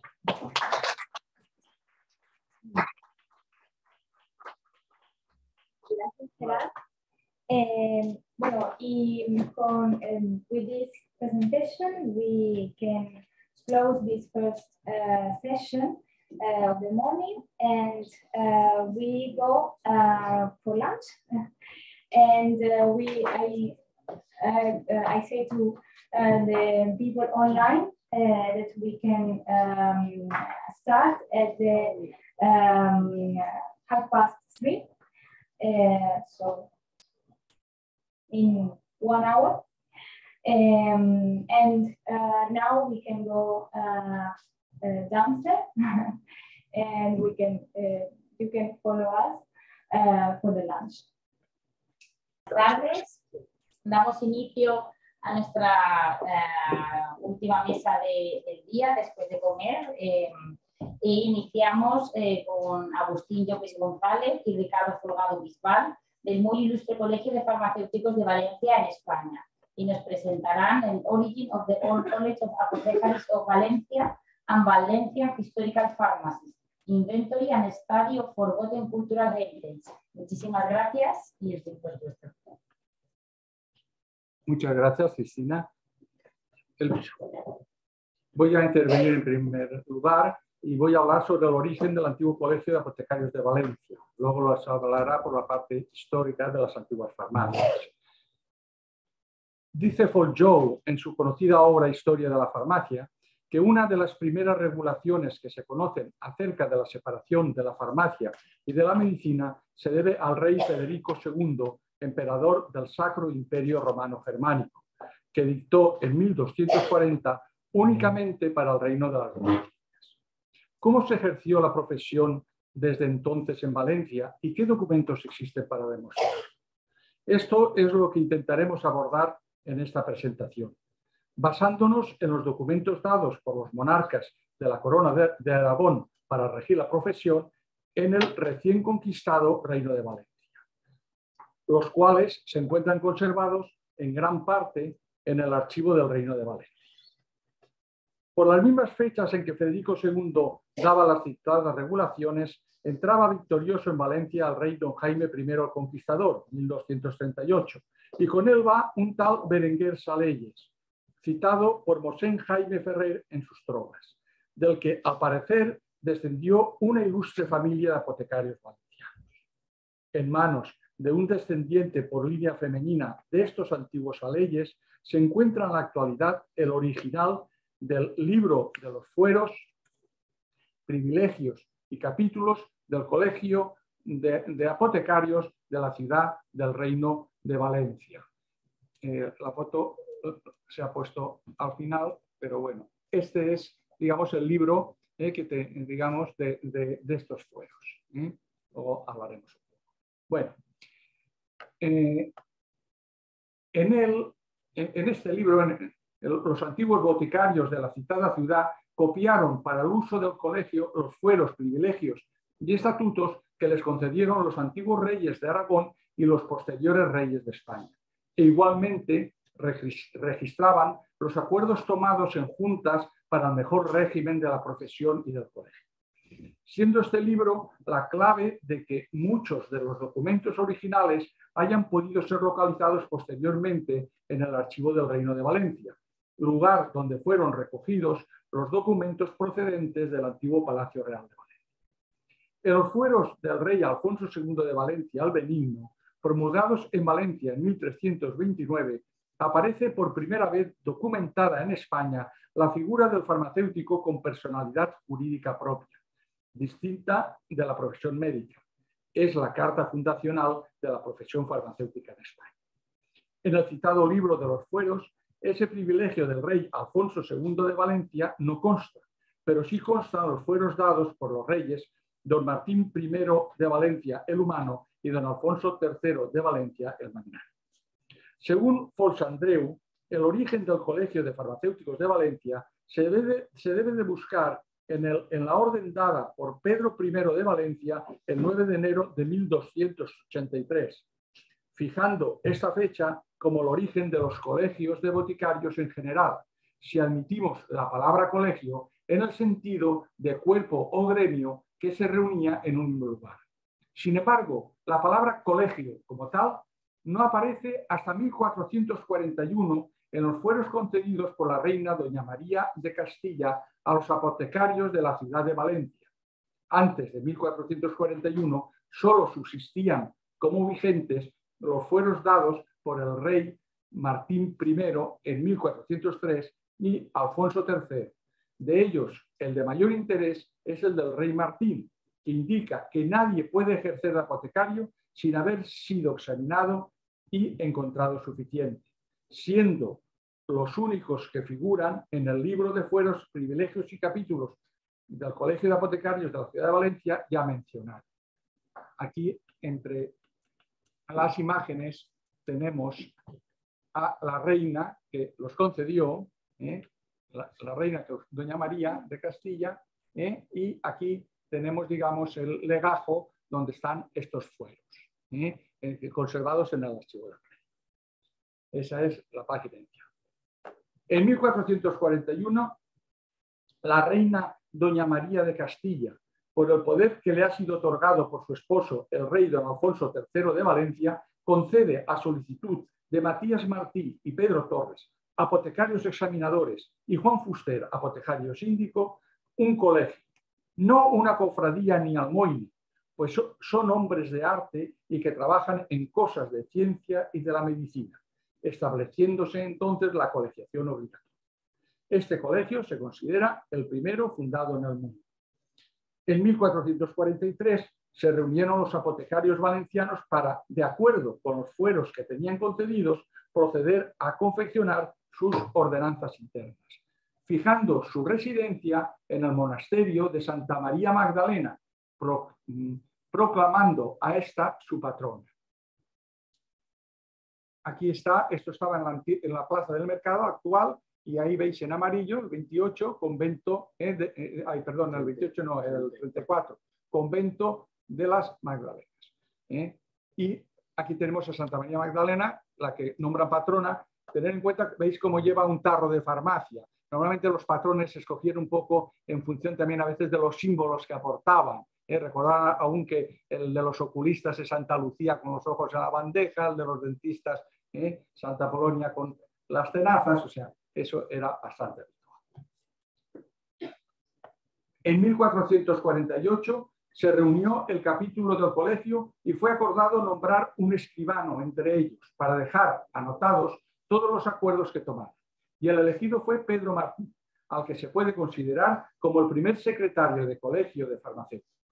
Acordaron también, entre otras cosas, una tarifa, siendo también la primera oficial, y exigir ocho años de prácticas en una botica para poder examinarse y ejercer en la ciudad de Valencia y cuatro años si se ejerce fuera de en 1461, el rey Juan II ordena a su protomédico Juan Bezach que revise todas las licencias de médicos, cirujanos y apotecarios y deje solo ejercer a los que previamente han sido examinados, revisando al mismo tiempo los, los materiales de las boticas, dejando solo los que encuentren en buen estado y da la orden de que los que quisieran usar y practicar la física, cirugía y apotecaría sean previamente examinados por él, con lo que da ya poderes a su protomédico para examinar, aunque el protomedicato no se instaurará oficialmente como organismo superior hasta los reyes católicos. En 1564, el rey Felipe II ratificó los fueros, privilegios y estatutos del Colegio de Apotecarios de Valencia dados por la reina doña María de Castilla y en las Cortes de Monzón concede que dichos fueros se amplíen para todo el Reino de Valencia y que los exámenes y las visitas a las boticas continúen siendo efectuadas por los examinadores y mayorales elegidos por el colegio y no por el protomédica.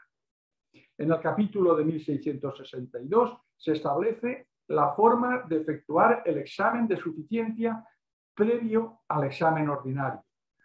Para, este examen era para aquellos que no hayan efectuado en todo o en parte los ocho años de prácticas necesarias, indicando que no se puede negar a cualquier persona que lo pida en cualquier facultad, pero que en la presente facultad ni en los libros de aquella no se encontraba por escrito en qué forma se habían de hacer, lo que indica que ellos se consideraban como una facultad en esta fecha. Según Andreu en su trabajo La farmacia retrospectiva en Valencia, los primeros estudios universitarios de farmacia se establecieron en 1502 en la Facultad de Medicina de la Universidad de Valencia, ya que la cátedra de silogismes se impartía alternativamente docencia para cirugía y farmacia, y seguramente por ello en 1662 ellos se titulaban facultad. En 1689 fue promulgada una concordia entre la Facultad de Medicina y los colegios de cirujanos y apotecarios de la ciudad de Valencia, con el fin de llevar a efecto las constituciones dadas en 1633 para el establecimiento y manutención de un huerto de hierbas medicinales en la ciudad de Valencia, que había sido ordenado efectuaria en 1631, del cual sería administrador el catedrático de hierbas de la Facultad de Medicina. Este está considerado como el primer jardín botánico español, hoy en día Jardín Botánico de la Universidad de Valencia. Este florecimiento del antiguo Colegio de Apotecarios de la ciudad de Valencia culminó en la publicación de sus dos farmacopeas, Oficina Medicamentorum, en 1601 y en 1698. Aunque estas fueron posteriores a la Concordia Apothecariorum Barcelonensis, publicada por el Colegio de Barcelona en 1511. A pesar de ello, por su contenido, estructura, forma e información, se considera a la Oficina Medicamentorum, publicada en 1601, la primera farmacopea española. En el año 2005, la Oficina de Correos emitió un sello conmemorativo de esta efeméride con la reproducción de su obra. Esta brillante trayectoria fue cortada por un decreto de Felipe V en 1736, que mandó que tanto los colegios de médicos y cirujanos como el de boticarios de Valencia quedasen sujetos y subordinados en lo directivo y gubernativo al Real Protomedicado, lo cual dejó al colegio sin más funciones que la de preparar a unos señores que luego el protomedicato habría de examinar y conceder la licencia. Y ello hasta que se, y, ello hasta que se establecen los reales colegios de farmacia en 1804, que fueron el origen de las facultades de farmacia establecidas en 1845. Y así el colegio anulado por el rey Fernando VII en 1819 reaparecería en 1865 ya como colegio de farmacéuticos con titulados universitarios. En 1906, el rey Alfonso XIII declaró corporación oficial al Colegio de Farmacéuticos de Valencia y este mismo rey, en 1916, concedió el título de muy ilustre a dicho colegio. De ahí su actual título de muy ilustre Colegio Oficial de Farmacéuticos de Valencia. En 1983 se le concedió a dicho colegio la Gran Cruz de la Orden Civil de Sanidad, como reconocimiento a su meritoria actuación en las inundaciones causadas al destruirse la presa de Muchas gracias. Ahora intervendrá el compañero. Este es el, monasterio donde está enterrada la reina Doña María. Esta es su tumba y esto, como hemos visto antes, son los fueros. Y este de aquí es la primera farmacopea, la oficina médica. Muchas gracias.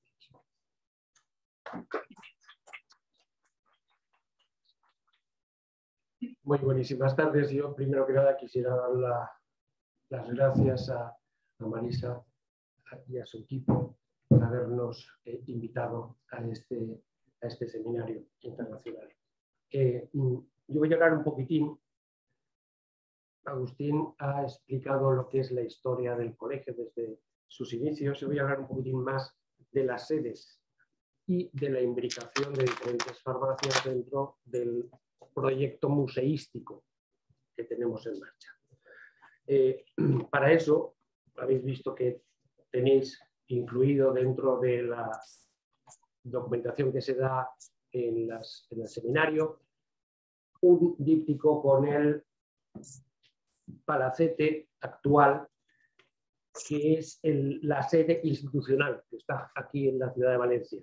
Después tenemos otra sede mucho más moderna, mucho más eh, acorde a los tiempos que están, que es la sede formativa y donde están los laboratorios.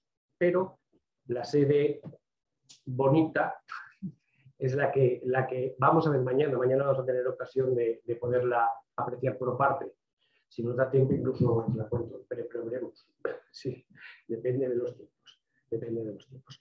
Voy a hablaros un poquitín de lo que es la, la sede del Palacete Fernando Ibáñez Payés, que es la actual sede del Colegio de Farmacéuticos.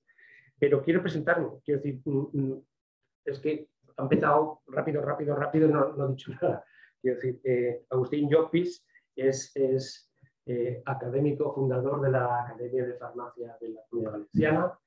Yo soy también académico correspondiente de la misma y pertenecemos a la Comisión de Museo y Academia del colegio. Nuestro colegio tiene una comisión adrede que trabaja para el proyecto museo y para el proyecto Academia de Farmacia. Eh, y como tal, quiero enseñaros un poquitín en cuál va a ser, por si alguien no está mañana, ya sé que algunos eh, eh, pues no estarán con nosotros mañana, pero enseñaros un poquitín lo que es nuestra sede. Eh, la sede del MICOF en sí mismo ya es un museo. Es un museo porque, porque por su magnífica ornamentación que contiene todos los artesonados, murales y piso originales del palacete. Palacete de finales del siglo XIX. Eh, y, como veis ahí tenemos una, escalera de mármol que mañana la recorreremos, o eh, mm, una de las dependencias, la actual eh, dirección gerencia, que con los, con los murales originales se pueden apreciar allí. el despacho del presidente es también un verdadero espectáculo, como he dicho, con los artesonados y murales originales hechos por los alumnos de la Escuela de Bellas Artes de San Carlos. La, Secretaría, Secretaría General, también es una maravilla por su artesonado y aquí empezamos a ver algunos, algunos elementos que guardamos, por ejemplo, aquí en Secretaría tenemos mm, expuestos algunos de los albareros mm, más valiosos de, la casa y también tenemos una, exposición de libros eh, eh, no farmacopias, luego las, vais a ver dónde están, pero también eh, libros de farmacia mm, bastante antiguos, desde el año 1700 hasta aquí. Vamos a ver, desde siempre nos han ido dando cosas lógicamente, diferentes farmacias nos han ido eh, aportando material que poco a poco ha ido conformando eh, la base museística del colegio.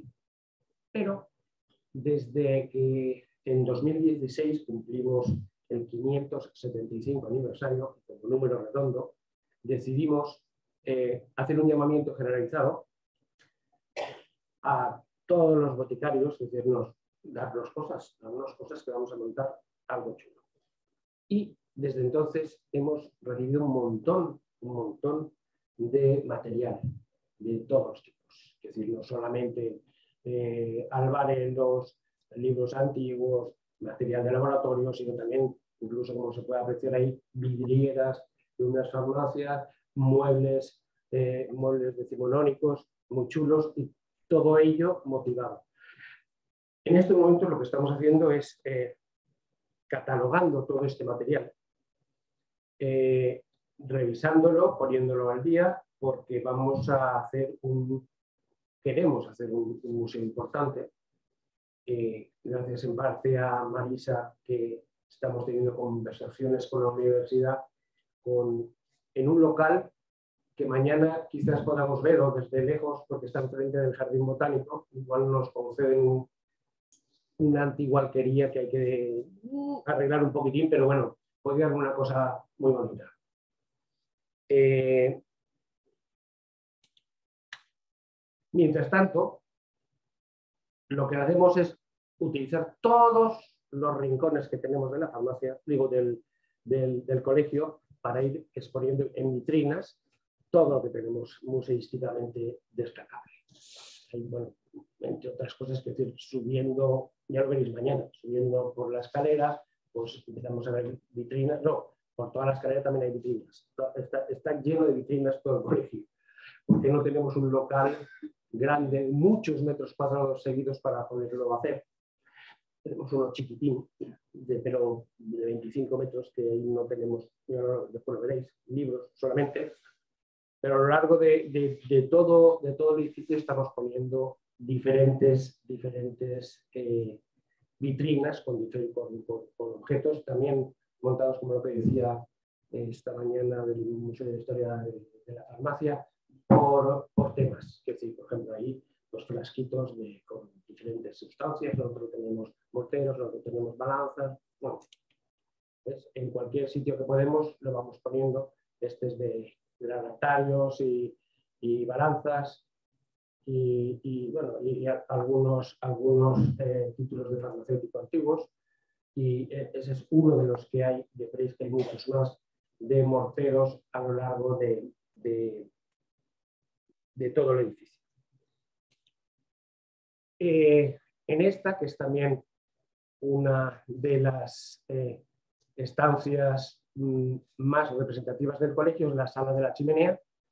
Aquí podemos ver, eh, pues ahí a mano, a mano izquierda podemos ver la gran orden de sanidad, la gran orden de cruz, la cruz mérito civil de sanidad y un montón de premios que hemos conseguido, pero si os fijáis está también todo lleno de diferentes vitrinas con diferente eh, material de, de diversa. Quiero destacar, sí, esta vitrina que, tiene el facsímil del privilegio de constitución del colegio de 1441, la medalla corporativa que nos concedieron en 1906. Yo hacer un inciso que eh, se consiguió por parte de Agustín Trigo. Agustín Trigo consiguió para toda España la consideración de corporaciones oficiales a los colegios de farmacéuticos. Él es el que nos dio paso a todos los colegios para hacernos corporación oficial y para hacer la colegiación obligatoria para toda España. Y también tenemos la medalla de oro de la ciudad que se nos concedió recientemente. Aquí tenemos una parte de la exposición. Estamos la mayoría de los miembros de, de, la, de la comisión de museo. No está Agustín porque tendría su guardia, seguramente, no podría ir ese día clase, o clase, clase, porque es profesor de la Facultad de Mérito. Y entonces aquí eh, tenemos todas las, eh, una exhibición de los, de los, de los libros de farmacia antiguos, eh, incluyendo, como no, las, las nuestras primeras Oficina Medicamentorum de 1601 1698, pero además todas las farmacopeas desde entonces, que han habido la matritensis, la hispana, la, española y luego la real farmacopea, eh, mm, y junto con además otro montón de libros de plantas medicinales. Esto se ha podido hacer gracias también a la colaboración que nos brinda la Fundación Jiménez Torres. Eh, eh, Jiménez Torres era un farmacéutico que era un, enamorado de la, del coleccionismo y tiene, tuvo un montón de, artículos de farmacia, sobre todo libros, que, bueno, están nos, los ha cedido para hacer exposiciones temporales. Yo quiero establecer que mm, mm, este proyecto del museo estamos todavía en marcha para, poderlo llevar a cabo, porque queremos llevar, todo el, el mm, que tenemos disperso por ahí en diferentes eh, vitrinas que nos han ido concediendo las farmacias mm, y para ponerlo todo junto. Entonces vamos a ver si nos sale dentro de pocos cuando se reúne la, Junta de, Universidad y a ver si nos concede este local que depende directamente de, la universidad, es un local que gestiona la universidad, ¿no? O tiene el, de enfrente del, jardín botánico.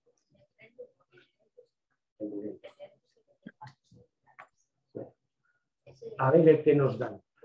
A ver el que nos dan. En todo caso, cogeremos todo, evidentemente, todo eh, el, material que, tenemos disperso en las diferentes sedes y lo juntaremos y podemos tener un museo bien chulo de lo que es la, la farmacia, mm, la historia de la farmacia. Eh, hay otro posible eh, proyecto, digo posible, por lo que voy a decir, eh, que era mm, mm, en el Monasterio de la Trinidad, que es donde está enterrada la reina de María, en lo que era el claustro, se estuvo estudiando la posibilidad de hacer un jardín de síntesis, un jardín medicinal pero había una serie de problemas, como por ejemplo, que decir, el monasterio era de la orden de las clarisas y solamente quedaban tres monjitas la más joven de las cuales tenía 85 años. Entonces, con todo este jaleo, ahora recientemente lo, ha lo han traspasado a otra orden religiosa y entonces eh, vamos a ver si con, los nuevos directivos del monasterio podemos hacer un proyecto de este estilo que en un principio se estuvo hablando con la Universidad Politécnica, con ingeniería ah, de agrólogos y agrícola, para ver si se podía hacer un jardín de ciprés en el claustro eh, del monasterio de la Trinidad. Una cosa porque más o menos tendría ocupar como el que nos ha enseñado del, monasterio de...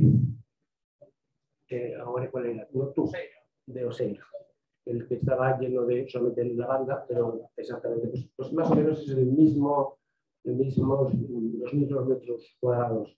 Y podría quedar una cosa chula, pero evidentemente con más plantas medicinales. De todas formas, lógicamente, eh, ya tiene el Jardín Botánico de la, Universidad, que mañana lo sabría, tiene dos trozos muy importantes de plantas medicinales y una roca que también tiene plantas medicinales que mañana. A ver, mm, con respecto a el palacete, nosotros organizamos visitas concertadas, tenemos una por lo menos al mes para diferentes asociaciones culturales, eh, jubilados, gente que esté interesada. Entonces, eh, los miembros de la Comisión del Museo pues nos vamos y contamos la historia del palacete propiamente y de la historia del colegio, ya que estamos, ya que estamos allí. Eh, quiero comentar que, por ejemplo, la semana pasada se hizo una extraordinaria, tuve el placer de el Cicerón, de eh, la conferencia de decanos de las facultades de farmacia, que se hizo aquí en Valencia. Y, bueno, pues les, expliqué y les conté los entresijos de del colegio de farmacéuticos y aproveché para reivindicar realmente una cosa que tenemos, que hemos hablado muchas veces desde la Comisión de Museo, que es los estudios de la historia de la farmacia. En muchos planes de, diferentes grados de farmacia, de diferentes facultades de, España, que, directamente los han eliminado o los han arrinconado y se han quedado, muy poquito un tiempo de, cuatrimestre o un trimestre incluso muy poquito. Entonces, delante de ellos, pues no, yo, yo no caí ni mejor agua y a los decanos se lo, se lo pude llegar a decir. Eh, para intentar paliar esto, porque es un, verdadero problema que estamos viendo, decir, a mí me encanta, a nosotros nos encanta la historia de la farmacia, evidentemente. Pero los actuales graduados no tienen estudios de, la, de historia de la farmacia y eso se tiene que inventar. Eh, nosotros desde la Comisión de Museo, evidentemente, lo que hemos hecho es que a partir del curso que viene vamos a empezar a dar clases de historia, cursos, seminarios, jornadas, sobre todo cursos importantes que tengan créditos universitarios que sean atractivos para los, para los propios eh, eh, estudiantes, con tres o cuatro créditos, ya que serán ya mm, cursos que tengan algo de entidad para explicarles algo de historia de la. Yo creo que debemos conocer nuestra historia y debemos estudiarla, debemos llevarla, eh, ponerla a, disposición de los actuales graduados.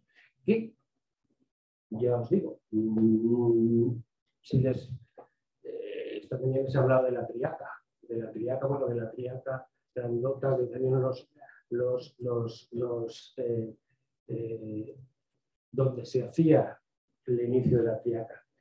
Que, mm, bueno, mm, mm, he de comentaros que eh, Valencia fue, tuvo hasta 1750 la exclusividad de la preparación de la triaca.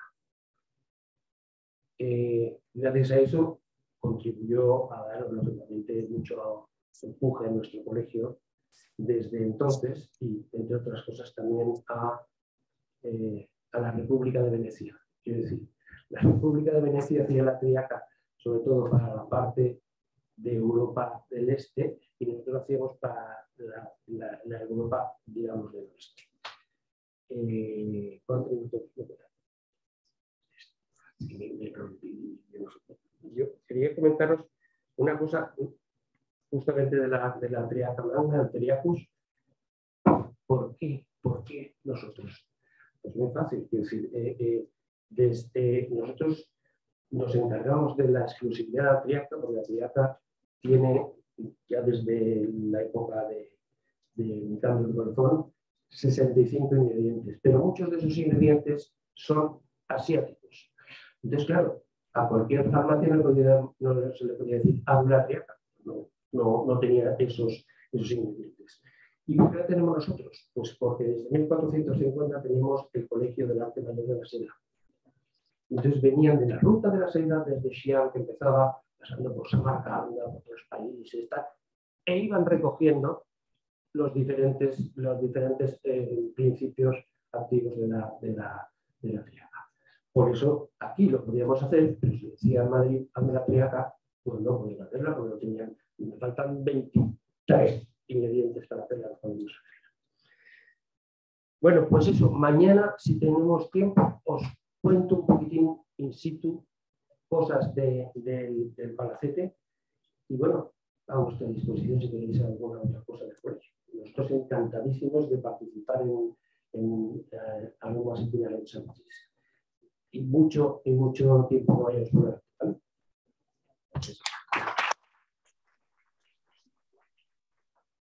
Muchísimas gracias, Agustín y Ricardo. Por supuesto que mañana haremos ese espacio. Si no, no, no sale, lo haremos, no pasa nada. Muchas gracias.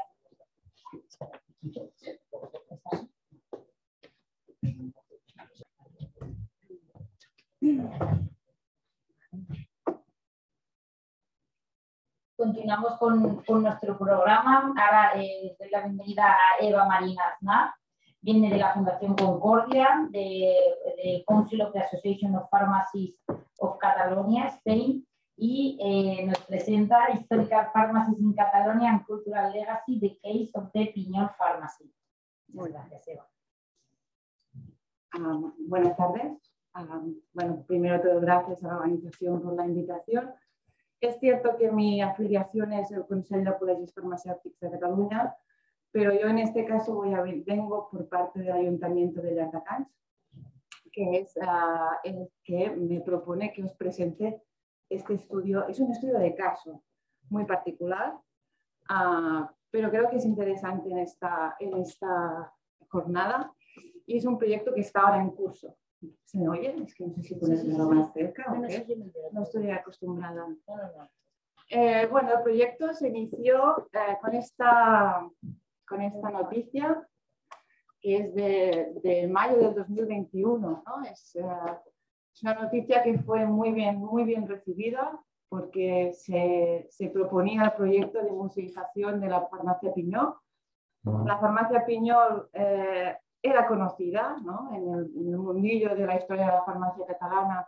Más o menos todo el mundo había oído hablar de esta farmacia, pero no se conocía era como una leyenda, ¿no? Es una farmacia que estaba cerrada desde hace 25 años, con todo su contenido dentro, pero nadie se podía visitar, pero era difícil, ¿no? Y nadie sabía muy bien lo que había, ¿no? Los misterios que había en esta farmacia.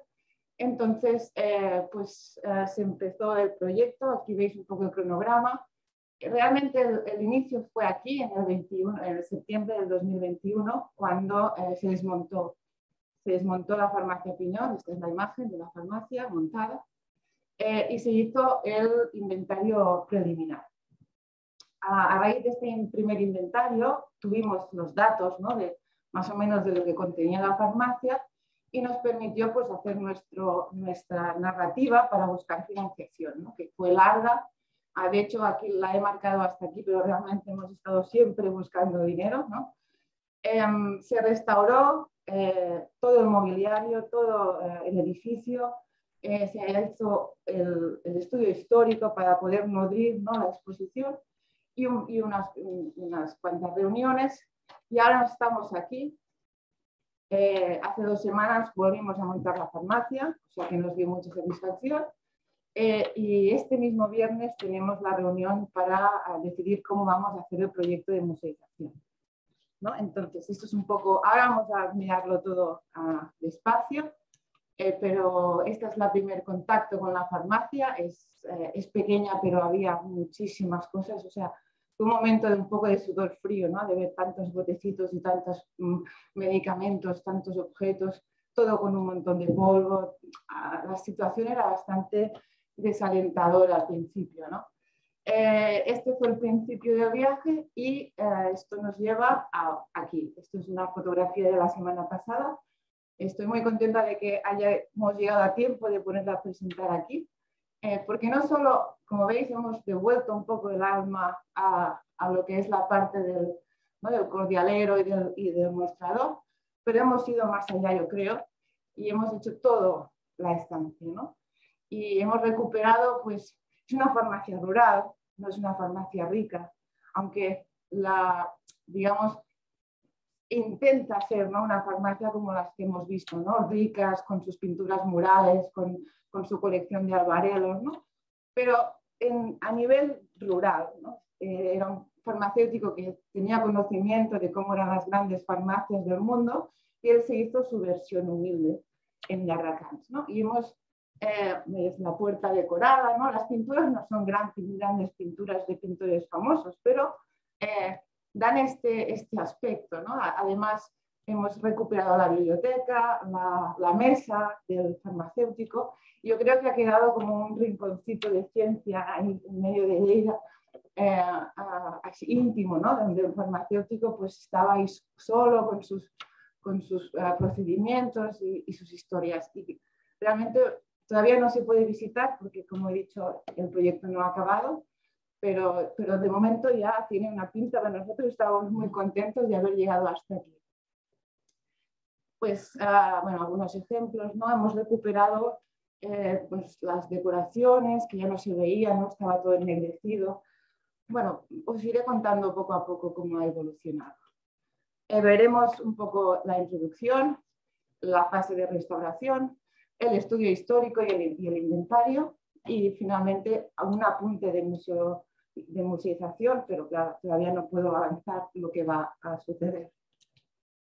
A ver, la, farmacia fue declarada bien cultural de interés local en el 2007 y después de pues, muchas reuniones, muchos intentos, en el 2021 pues, el ayuntamiento y la propiedad firmaron un convenio de 25 años donde se garantiza la preservación tanto de la farmacia como de todo el contenido. ¿no? entonces nosotros pensamos cómo queremos enfocar este proyecto ¿no? y tener como tres grandes pies. ¿no? Promover un, proyecto de investigación serio ¿no? en, historia de la ciencia, en historia de la farmacia. Eh, valorar el patrimonio farmacéutico, en este caso catalán, pero en general, ¿no? farmacéutico científico, y contribuir al desarrollo territorial de Llardecans, porque será un, enclave cultural que va pues, esperamos que vaya a atraer pues, público, turismo, etc. Estos fueron los tres pilares del proyecto. ¿Por qué era importante? ¿no? Pues la farmacia es del siglo XIX, se, se inauguró, se abrió en 1848 y estuvo en funcionamiento hasta 1988. ¿no? Eh, cuando el último farmacéutico se jubiló, la farmacéutica que cogió la plaza, abrió otra nueva y dejó esa cerrada sin tocar nada. Entonces ahí eh, tenemos toda la documentación y el patrimonio intacto, sumada a una saga de farmacéuticos que son tres, no son 17, ¿verdad?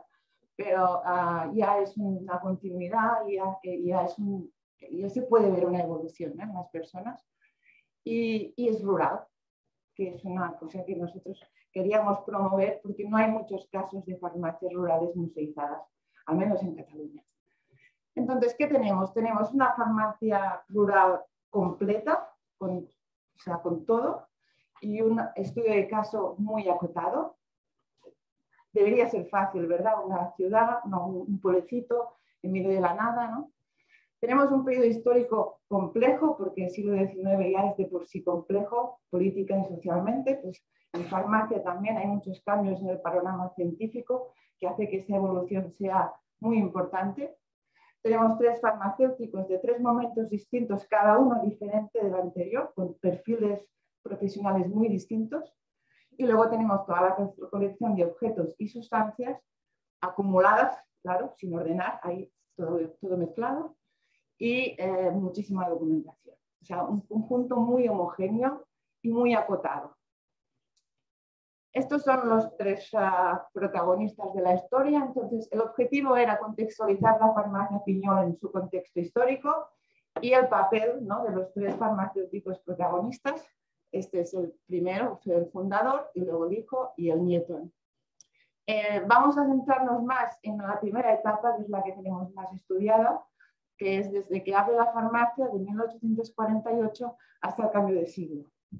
¿Vale? Este fue un primer objetivo.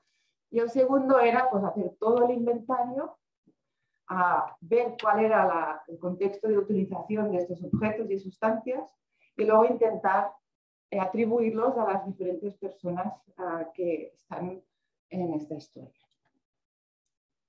Entonces el estudio, la, investigación se, organizó en tres etapas.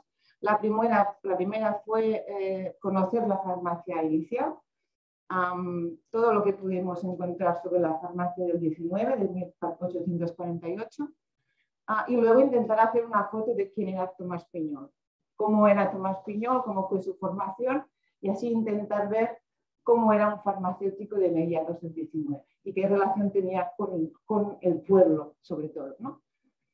La segunda fase fue el inventario, y, ver cuál era el contexto de utilización de los objetos, ¿no? si para preparación, dispensación, conservación de medicamentos.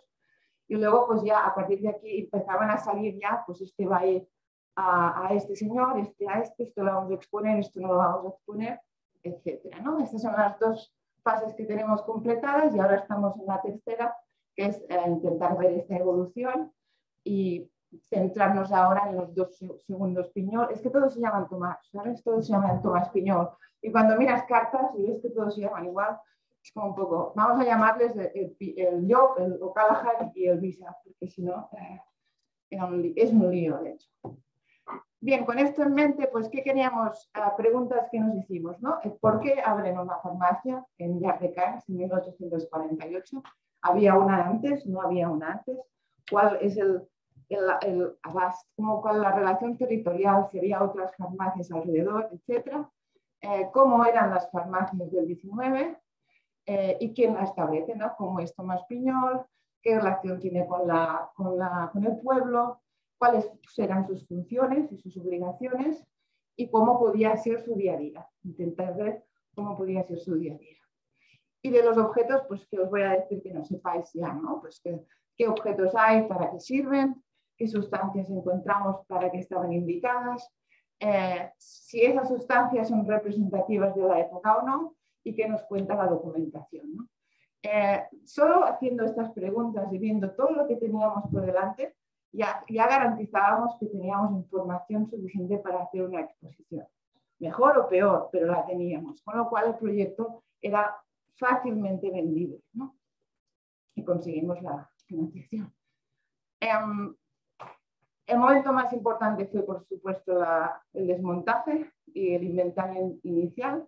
Y aquí ya veis, pues, todo el mundo de unas fotos. se intentó mantener o sea, la relación de los objetos con su, con su situación. Todo lo intentamos hacer lo máximo eh, ordenado posible. Esta foto me gusta porque se ve el, el grado de degradación del, techo. El techo estaba abombado tenía una grieta que lo atravesaba de punta a punta y de hecho esta era la grieta que, movilizó a todo el mundo porque temíamos que se cayera todo, ¿sabes? Incluso cuando, cuando nos pusimos desmontar el cordialero que aguantaba el techo, era en plan, vamos a ver si se nos cae todo, por, suerte no se cayó nada, pero un poco de sudor frío, es el segundo sudor frío que tenemos ya aquí. Eh, vamos a ir incrementando sudores fríos. Eh, a esta foto sin nada ya podemos ver aquí el estado de degradación de las paredes que se debía básicamente a humedades del suelo. El suelo estaba todo levantado, estaba pobrecito hecho un, Cristo, que se dice en Cataluña, no sé. Ah, y aquí vemos como el azul se ha desvanecido, también por las sales de las, de las paredes. Bueno, las mobiliario tenía carcoma, gran, bueno, polvo, todos barnices oscurecidos. Bueno, era bastante... Ya se veía que el resultado iba a ser muy espectacular, porque el, punto de partida ya era muy malo. ¿sabes? Ah, el desmontaje, aquí vemos el, mostrador que está totalmente marrón y esto es como, como quedó. ¿no? Y aquí sí que ya era en plan, ¡ah! lo que hemos hecho, ¿sabes? hemos desmontado la farmacia. Vemos aquí cómo estaban los muros, aquí había un agujero porque se intentó hacer una rebotica que luego no, se hizo. Bueno, eh, la situación era bastante desalentadora cuando piensas que lo has puesto todo en cajas y dices, vamos a ver, porque ponerlo en cajas es fácil, el problema es luego levantarlo, ¿sabes? Pero bien, ah, así que con este panorama que teníamos, pues empezaron las obras de rehabilitación. Aquí yo no participé, pero está todo descrito.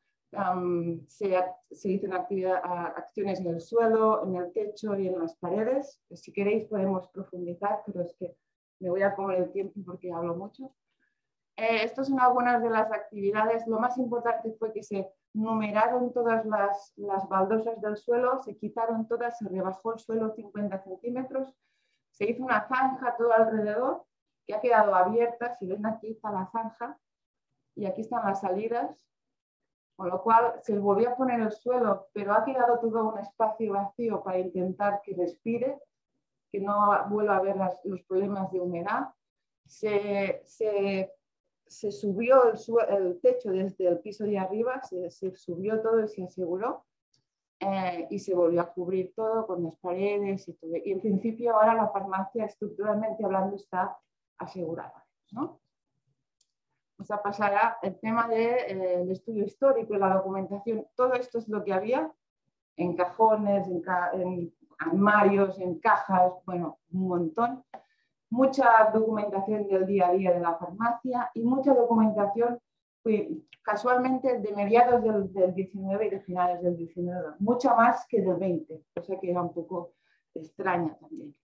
Tenemos eh, documentación institucional y colegial, académica, catálogos de productos, publicidad, libros de la biblioteca, un montón de, facturas y, comandas, ¿cómo se llama? Bueno, de facturas y pedidos, ¿sí? encargos y muchísima documentación ah, familiar y de la farmacia, claro está. Pues explico cuatro casos interesantes. Eh, aquí está la documentación académica del señor Piñol Yo, el primero. Eh, es interesante porque como sabréis muchos, ¿no? El farmacéutico, el, boticario que entra al 19 no es el mismo que sale al 20. Hay una evolución muy grande en el siglo XIX promovida por los nuevos estudios universitarios, ¿no? Al principio eran los reales colegios de farmacia, ¿no? En concreto en Cataluña es el Real, Real Colegio de San Victoriano, que eh, empezó a trabajar pues, en 1814 hasta 1845, cuando se supone que la Facultad de Farmacia de la UB coge el relevo y acaba esta fase de transformación del farmacéutico del 19. ¿no? Esto que en la bibliografía tú te pones a leer y es tan natural, ¿no? se acaba colegio de tal y empieza, pues no es así, porque vemos que el señor Piñol, yo, estaba estudiando farmacia justo en este momento. Él hizo los dos primeros años en San Victoriano, Luego eh, hizo un año en la, perdón, en la Facultad de Ciencias Médicas, porque era un periodo donde se intentaron juntar todas las facultades de, ciencias de la salud en una sola. Solo duró un año ese proyecto, se volvieron a separar. Y luego eh, hizo farmacia en la Facultad Literaria, que a día de hoy no sé qué es todavía. ¿Sí? Bueno, luego... Ah, y finalmente eh, hizo el quinto curso, que ya eran las prácticas de farmacia con la Facultad de Farmacia de la Universidad de Barcelona. Ya hizo las prácticas en una botica de, de que es un pueblo de al lado. ¿no? Entonces, vemos que este proceso no fue ni natural ni fácil y podemos imaginar que para un estudiante joven de Lleida que está bastante lejos de Barcelona, todo este caos de planes de estudio debía ser un, infierno, pobre hombre, eh, que le pillara ahí en medio. Y por eso es un caso que me gusta especialmente ¿no? presentar. Otro de los documentos interesantes que hemos encontrado es 1847, justo eh, un año antes de abrir la farmacia, y es un listado de productos que el señor Job pide con la previsión de que seamos que necesitará para abrir la farmacia el año siguiente, o ya no tanto para abrir como para pasar la inspección también. Entonces son 199 productos que él pide con la previsión de que serán los que eh, utilizará justo cuando vaya a abrir. Entonces hemos visto que algunos de estos nombres se repiten en los frascos ah, que hemos encontrado en la farmacia, con lo cual de alguna manera nos permite hacer la relación, la datación de los frascos. Estos frascos hechos a mano, pintados a mano, escritos a mano. también hemos encontrado la factura de los albareros, cosa que nos ha hecho muy felices a todos. Sí, sí, sí, sí. En 1850 este señor compró los albareros, los albareros a Pedro Group de la calle Santa María del Mar número 9. Eh, estamos muy contentos porque esto no siempre contentas, porque esto no siempre pasa. Ah, es, sabido que en la calle Santa María de Barcelona era donde estaban ah, los artesanos, con lo cual concuerda, concuerda por las fechas. Y bueno, 150 botes, ahora tenemos 145, bueno, hemos perdido 5 por 150 años, no está mal, ¿no? está bien. Ah, cartas, cartas de farmacéuticos de la zona que se escriben, ¿no? me falta esto, me tienes de aquello, ¿no? me has pagado esto, me has pedido esta otra cosa. Pifarre es un, es un farmacéutico de Lleida, de una saga que se remonta a siglos atrás. Ah, es muy interesante encontrarlo aquí.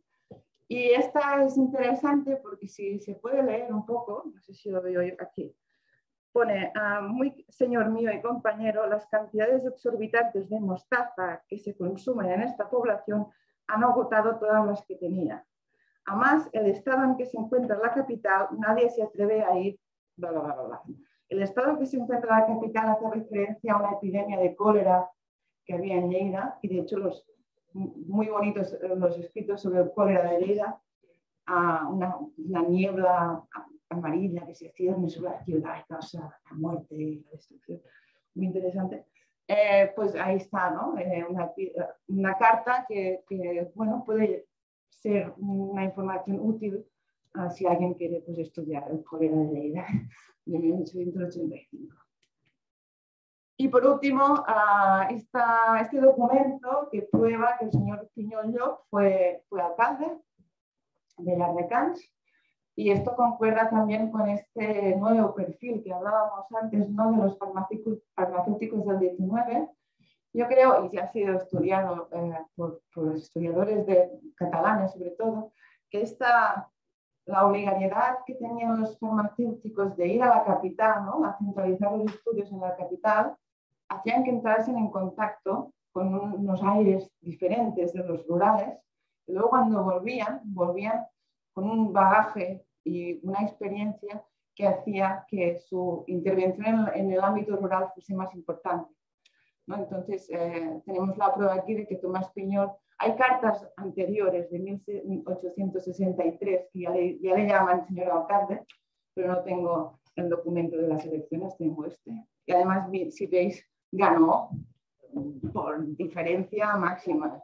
Entonces, debía ser querido, debía ser un personaje querido en el pueblo.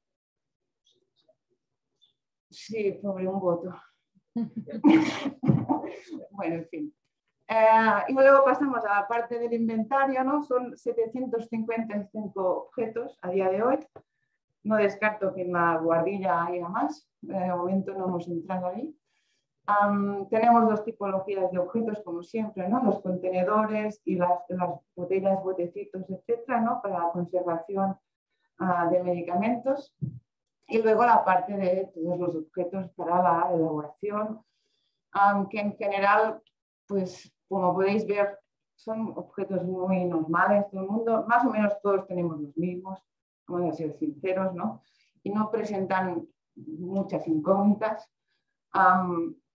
Lo que sí es más interesante, pues en este caso son los botes y botecitos y botellas y, cajas, ¿no? Y en este caso, pues aquí un poco de estadística, ¿no? Tenemos 540 contenedores, pues aquí destacamos 339 uh, frascos. bueno, aquí tenéis el resto. De este grupo, 363 tienen etiqueta que se puede leer y el resto, pues 101 se pueden leer parcialmente, 20 no se puede leer y 56 no tienen etiqueta. ¿no? Ah, con lo referente al contenido, pues ya veis aquí, ¿no? 200 están, están vacíos, 130 son un contenido líquido, sólido, pasta, y siempre hay algunos que se resisten y que no hemos podido abrir. Y a eso se le suma pues, los 145 albareros que sí que tienen una etiqueta fácilmente identificable porque está hecha a fuego, ¿no? pero tienen las abreviaturas fastidiosas del latín que no siempre están bien escritas y, y bueno, de 145 de momento tenemos identificadas 140. No, 140 no, perdón, 103. 103, nos falta, nos falta. No sé, no sé si llegaremos a identificarlas todas porque son un poco complicadas. Ah, de esta selección general, eh, lo que está expuesto en la farmacia es esto, ¿no? Son 89 ah, botecitos, frascos escritos a mano, 17 pildoreros, bueno, tipo para pastas.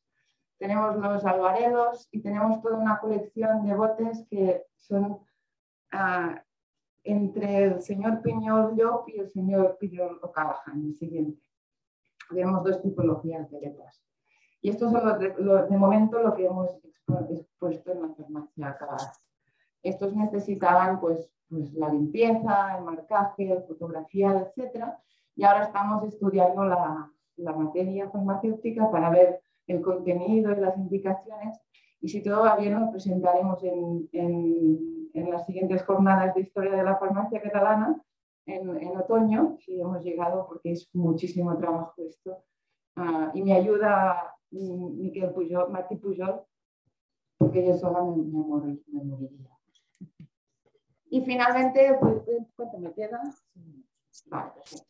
El proyecto de museización, bueno, para quien no sepa dónde está Arracán, pues está aquí muy cerca de la frontera, ¿no? está ahí en la, en la franja de Ponent.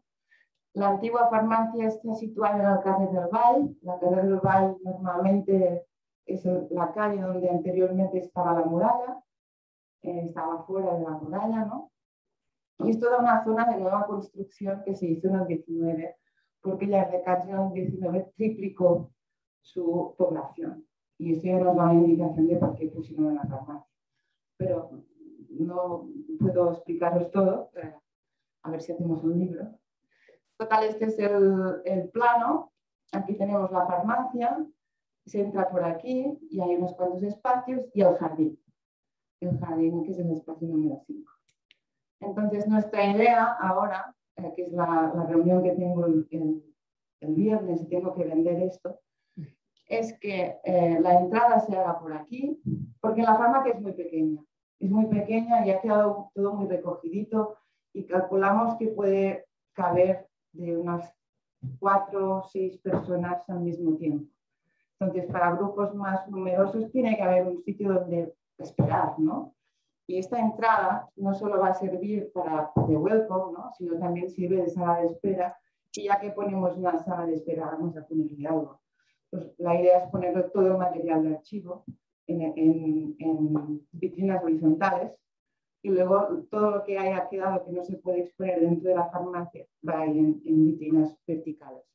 Aparte de los plafones, las fotografías, etc. Y de esa forma la farmacia va a quedar pura, va a quedar sin, sin nada que, moleste a la visión. Vamos a intentar hacer un, un, sistema de, de, presentación inmersivo, en donde luego tú estás dentro de la farmacia y te, explican cosas, pero no están ahí molestando las cosas. Esta va a ser la, entrada, digamos, pues esto de aquí, eh, el almacén, todo lo que no vaya a ir expuesto tiene que estar en algún sitio y no lo vamos a dispersar, se va a quedar aquí.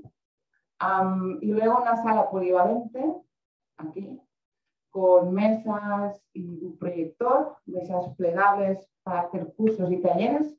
Vamos a aprovechar también que hay un, un lavabo que está en muy malas condiciones, pero vamos a arreglarlo para poner aquí una zona de, de, fregaderos grandes para poder hacer cualquier cosa que se necesite con agua. Y luego aquí estará el jardín botánico, el, el, huerto medicinal, porque la, la, farmacia tenía un huerto medicinal. Y en esta zona de aquí, que la, sería la transición de la sala polivalente al huerto medicinal, teníamos una zona es esto de aquí, no, ¿dónde está? bueno, igual, una zona que vamos a intentar que el pueblo se vea reflejado y que hable.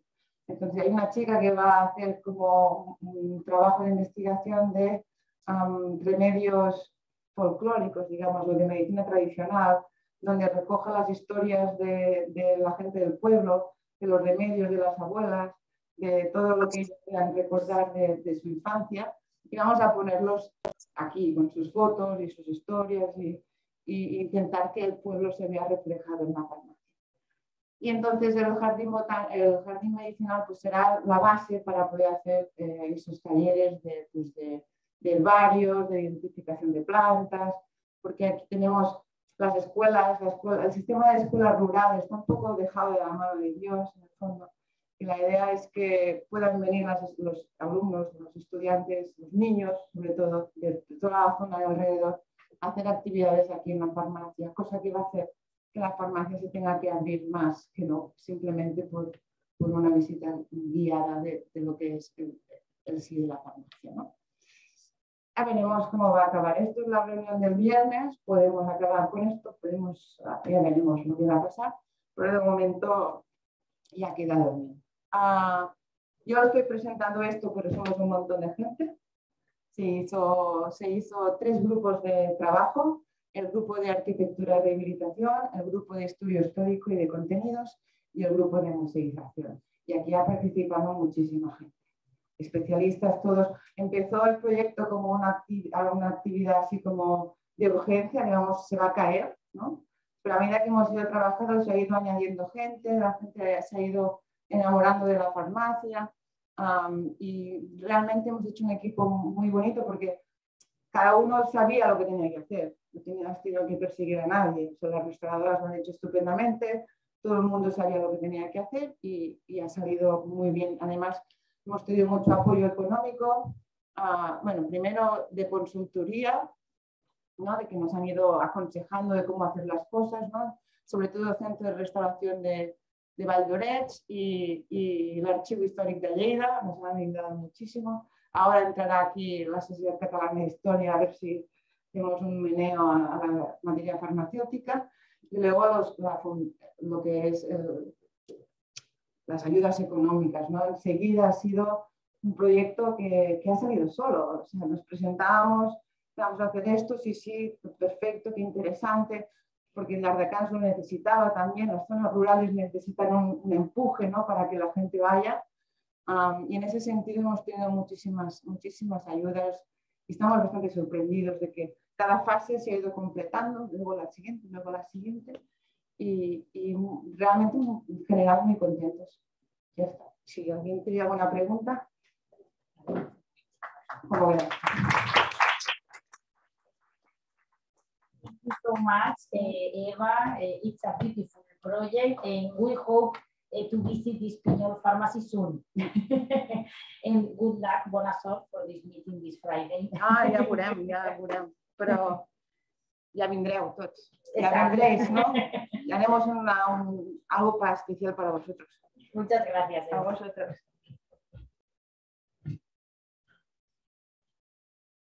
Okay, and now I introduce to Enrique Garzo García and Yolanda Legido Atienza, Atienza sorry, from the Farmacia Cervantes León from Madrid in Spain. And they talk about uh, aromas and letters of a Casa Botica, Farmacia Cervantes León. Thank you so much. Muchas gracias. ¿Se me oye aquí? Sí. Vamos a ver. Eh, lo primero, agradecer a Alejandra, que, del Museo de, Historia de la Farmacia de la Universidad Complutense, que nos comunicó la asistencia de, nos comunicó la asistencia de ese seminario hace dos semanas o tres semanas.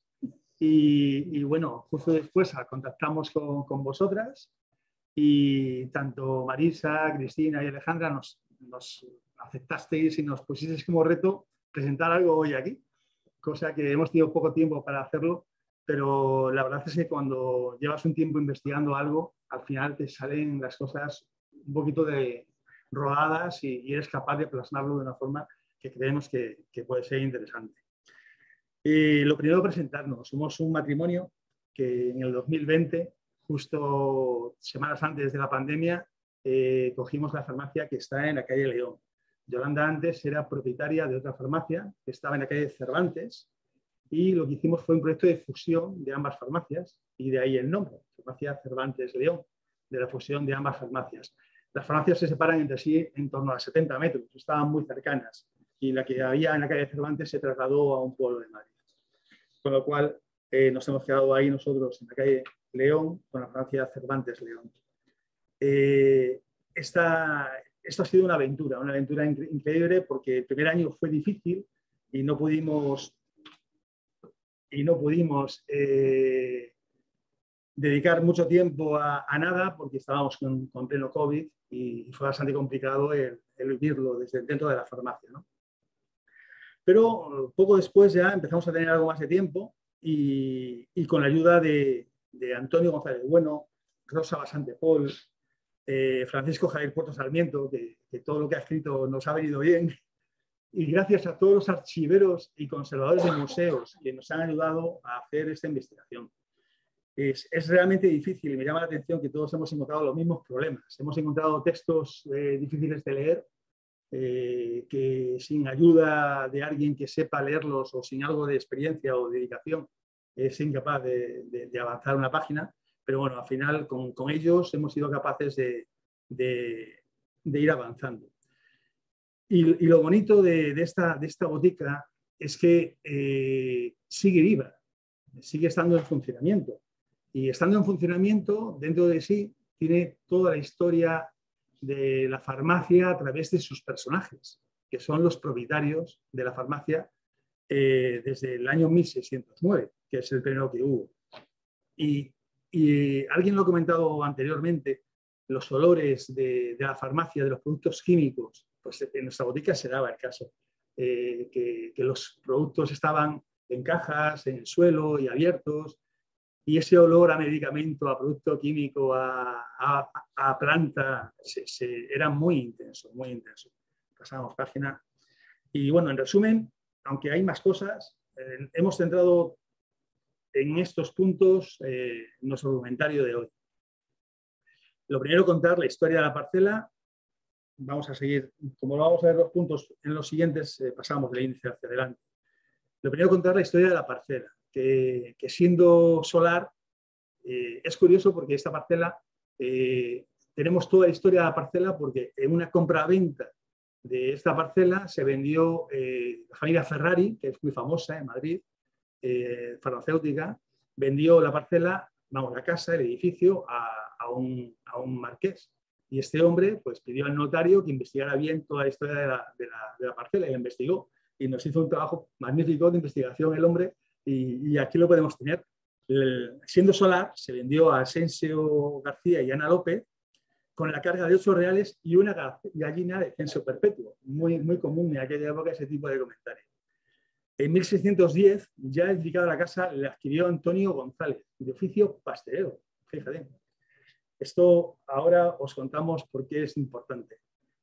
Ahora, nada mejor que un texto de Arturo Pérez de Verte, eh, en el que describe, es una persona, Arturo Pérez de que ha investigado mucho el plano de Terceira.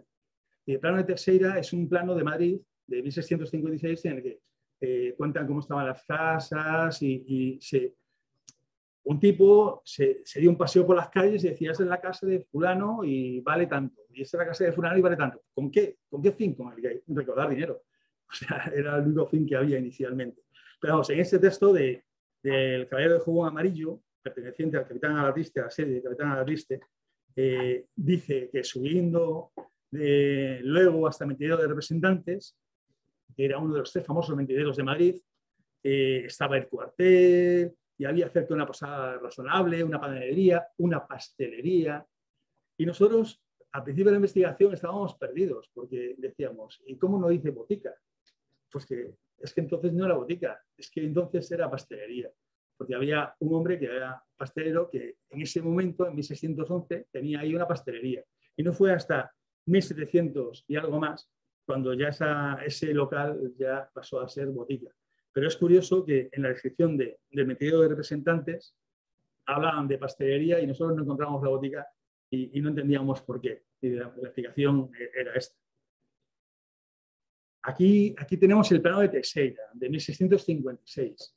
Eh, este plano es el, original, que está eh, en el Ayuntamiento de Madrid, y se, pueden ver las casas eh, de Lope de Vega, de, Cervantes. Bueno, Cervantes tuvo, vivió hasta en tres casas en la calle, en, el barrio de las Letras de Madrid. Eh, aquí aparecen dos de ellas. Una justo al lado de donde pone la calle León, abajo a la izquierda, y luego justo encima de Yolanda, que ella está eh, donde está el mentidero de las Cortes. Ese, esa línea, ese ángulo, es donde estaba justo el famoso mentidero. Este ángulo es el famoso mentidero. Justo ahí, fijaros bien que la calle se abre. Por eso era Plazuela. Por eso era Plazuela. Y eh, también vivieron aquí, al lado, de la calle eh, Quevedo actualmente, que era la calle de Niño entonces, Góngora y Quevedo. Y arriba de todo, como veis, está Miguel Gómez, que fue vecino de, de Lope de Vega, de Cervantes, y posiblemente en algún caso, en algún momento, eh, tuvieron, tuvieron alguna visita a la, botica para algún remedio.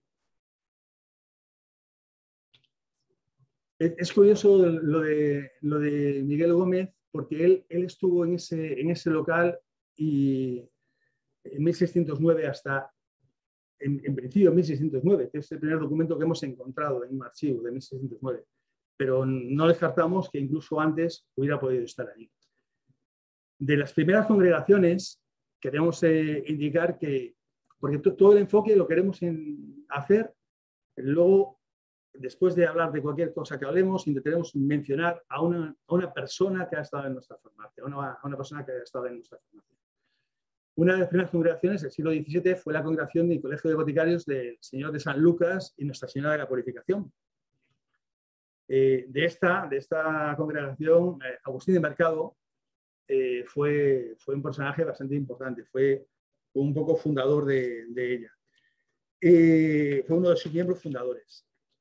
Es, es, interesante esto de Agustín de Mercado porque al principio nosotros eh, pensábamos que la farmacia de Agustín de Mercado era la farmacia en la que estábamos. Pero había textos en los que decían que había habido hasta tres farmacias en la misma calle León, cosa que decíamos, no puede ser, no puede haber tanta farmacia en un trozo tan pequeño de calle pues, pues eh, Agustín de Mercado no fue el primero nuestro, pero pensábamos que sí porque nuestro, y ese sí es seguro que estuvo en nuestra farmacia, Pedro Serrano, estaba casado con la hija de Agustín de Mercado. Y entonces, en aquella época, las formas de adquirir una farmacia eran o casándote con la hija de un boticario o con la viuda de un boticario. Era muy difícil conseguir una farmacia tú por ti mismo. Y pensábamos que por eso Pedro Serrano era el marido, vamos, el, heredero de la farmacia de Agustín de Mercado, pero no, no fue así. Aunque se casó en segundas nupcias con Felipe de Mercado, no era esa la farmacia que, que continuaba, era otra farmacia que estaba un poquito antes de la calle Huertas. Esta farmacia la heredó el mancebo entonces, Francisco Miguel de Urquide, que era muy común esto, eh, también heredar la farmacia a los mancebos, que eran los aprendices y luego boticarios de los, de los pues Francisco Miguel de Urquide, que, quizá fue el primer eh, cooperativista de, la historia, porque compraba medicamentos en grandes cantidades y luego lo distribuían, y luego lo distribuían, lo distribuían entre los demás titulares. De, aquí a la siguiente, a la siguiente diapositiva vamos a enseñaros cómo extraemos de un documento de Lorenzo de, Arquizalate, que fue otro de los propietarios de la farmacia, eh, su firma. Eh, tenemos las firmas de todos los titulares de la farmacia, porque nos ha parecido muy interesante ese dato personal, el poder, ya que hemos encontrado los documentos, el poder transmitir esa firma manuscrita por cada uno de los titulares de la farmacia. Pasamos ahora, una vez solamente.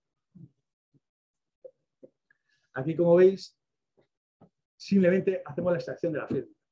Nada más. Esta persona estuvo en la, en la botica mucho tiempo. Estuvo desde el año 1703 hasta el año 1754. Eh,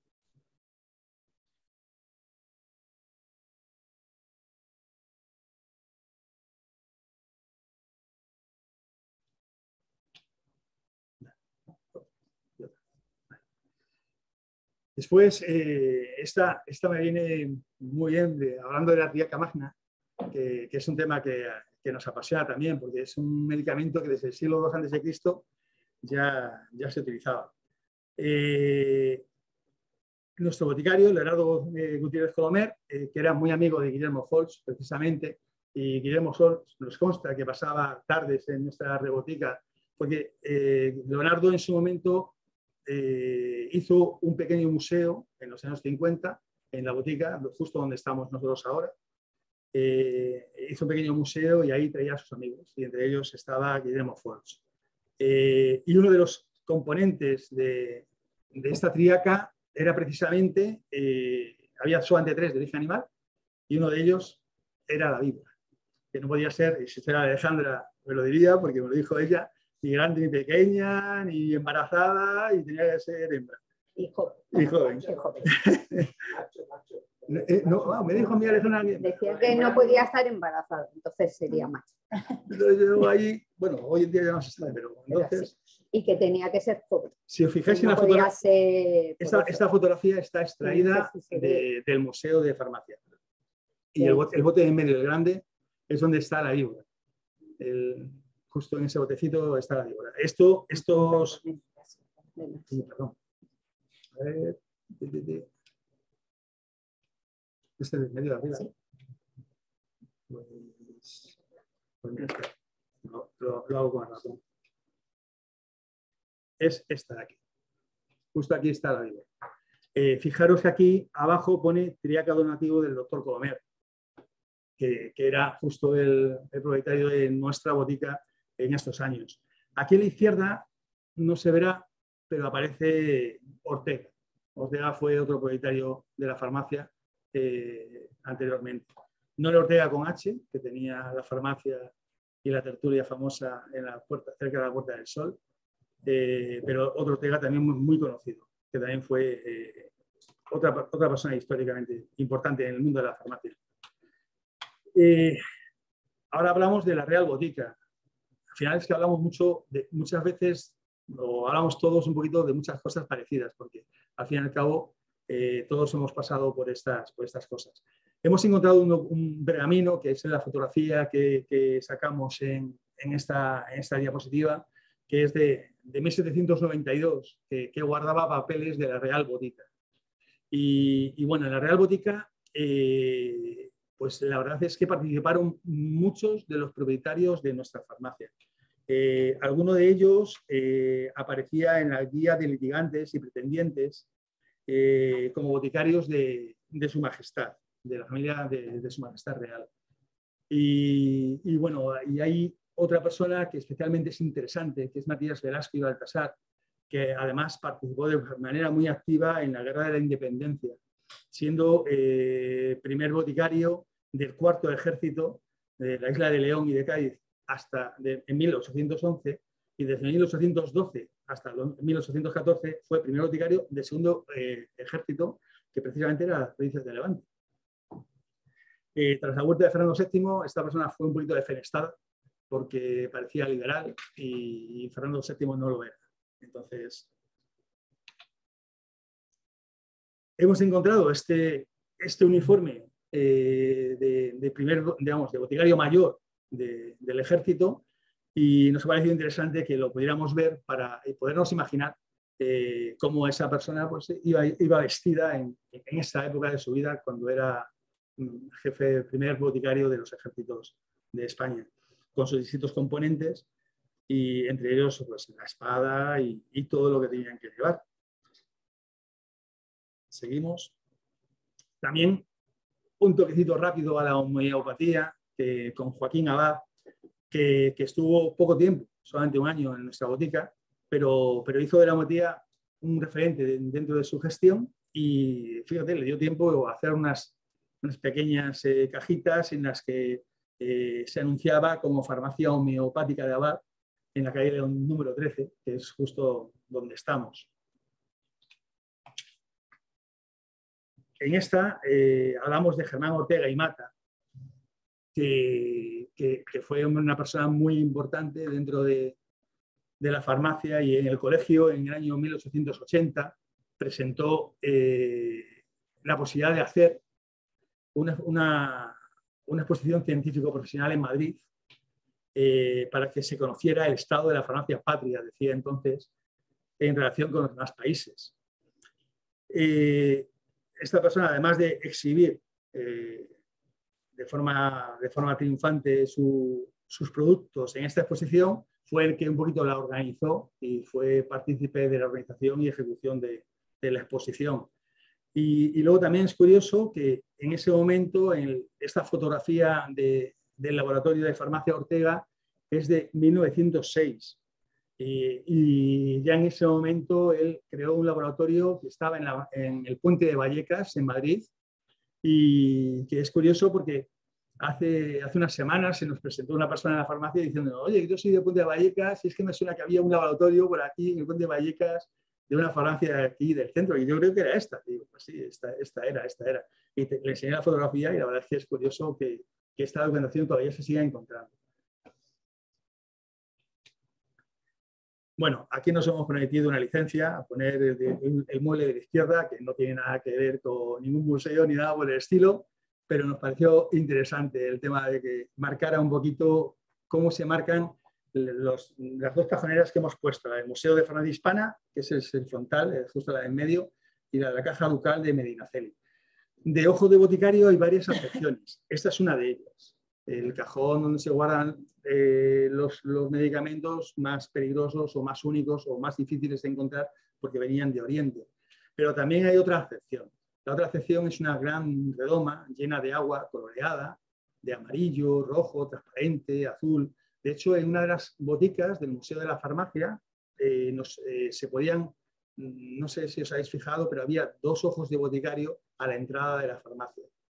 Justo así como, como estaban en ese momento es como se ponían antes, porque actuaban como un poquito de lente reflectora. Entonces el, el, cambio de luces se notaba desde la rebotica y entonces podía salir el, el boticario a atender.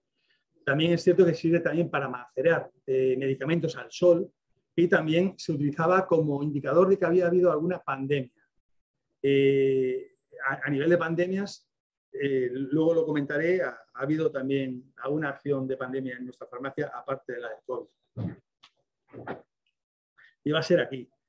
Esta es la gene genealogía completa de todos los boticarios de, nuestra farmacia desde el año 1609, que es lo que conocemos.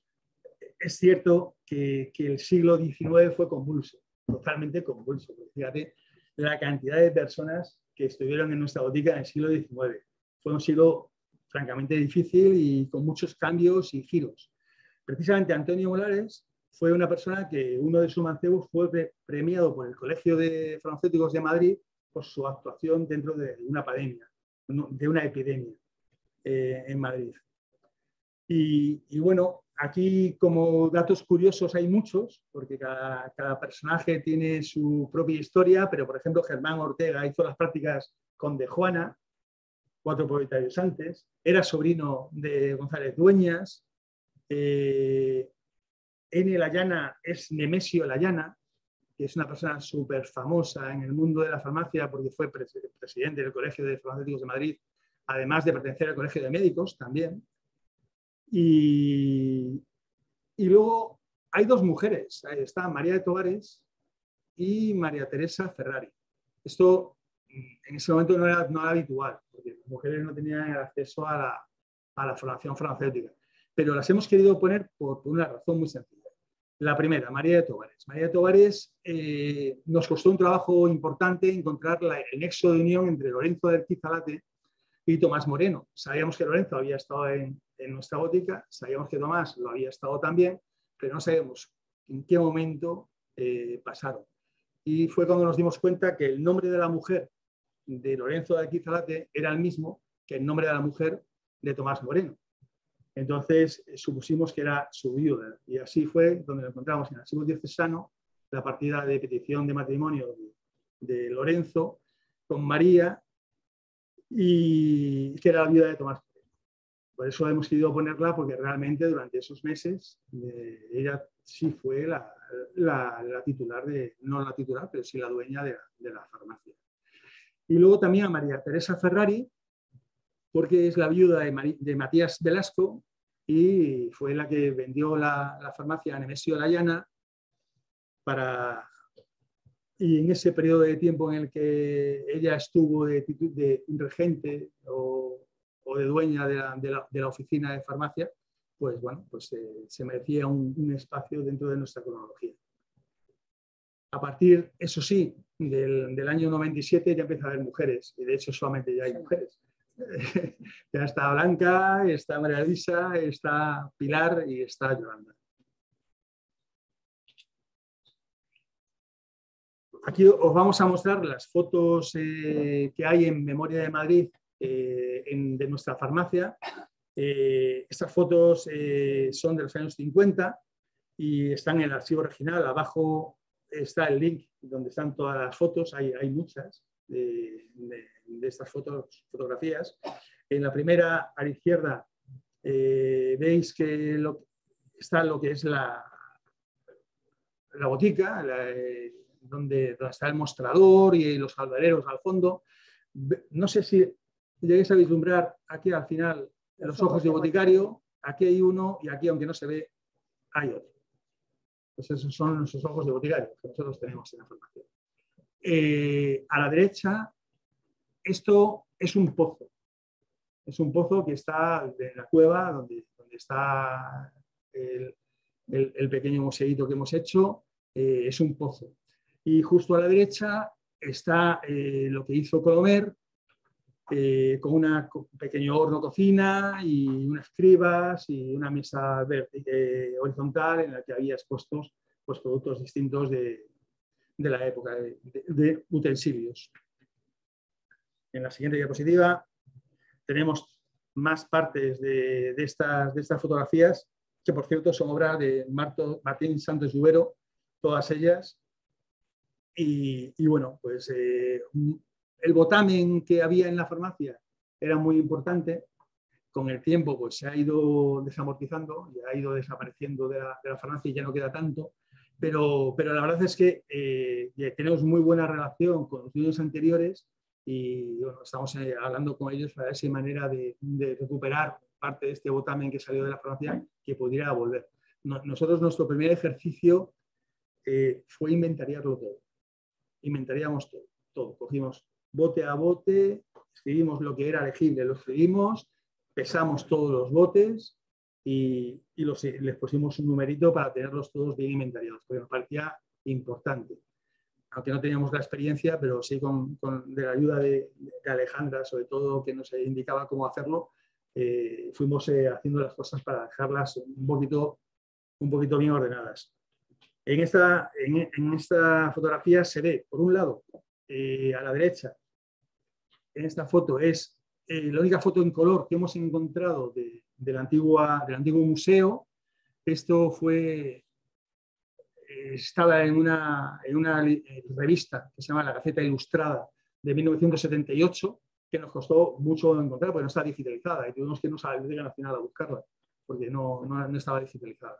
Y luego la foto de la izquierda es nuestra entradita a las cuevas, que es donde tenemos eh, todo este material que, que, no sé si vais a ver, yo creo que no, pero vamos, algo así. Eh, en el espacio que tenemos abajo, en la, en la cueva, eh, disponemos de varias vitrinas y entre ellas tenemos pues, estos botecitos, mm, tenemos algunos cientos de botecitos en los que están todavía los productos químicos. Algunos de estos botes están sin abrir, precintado con piel y con lacre. Y nosotros no hemos querido abrirlos ni, nada por el estilo. Eh, hay un cristal que está serigrafiado a RS Natura, que era eh, la empresa que montó Ortega en su momento, y lo, nombró así. Y ponía, había uno que ponía el número 13, que era indicando el número de la calle León, y otro que ponía el número 1, que indicaba el número de la calle López de Vega, que era donde cruza la farmacia, que hace dos, cruza en dos calles. Y, por eso es RS Botica y pone Botica número 1. Bueno, esa es la caja registradora que, es muy conocida en, nuestra farmacia porque lleva, lleva muchos años. Eh, hemos encontrado una descripción curiosísima en la parte de arriba de la, caja que, no, no, lo habíamos visto hasta hace poco, porque nunca miramos ahí, la verdad. Y, la verdad es que es curioso porque detalla cómo, cómo está compuesta la empresa, la empresa de, de Dayton. Y está, está, el año exacto no, no, lo sabemos, sabemos que es de principios del siglo, del siglo XX, entre 1906 y 1918, pero no tenemos la fecha exacta, aunque cajas similares son más cercanas a 1906. Y luego a la derecha se ven algún mortero o un almeriz que, que tenemos una variedad importante de, morteros y almerices en la, farmacia. Bueno, este es nuestro equipo. Eh, sin él, eh, sin la ayuda de los archiveros y conservadores hubiera sido imposible, pero sin la ayuda del equipo también es imposible porque no podemos dedicarnos a hacer esas cosas si estamos trabajando. entre ellos, queremos destacar fundamentalmente a la persona Manolo, que está, es el cuarto, esta persona de aquí, que, es una persona que ha cumplido 50 años trabajando en nuestra botica.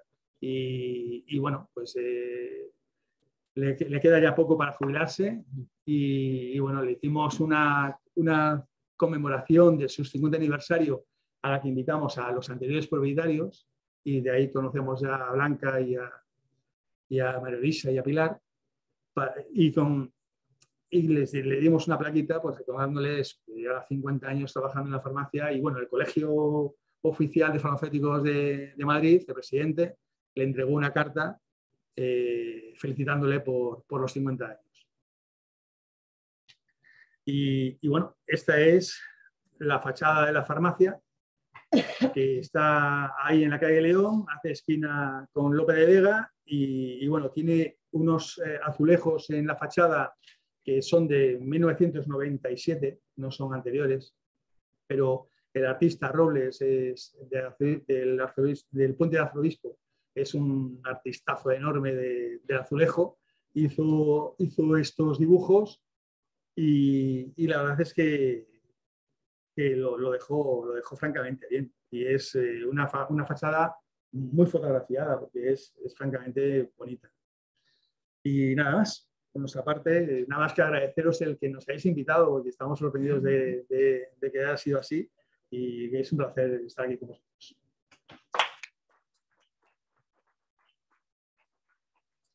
Muchas gracias. Eh, creo que todos estaremos de acuerdo que para hacer investigación autodidacta,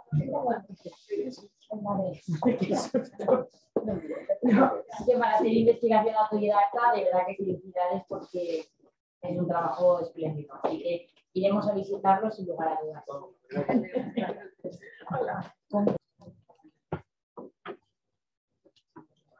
okay, uh, now I introduce uh, to María Gracia Segui Puntas and María Jesús Gracia Alfonso uh, with the Naval Hospital of the Bloody Island uh, por Mahón in Menorca, Pharmaceutical Fund and Garden of Medicinal Plants. Thank you, María Gracia. Bueno, buenas tardes. ¿Me sopro? No, el micrófono. Vale.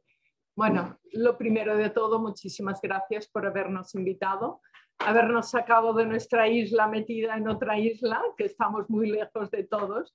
Y lo primero que os queríamos decir es que nuestro proyecto está inmerso en un proyecto mucho más importante que es el del Hospital de la Isla del Rey. Ahora os pasaremos un vídeo de cuatro minutos para que veáis el proyecto general y luego entraremos en el tema de farmacia.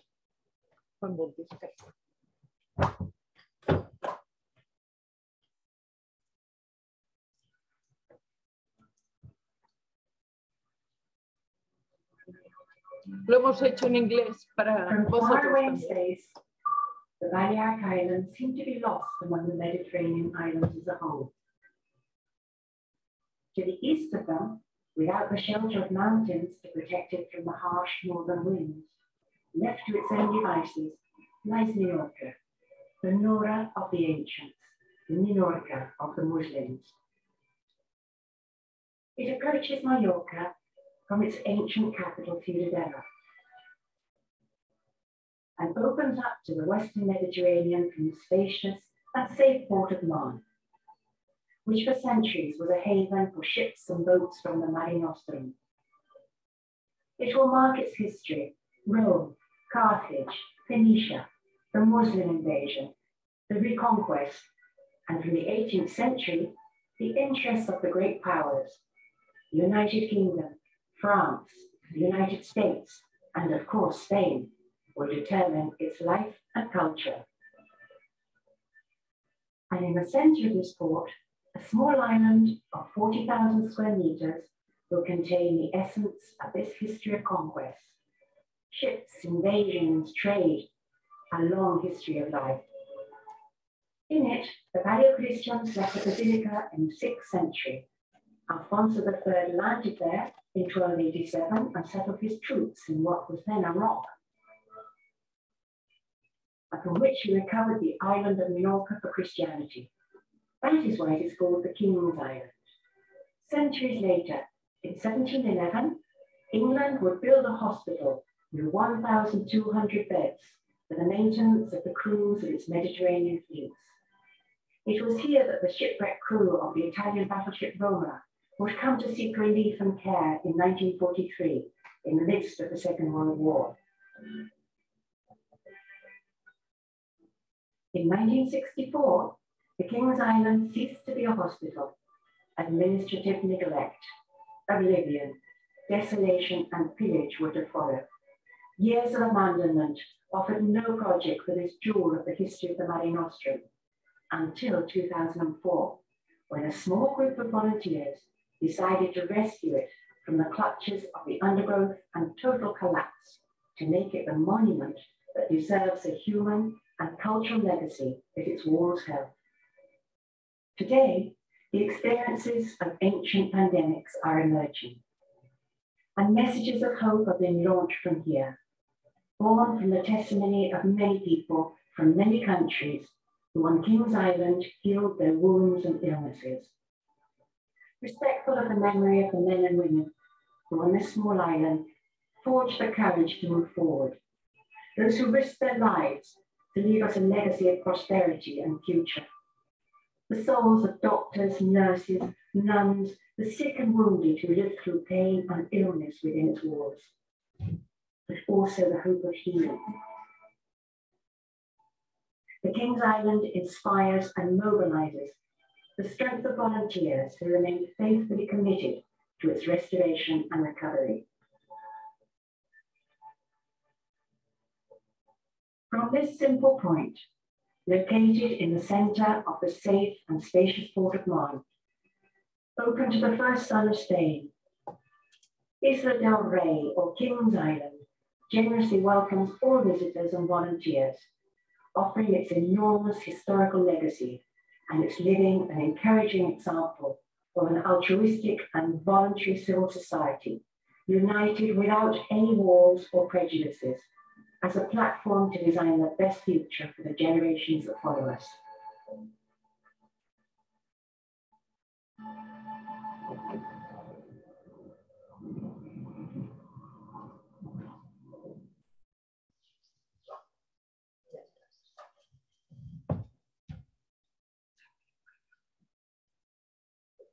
Sí, sí, sí.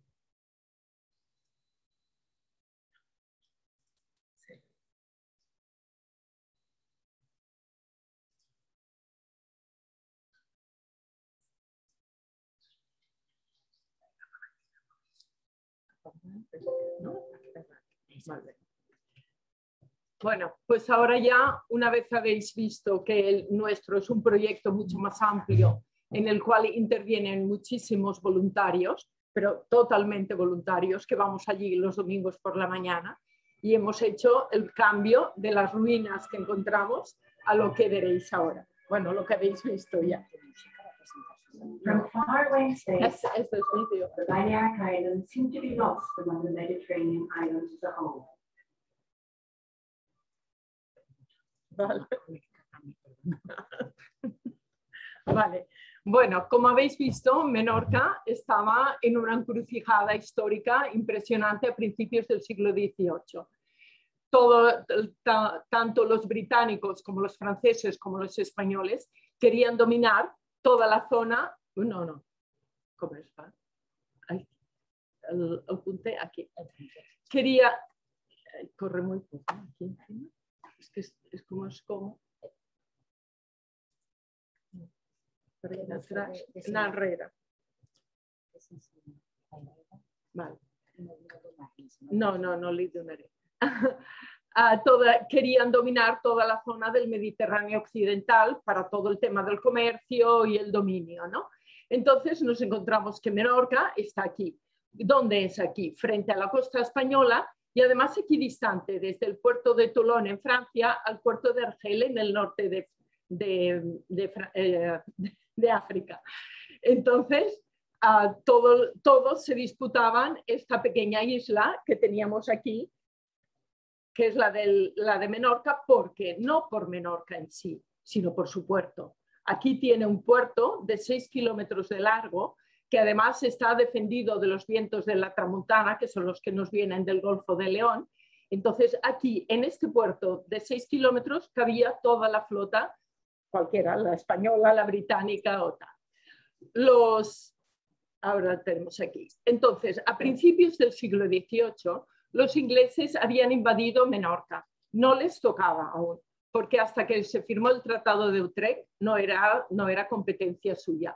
Pero ellos ya se habían instalado allí y ya tenían claro que iban a quedarse para, para largo.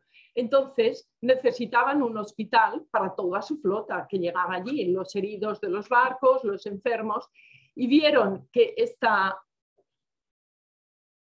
esta pequeña isleta que está en el centro del puerto era perfecta. Llegaban con los barcos, se atracaban al lado de la isleta, desembarcaban los heridos y se volvían a ir a, hacer la guerra por, su parte.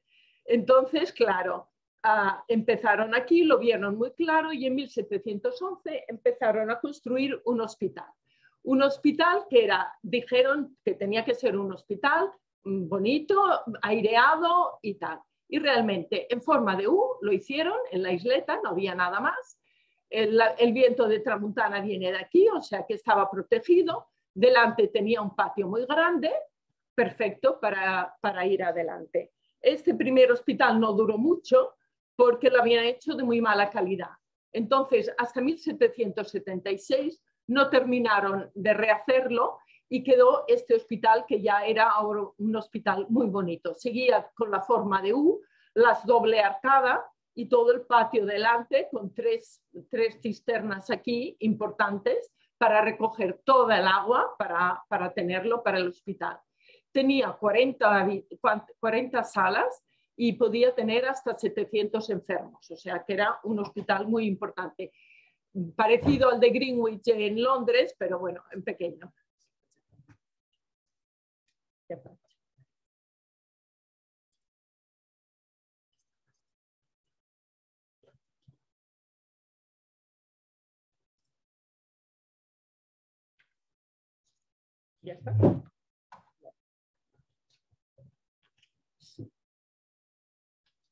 Entonces, am, el hospital, ya hemos dicho, tenía 40 salas y tenía obviamente una farmacia. Pues si miramos aquí la leyenda de mano derecha, que no la veréis, pero bueno, ya os lo digo yo, aquí en la letra D está marcada la farmacia, donde estaba la botica.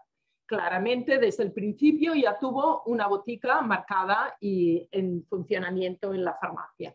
Por esto, cuando los, los voluntarios empezaron a trabajar en el hospital, enseguida los farmacéuticos quisimos estar presentes, porque desde el principio había habido una farmacia. Esto fue el jardín y el, edificio que nos encontramos cuando empezamos a trabajar. Eran una ruina total. Esto era una selva impenetrable que tuvieron que empezar con machetes para llegar hasta la puerta del edificio. Seguimos con, con la selva y el ayuntamiento era el propietario en aquel momento tanto de la isla como del edificio. No había hecho nada. Entonces habían entrado aquí Cualquiera había cogido lo que le, gustaba, puertas, ventanas, tuberías, lo que fuera. Esta fue la, sala que estaba asignada para la farmacia. Como veis, no era como la Santa María de la Scala ni, ni la farmacia Esteban, ahí no Esteban, no la Piñol, que estaban llenas y olían y todo. La nuestra estábamos bajo cero, como podéis ver, nada. Le faltaban algunas vigas no había restos de nada, incluso se habían llevado el suelo porque era de madera, era de listones de madera y se los habían llevado todos. O sea que empezamos muy mal. Pero el Colegio de Farmacéuticos desde el primer momento nos apoyó. Vio que era un proyecto muy bonito para, para el colegio, para los farmacéuticos y que teníamos que estar presentes en el hospital. No podía ser que al final se hubiera recuperado un hospital y no hubiera farmacia. Entonces, la cooperativa farmacéutica menorquina, la, que tenemos en la isla, también quiso colaborar y empezamos a trabajar.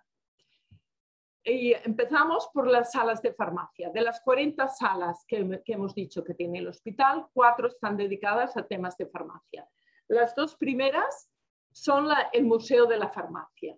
Hemos ido recopilando, a partir de bajo cero, pues muebles, objetos, utensilios, todo tipo de, material que hemos, que hemos podido pedir a la gente para llegar a tener un, lugar de memoria histórica de los farmacéuticos y la farmacia de Menorca.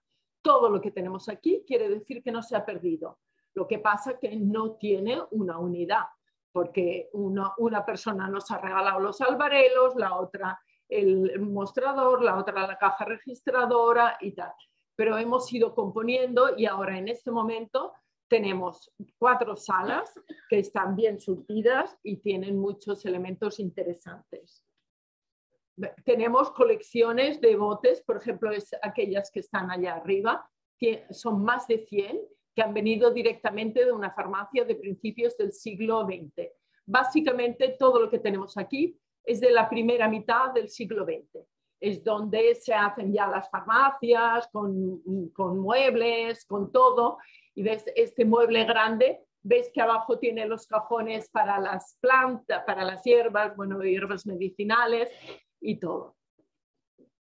Este es el mismo, por otro lado. Aquí tenemos, pues, bueno, ya lo veis, albarelos, balanzas, frascos, homeopatía. Tenemos una colección de homeopatía muy importante, muchos específicos libros, una caja registradora, la nuestra es National, la marca National, y también es de, la vuestra es National también era la que había por todo. Y es, es muy bonita y, y la, bueno, la, eh, está aquí, también era de, la, de una farmacia que se abrió en 1908, o sea que debe ser así. Balanzas, mostradores, un molino, más albarelos, muchos específicos. Una farmacia guardaron unas cajas en, los porches para, mejor tiempo y no las sacaron, bueno, nos las regalaron 40 años o 50 o más más tarde. Por esto tenemos muchas especialidades que podemos obtener. Tenemos una colección muy interesante de cajas de hojalata internacional, porque como tenemos muchísimos visitantes, vienen miles y miles de personas cada año a ver el hospital, pues la gente dice, ah, yo tengo uno y nos la envían. Y, es farmacéutico o no, eh, la tienen en su casa y nos la envía. Italianos, alemanes, nos, nos los han ido enviando. Y bueno, tenemos, como podéis ver, mucha, muchos medicamentos, muchos utensilios. Aquí tenemos a mano derecha, por curiosidad, por ejemplo, un formulario, hay un formulario, un libro recetario del 1909 de Sudáfrica. O sea que este un señor inglés lo tenía en su casa, dice, ¿para qué lo voy a tener en mi casa? Y nos lo trajo a nosotros. Esta es una colección, una de las farmacias más conocidas, moldes de supositorios. Bueno, tenemos ahora en este momento, tenemos inventariados 1.400 ítems, no lo tenemos todo inventariado y además tenemos muchas cosas en almacén porque estaban repetidas o tal. Gránulos dosimétricos, homeopatía, esto a principios del siglo pasado había mucho en Menorca, o sea que nos han llegado bastantes queremos hacer una especial mención a la farmacia Llull, que era de Sineu. Sineu es en Mallorca, la isla de al lado. Entonces nos ofrecieron enviarnos una, serie de material, a vosotros que lo, os enviaremos pensando que nos enviarían unas cuantas cajas, no, nos llegó una camioneta entera. y entonces estaban desde el 1899, cuando había abierto la farmacia, el farmacéutico, pues tenemos todo, los libros recetarios, todo el mobiliario, este mostrador es muy bonito, todos los botes de cristal que, se hayan conservado de cristal de una farmacia de, finales del siglo XIX, todo material para hacer, para hacer análisis, material galénico, balanzas, la báscula, todo tipo de material. Y claro, esto es muy bonito porque nos ha venido todo un paquete de una farmacia después de 100 años de estar en funcionamiento. ¿no? Tuvimos que retirar cosas de plástico porque estas ya no pegaban, pero la mayoría está expuesto y, y, es muy bonito. La caja donde el farmacéutico guardaba las sustancias más peligrosas, todo. Material, tenemos unos morteros preciosos, mm, frascos, botellas, material del laboratorio, todo. Si seguimos paseando por, el, hospital, veréis que aquí ya está restaurado el pasillo, antes lo habéis visto que estaba todo desmoronado. Llegaremos al otro lado donde hemos instalado un laboratorio. Eh, el laboratorio es como de mitad del siglo XX y entonces hemos puesto todas sus partes. Esto lo hemos tenido que recrear porque no había nada. Pero como hemos recibido mucho material, pues hemos podido poner autoclaves, microscopios, todo tipo de utillaje, ya lo veis encima de la mesa, en las vitrinas, la mesa para atender los, cuando viene, para las extracciones, pósters de, del Mintos y todo tipo de material. Todo está allí a la vista y la verdad da una sensación realmente de, de una farmacia de esta época. Incluso hemos encontrado del año 1941 los planos de cuando se hizo el laboratorio, porque hasta entonces no había un laboratorio importante en nuestra isla, en la isla de Menorca, y tenían que enviar las muestras a la isla de Mallorca, al hospital militar de allí. Ah, porque no he dicho, es que me, he pasado muy rápido la historia. Eh, empezaron el hospital los ingleses en 1711. Hemos dicho que lo terminaron en 1776. Pero luego vinieron los franceses, luego vinieron los españoles y hasta 1802, que Menorca no volvió por la paz de Amiens a los españoles, estuvo pasando de mano en mano.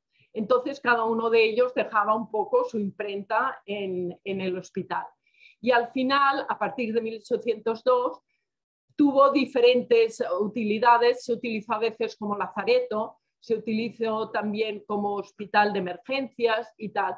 Y luego siguió como hospital militar español hasta 1964, en que ya era imposible tener el hospital en una isla en medio del mar a la cual se tiene que acceder siempre por barca, pues eh, llevar heridos, todo era muy complicado. Entonces pasaron en 1964 a tierra firme, digamos, a la isla grande, a la isla de Menorca, y este fue cuando quedó abandonado. Tan abandonado quedó, que es lo que habéis visto, que estaba, que, que ya no había nada. Entonces, hasta 1941 no se hizo un laboratorio como Dios manda. Por esto hemos hecho uno nosotros, que es de esta época, más o menos. Hemos encontrado incluso la carta del, analista, no sabemos si era farmacéutico o era médico, pero el analista dice que necesita un laboratorio en condiciones para no tener que enviar las muestras a la isla del lago. Yo es que me imagino una muestra de sangre para una glucemia a irse de esta manera debía ser fatal.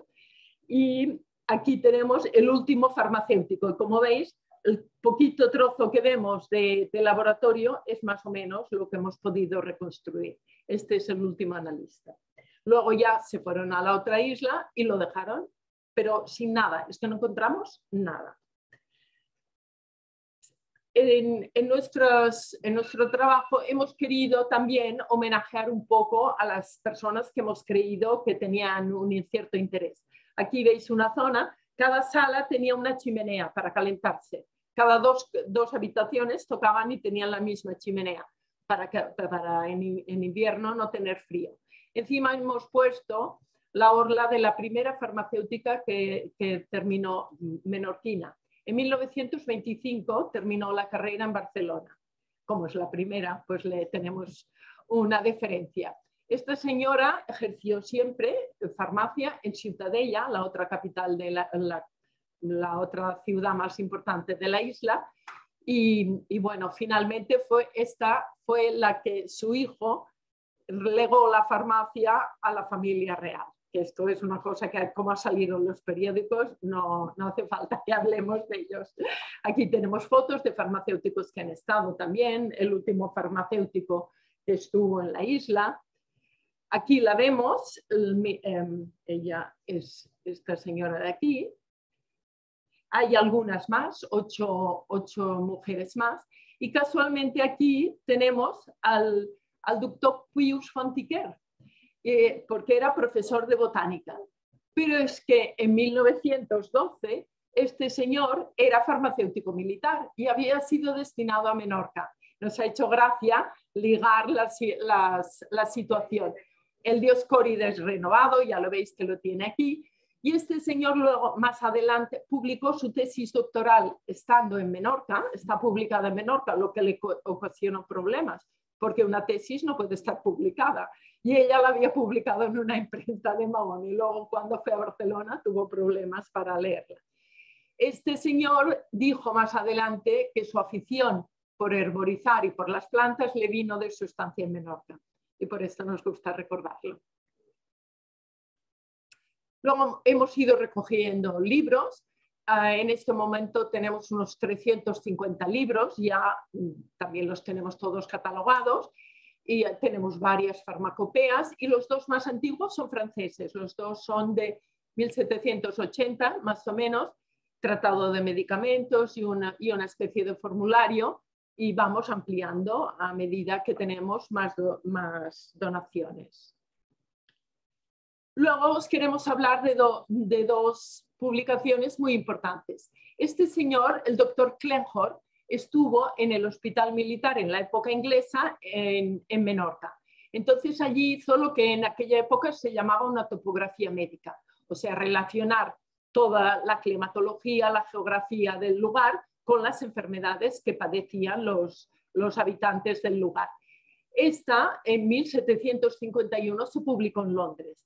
Tuvo muchísimo, mucha importancia porque se hicieron seis reediciones y además se tradujo al alemán, cosa que en el siglo, a mediados del siglo XVIII es bastante importante. Y luego, más adelante, cuando estuvimos en manos de franceses, pues el doctor Passerat de la Chapelle que también era cirujano mayor de este hospital, pues hizo lo mismo que, son unos años más tarde y también lo publicó en Francia, en París. O sea que tenemos dos documentos que son muy importantes, los dos relacionados con nuestro hospital. Y aún tenemos otro, otro documento muy importante. Este es publicado en 1808, como podéis ver, es el formulario cirúrgico para uso del Hospital Militar de Mahón. O sea que el médico, el médico, lo que llamaríamos el director médico ahora, que se llamaba Manuel Rodríguez y Caramazana, escribió este, este tratado, este formulario, que lo tenemos aquí, ahora lo veréis, y lo, lo comunica de oficio a don Juan Claros, boticario mayor del mismo hospital. O sea que es lo que tendríamos ahora, diríamos, una guía farmacológica que tienen hoy en día los hospitales. Esta es de 1808, o sea que recién revueltos a la soberanía española, y está hecho solo para este hospital y dedicado, bueno, indicado para el, farmacéutico que había en aquel momento, el boticario. Hace unos años hemos hecho esta edición facsímil que nos la, nos la ha financiado la Fundación Uriat y tiene el libro, tiene un prólogo de la doctora Ana María Carmona, que, que estuvo muy interesada en el tema y, nos lo prologó. Nos parece un libro muy, muy interesante. Como podéis ver aquí, tenemos la firma, eh, se encuentra en el, en el Museo de Mahón. Lo encontramos allí cuando buscábamos información sobre nuestro hospital.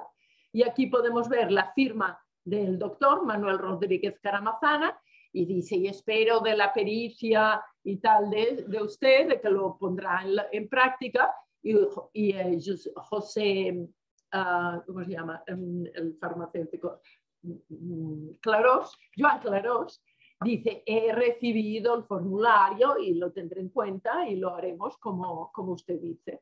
No, no conocemos otro formulario así tan concreto para un hospital en un momento determinado. Entonces, ¿cómo empieza? Empieza la primera parte, pues nos dice todo lo que tiene que haber en la farmacia.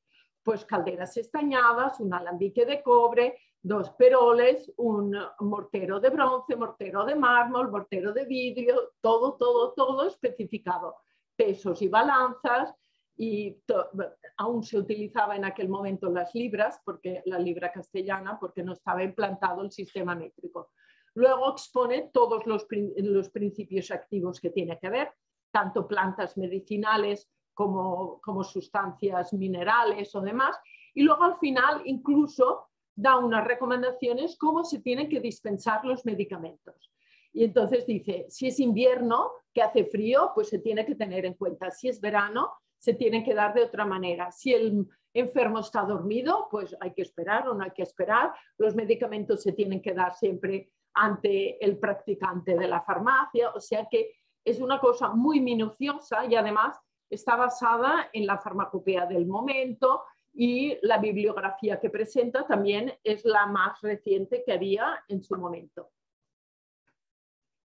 Y luego, claro, a partir de esto dijimos, ¿por qué no dedicamos una sala recreando el, ambiente de la botica? Y le pusimos Botica 1808 en recuerdo del formulario. Entonces lo hemos relacionado con el jardín de plantas que ahora os hablaremos. O sea, ¿qué hacemos aquí? Tenemos las plantas, las secamos, separamos las partes en los botes y luego elaboramos. ¿eh? con los alambiques o con lo que sea, o con los, los cazos o, los peroles que dice él, y todos los morteros y demás. Nos ha quedado una sala que ya la habéis visto en el vídeo y eh, es, ha quedado muy, muy interesante. Además, es una sala con, con bóveda muy bonita de piedra y muy interesante y la verdad es que llama mucho la atención. Los, los albarelos todos son modernos, ¿eh? no, no tenemos nada antiguo porque ya os he dicho que partíamos de bajo cero. Y luego, finalmente, os quería hablar de otro, de otro, otro documento, que es la topografía que hizo ya en época española, en 1806, el doctor Hernández Morejón, que trabajó con el doctor Rodríguez Caramazana. Entonces él hace una topografía no de la isla de Menorca, sino de la isla del Rey, que es un puño. Y aquí expone, para nosotros es muy interesante porque expone que en, el hospital tiene que haber un huerto para las plantas medicinales. Para tener plantas medicinales, para dar clases a los médicos, para que aprendan los médicos y también para que los pacientes puedan pasearse por entre las plantas y su convalecencia sea más corta. O sea que aquí tenemos un jardín un poco de la de época más y aquí el paseo de convalecientes, aún se conservaba el nombre de paseo de convalecientes, o sea, que se pasearan por el jardín. Y a partir de aquí fue cuando nos decidimos a hacer también un jardín pensamos que el complemento del hospital tenía que ser el jardín. Seguro que en aquel momento había, porque tanto en las topografías que os hemos presentado se hablaba de muchos, muchos medicamentos a partir de plantas medicinales. Y como teníamos esta, esta, este, patio, bueno, este patio tan grande delante del hospital y recogido, nos dimos cuenta de que era allí donde tenía que ir. Y hicimos, aquí tenéis el esquema, empezamos con el rincón de plantas medicinales. Todo esto, antes os he hablado de las tres cisternas que había. Pues aquí, toda esta zona de aquí son plantas medicinales. Ahora tenemos unas 80 sacadas básicamente de los libros y son todas estas que están aquí en color verde claro. O sea que en cada parcelita tenemos el, numerada y podemos ver todas las plantas que hay. Todas están rotuladas en catalán, en, en castellano y en inglés y también ponen sus propiedades medicinales. Luego, más adelante, bueno, aquí tenemos unas fotos, nada, solo para que veáis, con los rótulos, aquí tenemos la quilea, luego tenemos la, la marina, no, no sé, en castellano no sé cómo se llama, cebolla marítima, fácil, hemos hecho el sambucus, que todas, cuando son medicinales ponemos que son medicinales. Luego, más adelante, pensamos que en honor de la, manzanilla de Menorca, que es la santolina magónica, magónica quiere decir de Mahón, eh, ahora, antes era una variedad y ahora ha subido a especie, o sea que estamos muy contentos. Y toda esta la parcela amarilla la dedicamos a manzanilla. Entonces ahora dentro de poco está preciosa ya, empieza a sacar las, flores, las recortamos, las secamos y luego las vendemos a los visitantes del hospital. Aprovechamos que nos viene a visitar tanta gente. Y finalmente nos quedaba, porque bueno, las obras duraron mucho y tal, nos quedaba toda la parte que está en verde oscuro. Entonces decía, no, no, aquí plantaremos rosas, aquí no sé qué. Y dijimos que no, que no podía ser, que teníamos que hacer un proyecto general para todo. Y entonces aquí hemos hecho un jardín etnobotánico. Es decir, aquí tenemos plantas, pues, por ejemplo, plantas amenazadas, plantas endémicas, plantas que se han utilizado habitualmente en Menorca, pero todo con un sentido didáctico, expositivo, para que la gente cuando viene, viene pueda verlo. O sea que aunque no tengan propiedades medicinales, todas estas plantas aquí tienen un sentido, están en el jardín por algo. Y a partir de este, bueno, aquí tenéis algunas, esta está protegida, por ejemplo, esta peonia es una de, Baleares solamente, esta es minoricensis, solo de la isla de Menorca, endémica de la isla, Aquí tenemos, esta también es baleárica, la flomis, luego la lomelia, esta es crética, es más amplia, pero también está aquí. Y a partir de, y hace pocos, un par de años, pensamos que teníamos que recoger este material en un libro. Además, como Menorca reserva de biosfera, pues la, isla nos lo, bueno, el Consejo Insular nos ayudó y hemos hecho este libro que lo ha hecho el mismo botánico que nos hizo todo el proyecto del jardín. Aquí explica primero un poco la historia de este, de este jardín y luego tenemos el catálogo de plantas más importantes. Eh, hay unas 40 de, las que hay. Porque no os he dicho, em, tenemos unas 80 medicinales y unas 40 de, del etnobotánico. O sea que hay 120 plantas aquí interesantes. Entonces aquí están las más importantes y a todas las personas que vienen allí les, les, damos el plano y pueden pasearse por el jardín y ver cada, cada una donde se encuentra y tal. Aquí os hemos dejado unos libros, si alguno tiene interés. Está editado en seis idiomas, o sea que seguro que encontráis alguno que lo entendáis. Y, y, los folletos los tenemos en tres idiomas también, o sea que para que la gente pueda apreciar, no solo pasee por el jardín, sino que vea exactamente, ya, ya, ya os lo metéis. Bueno, solo esto para que veáis, aquí esto es el hospital, aquí tenemos el jardín de plantas medicinales y de hace tres años, me parece que es tres o cuatro años, aquí se ha instalado una, una galería de arte, Hauser Beer, que es muy internacional y nos ha dado mucha vida y nos ayuda. nos, ayuda, nos, nos está ayudando en el tema del jardín, en instalación de riego, en, mantenimiento y tal. O sea que es una simbiosis perfecta.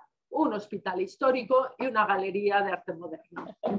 Os esperamos a todos en la isla.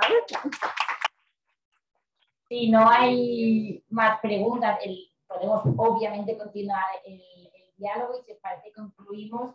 Eh, I want to say thank you to everyone for all the presentation, for all the day. from this uh, interesting dialogue. And we continue tomorrow this international seminar. Uh, remember, not here, in the new um, Muy Ilustre Colegio de Farmacéuticos de Valencia at 10 uh, in the morning. Thank you so much and see you tomorrow.